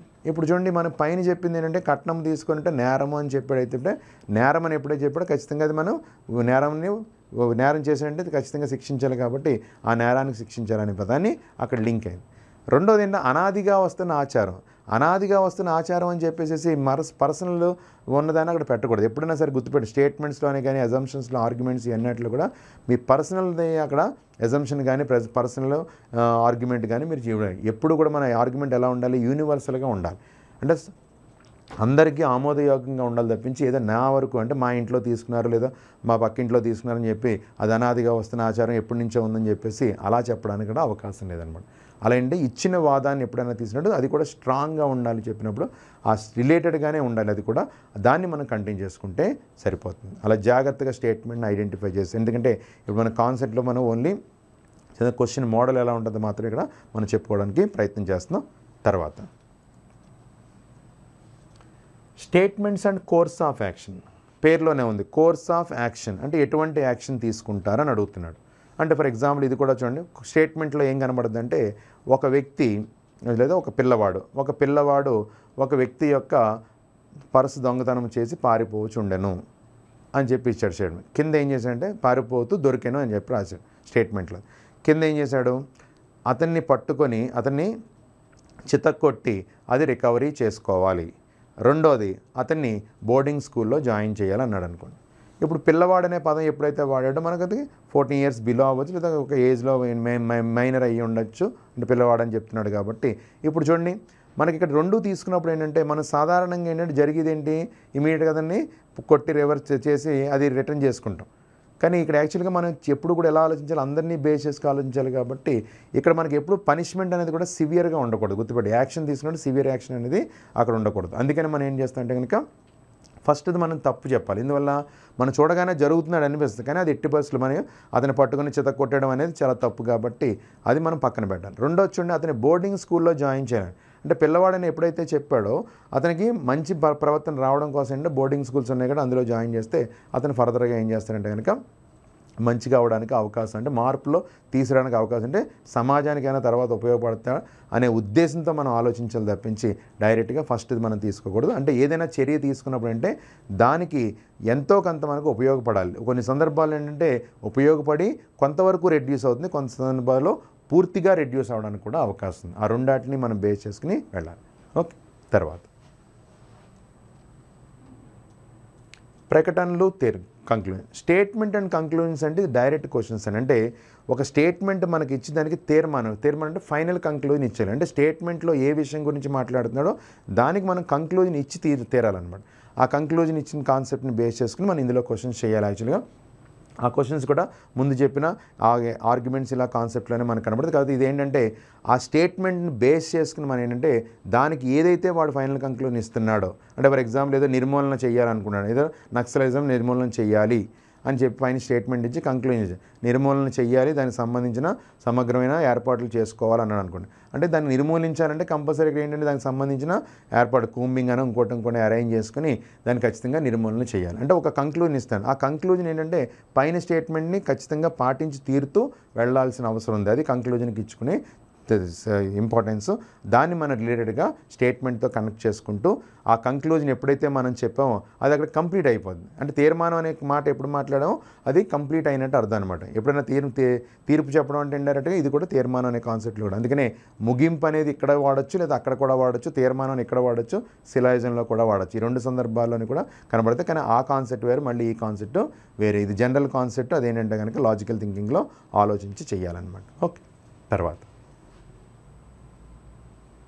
వెరిఫికేషన్ ఆఫ్ ట్రూత్ అండి. ఇవి చాలా సింపుల్ క్వశ్చన్స్ అంటే వెరిఫికేషన్ ఏదంటే మనిషికి ఏది అవసరము గాలి అవసరము మరి ఖచ్చితంగా కావాల్సింది ఏంటి? పుస్తకాల్లో ఖచ్చితంగా ఉండేవేంటి పేజీలు. ఓకే? అలాగే కంప్యూటర్ పనిచేయాలంటే ఏం ఉండాలి? ఏదో సిపియు అలా ఏంటంటే కొన్ని వెరిఫికేషన్ ఆఫ్ ట్రూత్ అంటే ఇది ఖచ్చితంగా ఉండి తీరాలి. అది జనరల్ క్వశ్చన్స్ అనమాట ఇది కూడా ఏంటంటే కనుక ఓన్లీ రీజనింగ్ కాన్సెప్ట్ అని చెప్పడం కదా అన్ని సబ్జెక్ట్స్ మిక్స్ చేసుకుంటూ క్వశ్చన్స్ ఇస్తాడు ఇది. ఇది కూడా ఏంటంటే చాలా సింపుల్గా మీకు తెలిసిన క్వశ్చన్సే అంటే ఇలాగ ఫిల్ ఇన్ ది బ్లాంక్స్ లాగా ఉంటాయి. ఏంటది? పుస్తకాల్లో ఏమి ఖచ్చితంగా ఉండవలేను. ఒకటి అట్ట పేజీలు నెక్స్ట్ ఏంటంటే కనుక అంకెలు లేదా ఇంకోటి ఏదో ఇస్తాడు. అంటే ఖచ్చితంగా ఉండాల్సిన పుస్తకంలో ఉండాలంటే ముందు పేజీలు ఉండాలి. అవునా? అలాగే ఒక పుస్తకానికి ఒక రా కావాల్సింది ఎవరు? ఒక ఆథర్. అంటే అలా. అలా ఏంటంటే ఒక వెరిఫికేషన్ ఉంటుందంటే ఇచ్చిన స్టేట్మెంట్ని ఆ స్టేట్మెంట్లో ఏది కావాలో అది ఖచ్చితంగా కావాల్సింది ఏంటనేది చెప్పడం అవి చిన్న చిన్న క్వశ్చన్స్ అడుగుతాడు ఒక్కోసారి ఇస్తాడు ఒక్కోసారి ఇవ్వడు. ఓకే? ఇది జనరల్గా ఇచ్చే క్వశ్చన్స్ అనమాట ఓకే? తర్వాత. పటాలను లెక్కించుట. అంటే కౌంటింగ్ ఫిగర్స్ అండి. ఒక డయాగ్రామ్ ఇచ్చి అందులో ఎన్ని స్క్వేర్స్ ఉన్నాయి? అంటే ఏదో ఫర్ ఎగ్జాంపుల్ ఏదో ఒక డయాగ్రామ్ ఇలా ఇచ్చాడు. ఇందులో ఎన్ని స్క్వేర్స్ ఉన్నాయని అడుగుతాడు. ఎన్ని స్క్వేర్స్ ఉన్నాయంటే ఏం చెప్పచ్చు? చూడండి. సింగిల్గా చూస్తే one two three four five six seven eight nine ఉన్నాయి. అదే ఇంకొంచెం సైజ్ పెద్ద చేస్తే వన్ టూ త్రీ ఫోర్ ఉన్నాయి. ఇంకా సైజ్ పెద్ద చేసుకుంటే టోటల్ ఎన్ని ఉన్నాయి? ఫోర్. ఇది మనం అలా చేయడం కొంచెం టైం టేకింగ్ అనుకుంటే దీన్ని ఇలా సింపుల్గా వన్ టూ త్రీ నెంబరింగ్ చేసుకొని త్రీ ఇంటూ త్రీ ఎంత? నైన్ టూ ఇంటూ టూ ఎంత? ఫోర్ వన్ ఇంటూ వన్ ఎంత? దట్ ఈక్వల్ టు ఫోర్టీ లేదా ఒక డయాగ్రామ్ ఇచ్చి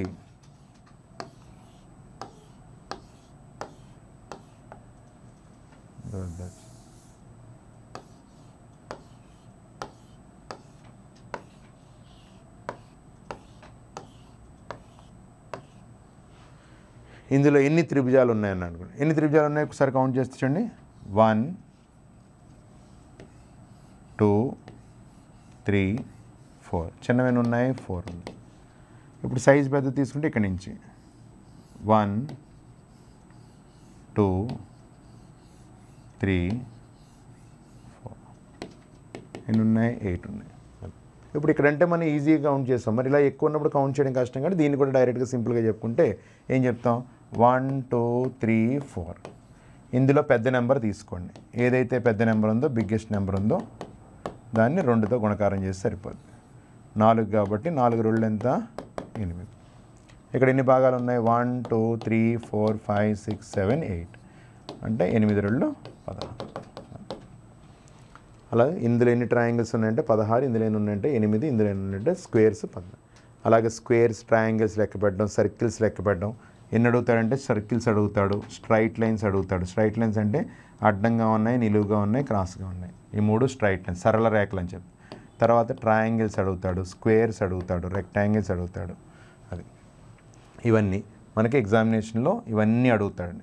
ఒక డయాగ్రామ్ ఇచ్చి అందులో ఉన్నవి కౌంట్ చేయడం. దానికి సంబంధించి చిన్న చిన్న షార్ట్ కట్స్తో మనం జాగ్రత్తగా ప్రాక్టీస్ చేసుకుంటే డయాగ్రామ్ చూసిన వెంటనే మనం ఆన్సర్ చెప్పడానికి అవకాశం ఉంటుంది. Okay next. Non verbal non verbal చూడండి నాన్ వెర్బల్ కాన్సెప్ట్ అంటే ఇందులో మనకి ఉండేవి ఏంటంటే కనుక టాపిక్స్ మాత్రం చెప్తున్నాను ఇక్కడ. ఎందుకంటే నాన్ వెర్బల్ కాన్సెప్ట్ డయాగ్రామ్స్ రూపంలో ఉండేవి. జస్ట్ ఒక క్వశ్చన్ ఐడియా కింద తీసుకుంటే కనుక చూడండి. సిరీస్ అంటున్నాం కాబట్టి సిరీస్ అంటే ఆర్డర్ ఇలా మనకి నాలుగు బాక్సులు ఇచ్చి ఐదో బాక్స్లో అంటే వన్ టూ త్రీ ఫోర్ ఇలా ఇస్తాడు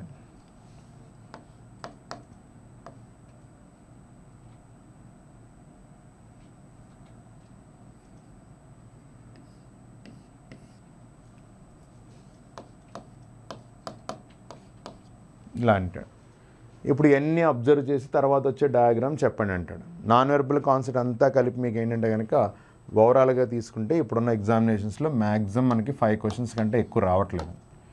ఇదివరకు ఎక్కువ క్వశ్చన్స్ ఇచ్చేవాడు ఇప్పుడు చాలా తగ్గించాడు. అందుకని సింపుల్ కాన్సెప్ట్ తెలుసుకుంటే సరిపోతుంది. కాన్సెప్ట్ తెలిస్తే ఇంకా ఈజీగా చేసుకోవచ్చు అంతకంటే ఏం లేదు. ఇప్పుడు ఇక్కడ చూడండి సిరీస్ అంటే వరుస క్రమం అంటున్నాడు కాబట్టి తర్వాత వచ్చే డయాగ్రామ్. అంటే ఇది ఈ మధ్యలోకి వచ్చింది తర్వాత ఈ మధ్యలోకి వచ్చింది తర్వాత ఈ మధ్యలోకి వచ్చింది తర్వాత పైకి రావాలి. అంటే ఆన్సర్ ఏమవుతుంది? ఇది అలాగే సారూప్యత ఎనాలజీ అంటే మనం ఆల్రెడీ ఇందాక చూసాం రిలేషన్ వాడు ఇక్కడ రిలేషన్ చూపిస్తాడో అలాంటి రిలేషనే మళ్ళీ చేయగలిగితే సరిపోతుంది అంటే చూడండి ఇలా ఇచ్చాడు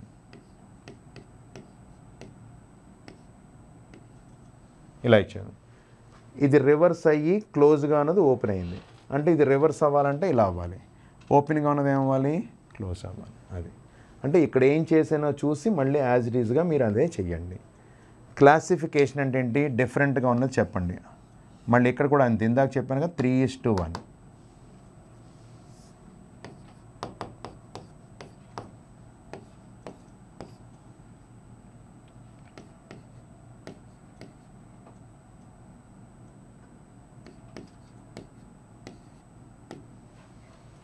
చూడండి అన్ని డయాగ్రామ్స్ కూడా లైన్స్తో ఫామ్ అయినాయి. ఇది మాత్రం అంటే కరువుతో ఫామ్ అయింది అంటే ఇది. అంటే ఈ మూడు ఒక కేటగిరీకి చెంది ఇది దానికి సంబంధించి లేదు. తర్వాత మిర్రర్ ఇమేజ్ వాటర్ ఇమేజ్ అడుగుతాను. మిర్రర్ ఇమేజ్ అంటే ఏంటంటే అద్దంలో ఎలా కనబడుతుంది? అంటే ఫర్ ఎగ్జాంపుల్ బి అనే లెటర్ తీసుకున్నాను అనుకోండి. దీని అద్దంలో ఎలా కనబడుతుంది? ఇలా కనబడుతుంది. అందుకే మిర్రర్ ఇమేజ్ ఎప్పుడు ఎలా చెప్తామంటే లెఫ్ట్ అండ్ రైట్ ఒక లెటర్ని కానీ ఏదైనా నెంబర్ని కానీ ఇలా కానీ ఇలా కానీ తిప్పామంటే అది మిర్రర్ ఇమేజ్ అదే వాటర్ ఇమేజ్ తీసుకున్నాను. For example A water image తీసుకుంటే ఇది వాటర్ ఇమేజ్ అంటే నెం లెటర్ని కానీ దేనన్నా అప్ అండ్ డౌన్ చేస్తే వాటర్ ఇమేజ్ అంటే ఫర్ ఎగ్జాంపుల్ ఫైవ్ తీసుకున్నాను ఫోర్ తీసుకోండి తీసుకున్నాను. దీని మిర్రర్ ఇమేజ్ ఏంటంటే ఇలా చెప్తాను. ఇదే ఫోర్ వాటర్ ఇమేజ్ ఏంటంటే ఇలా చెప్తాను అది. ఇలాగ అటు ఇటు తిప్పితే ఫోర్ మిర్రర్ ఇమేజ్ అవుతుంది టాప్ అండ్ బాటమ్ రాస్తే వాటర్ ఇమేజ్ అవుతుంది అది. అది సింపుల్గా మన అది డయాగ్రామ్ అవ్వచ్చు నెంబర్ అవ్వచ్చు లెటర్ అవ్వచ్చు ఏదైనా మరి. ఎంబ్యాడెడ్ ఫిగర్ ఎంబ్యాడెడ్ అంటే అర్థం అంటే బైండ్ అయిన ఫిగర్ దీన్నే కొన్ని పుస్తకాల్లో హిడెన్ ఫిగర్ అని రాస్తాడు ఏదైనా ఒకటి. అంతర్లేను. అంటే ఒక చిన్న మొక్క ఇస్తాడు అనమాట ఏదైనా చిన్న మొక్క ఇచ్చి పక్కన పెద్ద డయాగ్రామ్ క్లమ్జీగా ఇస్తాడు. ఇలా ఇస్తాడు. ఈ డయాగ్రామ్ ఇందులో ఎక్కడుందో మనం ఐడెంటిఫై చేయాలి. అందులో అంతర్లీనం అయిపోయిందండి. అది ఎక్కడ ఉంది? ఇక్కడ కనపడుతుంది. అది. ఆ మొక్క బయట ఇచ్చాడు అంటే పక్కన ఇలా నాలుగైదు ఇచ్చి అందులో ఎందులో ఉందనేది మనం ఫైండ్ అవుట్ చేయమంటాడు. తర్వాత పేపర్ కట్టింగ్స్ పేపర్ని ఫోల్డ్ చేసి కట్ చేసిన తర్వాత అది ఓపెన్ చేస్తే ఏ డయాగ్రామ్ మనకు చూపిస్తుంది. పేపర్ని ఫోల్డ్ చేస్తాడు. ఫోల్డ్ చేసి ఒక రెండు సార్లు ఫోల్డ్ చేసి కట్ చేస్తాడు. కట్ చేసి దాన్ని ఓపెన్ చేస్తే కనుక మనం చిన్నప్పుడు జెండాలు కత్తిరించేసి ఓపెన్ చేస్తే ఎలా కనబడుతుందో ఓపెన్ చేసినప్పుడు ఏ డయాగ్రామ్ అనేది పక్కన ఉన్న వాటిలో మీరు అబ్జర్వ్ చేయాల్సిన అవసరం ఉంది. అంటే ఇవన్నీ కాన్సెప్ట్స్ తెలిస్తే మనం డైరెక్ట్ డైరెక్ట్గా చాలా ఈజీగా చేసుకోవచ్చు. అంటే రెండు మార్కులు ఇచ్చిన మూడు మార్కులు ఇచ్చిన ఐదు మార్కులు ఇచ్చిన సాలిడ్గా సంపాదించుకోవడానికి అవకాశం వీటితో పాటు ఇంకా మనకి ఓకే ఇవి నాన్ వెరబుల్ కాన్సెప్ట్ ఇంకా వీటితో పాటు మనకి ఏంటంటే తర్వాత డేటా ఇంటర్ప్రిటేషన్ డేటా ఇంటర్ప్రిటేషన్ కూడా మనం ఏంటంటే యాక్చువల్గా ఇది కాన్సెప్ట్ పరంగా ఏంటంటే కనుక చాలా జాగ్రత్తగా చేసుకుంటే మనకు తెలుసున్నవి యాక్చువల్గా అంటే ఇందులో మనకు కావాల్సిన ఏంటంటే కొంచెం అర్థమెటిక్ కాన్సెప్ట్స్లో మనకి యావరేజ్ ఒకటి పర్సంటేజ్ ఒకటి రేషియో అండ్ ప్రపోర్షన్ ఒకటి. ఈ మూడు టాపిక్స్ మనం పర్ఫెక్ట్ అయితే కనుక చాలా ఈజీగా మనం చెప్పుకోవడానికి అవకాశం. అంటే ఇది రిప్రజెంటేషన్ చాలా ఇంపార్టెంట్ అంటే రిప్రజెంటేషన్తో మనం ఎన్ని రకాలుగా ఇస్తే అంటే నాలుగు రకాల రిప్రజెంటేషన్ కనబడితే ఒకటి పై చార్ట్ రెండోది బార్ గ్రాఫ్ రెండు మూడోది లైన్ గ్రాఫ్ అండ్ ఐదోది పర్టికులర్ అనమాట అంటే ఫర్ ఎగ్జాంపుల్ పై చార్ట్ అంటే ఏంటంటే పై చార్ట్ దేంతో డినోట్ చేస్తా అంటే సర్కిల్తో డినోట్ చేస్తాం. దీన్ని సెక్టార్స్ కింద విడగొడతాడు. సెక్టార్స్ కింద విడగొట్టి ఫర్ ఎగ్జాంపుల్ ఏదో ఫర్ ఎగ్జాంపుల్ నాకు ఇది ఒక ఇలా సింపుల్గా తీసుకుందాం. పై చార్ట్ గురించి ఇక్కడ మాట్లాడుతున్నాను. ఒక చిన్న ఎగ్జాంపుల్ చూద్దాం.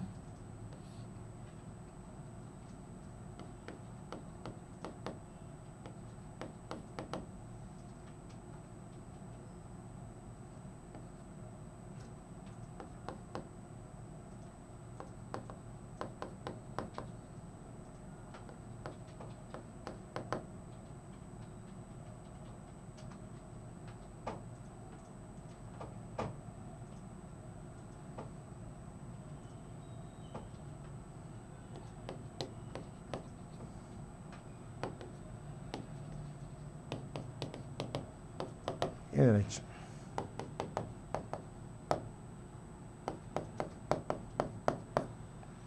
సింపుల్గా మనం ఒక మాట మాట్లాడుకుంటే ఇంట్లో గురించి మనం మాట్లాడితే ఇప్పుడు ఒక వ్యక్తికి ఏంటంటే ఫార్టీ థౌజండ్ ఇన్కమ్ వస్తుంది.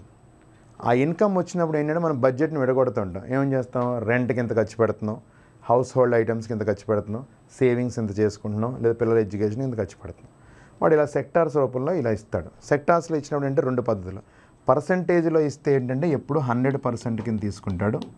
ఇదే యాంగిల్ రూపంలో ఇస్తే సర్కిల్ అంటే మూడు వందల అరవై డిగ్రీలు కాబట్టి మూడు వందల అరవై డిగ్రీలు తీసుకుంటాడు అది. వాడికి ఇచ్చిన క్వశ్చన్ మనకి యాంగిల్ రూపంలో ఇవ్వచ్చు ఇక్కడ ఇన్ఫర్మేషన్ లేదా అలాగే పర్సంటేజ్. పర్సంటేజ్ ఇచ్చినప్పుడు హండ్రెడ్ పర్సెంట్కి ఈక్వేట్ అవుతుందో చూసుకోవాలి. అన్ని టోటల్ చేస్తే ముందు హండ్రెడ్ పర్సెంట్ వస్తుంది. ఒక్కోసారి ఎందుకు మాట చెప్తున్నానంటే ఒక్కోసారి మధ్యలో క్వశ్చన్ మార్క్ ఇస్తాడు. అంటే అన్ని నైంటీ ఎంత చేసి ఒక క్వశ్చన్ మార్క్ ఇస్తే అది మనం టెన్ పర్సెంట్ అని ఆటోమేటిక్గా మనం ఫిలప్ చేసుకుని లెక్క చేసుకోవాలన్నమాట. ఇప్పుడు వాడు అడుగుతాడు ఇలా ఇన్కమ్ ఇది చెప్పి వాడు ఏం అడుగుతుంటే క్వశ్చన్ అడుగుతుంటే ఇతను హౌస్ హోల్డ్ ఐటమ్స్కి ఎంత ఇంటికి సంబంధించి ఎంత ఖర్చు పడుతుంది? హౌస్ హోల్డ్ ఐటమ్కి ఎంత ఖర్చు పడుతుంది? అంటే ఎంత? నలభై వేలు అతని జీతం అండి. అతని జీతం నలభై వేలు. ఎంత పర్సెంటేజ్ ఖర్చు పెడుతున్నాడు? నలభై అంటే క్యాన్సిల్ చేస్తే అది. నాలుగు నాలుగు ఎంత? పదహారు. ఒకటి రెండు మూడు అంటే పదహారు. అంటే ఇంటికి సంబంధించి ఎంత ఖర్చు పెడుతున్నాడు? జస్ట్ పదహారు వేలు ఖర్చు పెడుతున్నాడు. అలాగే ఇతను పిల్లల ఎడ్యుకేషన్కి ఎంత సంపాదించి ఎంత ఖర్చు పెడుతున్నాడు అనుకోండి నలభై వేలు అవుతుంది ఫిఫ్టీన్ పర్సెంట్ ఖర్చు పెడుతున్నాడు. పదిహేను నాలుగు ఎంత? అరవై. ఓకే. పదిహేను ఇంటూ నాలుగు అరవై. ఇంకా రెండు సున్నాలు అంటే పిల్లల ఎడ్యుకేషన్కి ఎంత ఖర్చు పెడుతున్నాడు? ఆరు వేలు ఖర్చు పెడుతున్నాడు అలా ఏంటంటే లేదా అతను రెంట్కి సేవింగ్స్కి డిఫరెన్స్ ఎంత ఖర్చు పెడుతున్నాడు? లేదా మొత్తం రెంట్ ఇది కలిపి ఎంత ఖర్చు పెడుతుంది అలా పర్సంటేజ్ని బేస్ చేసుకుని అడుగుతాడనమాట ఓకే ఇది పై చార్ట్కి సంబంధించి. బార్ గ్రాఫ్ అనేది ఎలా కనబడుతుందంటే ఇలా కనబడుతుంది. ఇలా బార్స్ కింద కనబడుతుంది.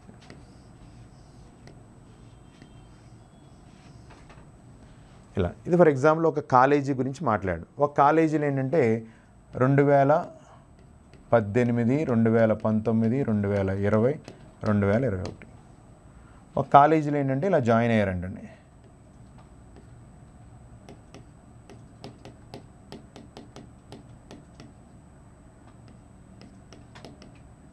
ఓకే. ఒక కాలేజీలో ఏంటంటే ఇలా జాయిన్ అయ్యారు. ఇలాగా రెండు వేల పద్దెనిమిదిలో ఒక వంద మంది జాయిన్ అయ్యారు. రెండు వేల పంతొమ్మిదిలో ఒక రెండు వందల మంది జాయిన్ అయ్యారు. రెండు వేల ఇరవైలో ఏంటంటే మూడు వందల మంది జాయిన్ అయ్యారు. ఇక్కడ రెండు వందల యాభై మంది జాయిన్ అయ్యారు ఇప్పుడు వాడు అడుగుతాడు మనల్ని. అంటే వాడు ఒక ఒక గ్రాఫ్ అంటే మనం ఎప్పుడైనా చూడండి ఫర్ ఎగ్జాంపుల్ కాలేజీలో నాలుగు సంవత్సరాల వరకు జరిగిన ఇన్ఫర్మేషన్ కావాలని చెప్పి వెళ్ళి ఎంతమంది స్టూడెంట్ జాయిన్ ఉన్నారో ఎంతమంది అనేది అడిగితే కనుక వాడు మొత్తం అన్ని రికార్డ్స్ నాలుగు సంవత్సరాల నుంచి వచ్చి రికార్డ్స్ తీసి ఇదిగోండి వీళ్ళు జాయిన్ అయ్యారని చెప్పి అన్ని రికార్డ్స్ మనం ఎదురుకుండా పెట్టాల్సిన అవసరం లేదు. ఆ ఇన్ఫర్మేషన్ సింపుల్గా ఇవ్వడానికి ఏంటంటే ఒక బార్ గ్రాఫ్ తయారు చేసి పెట్టాడు అనుకోండి.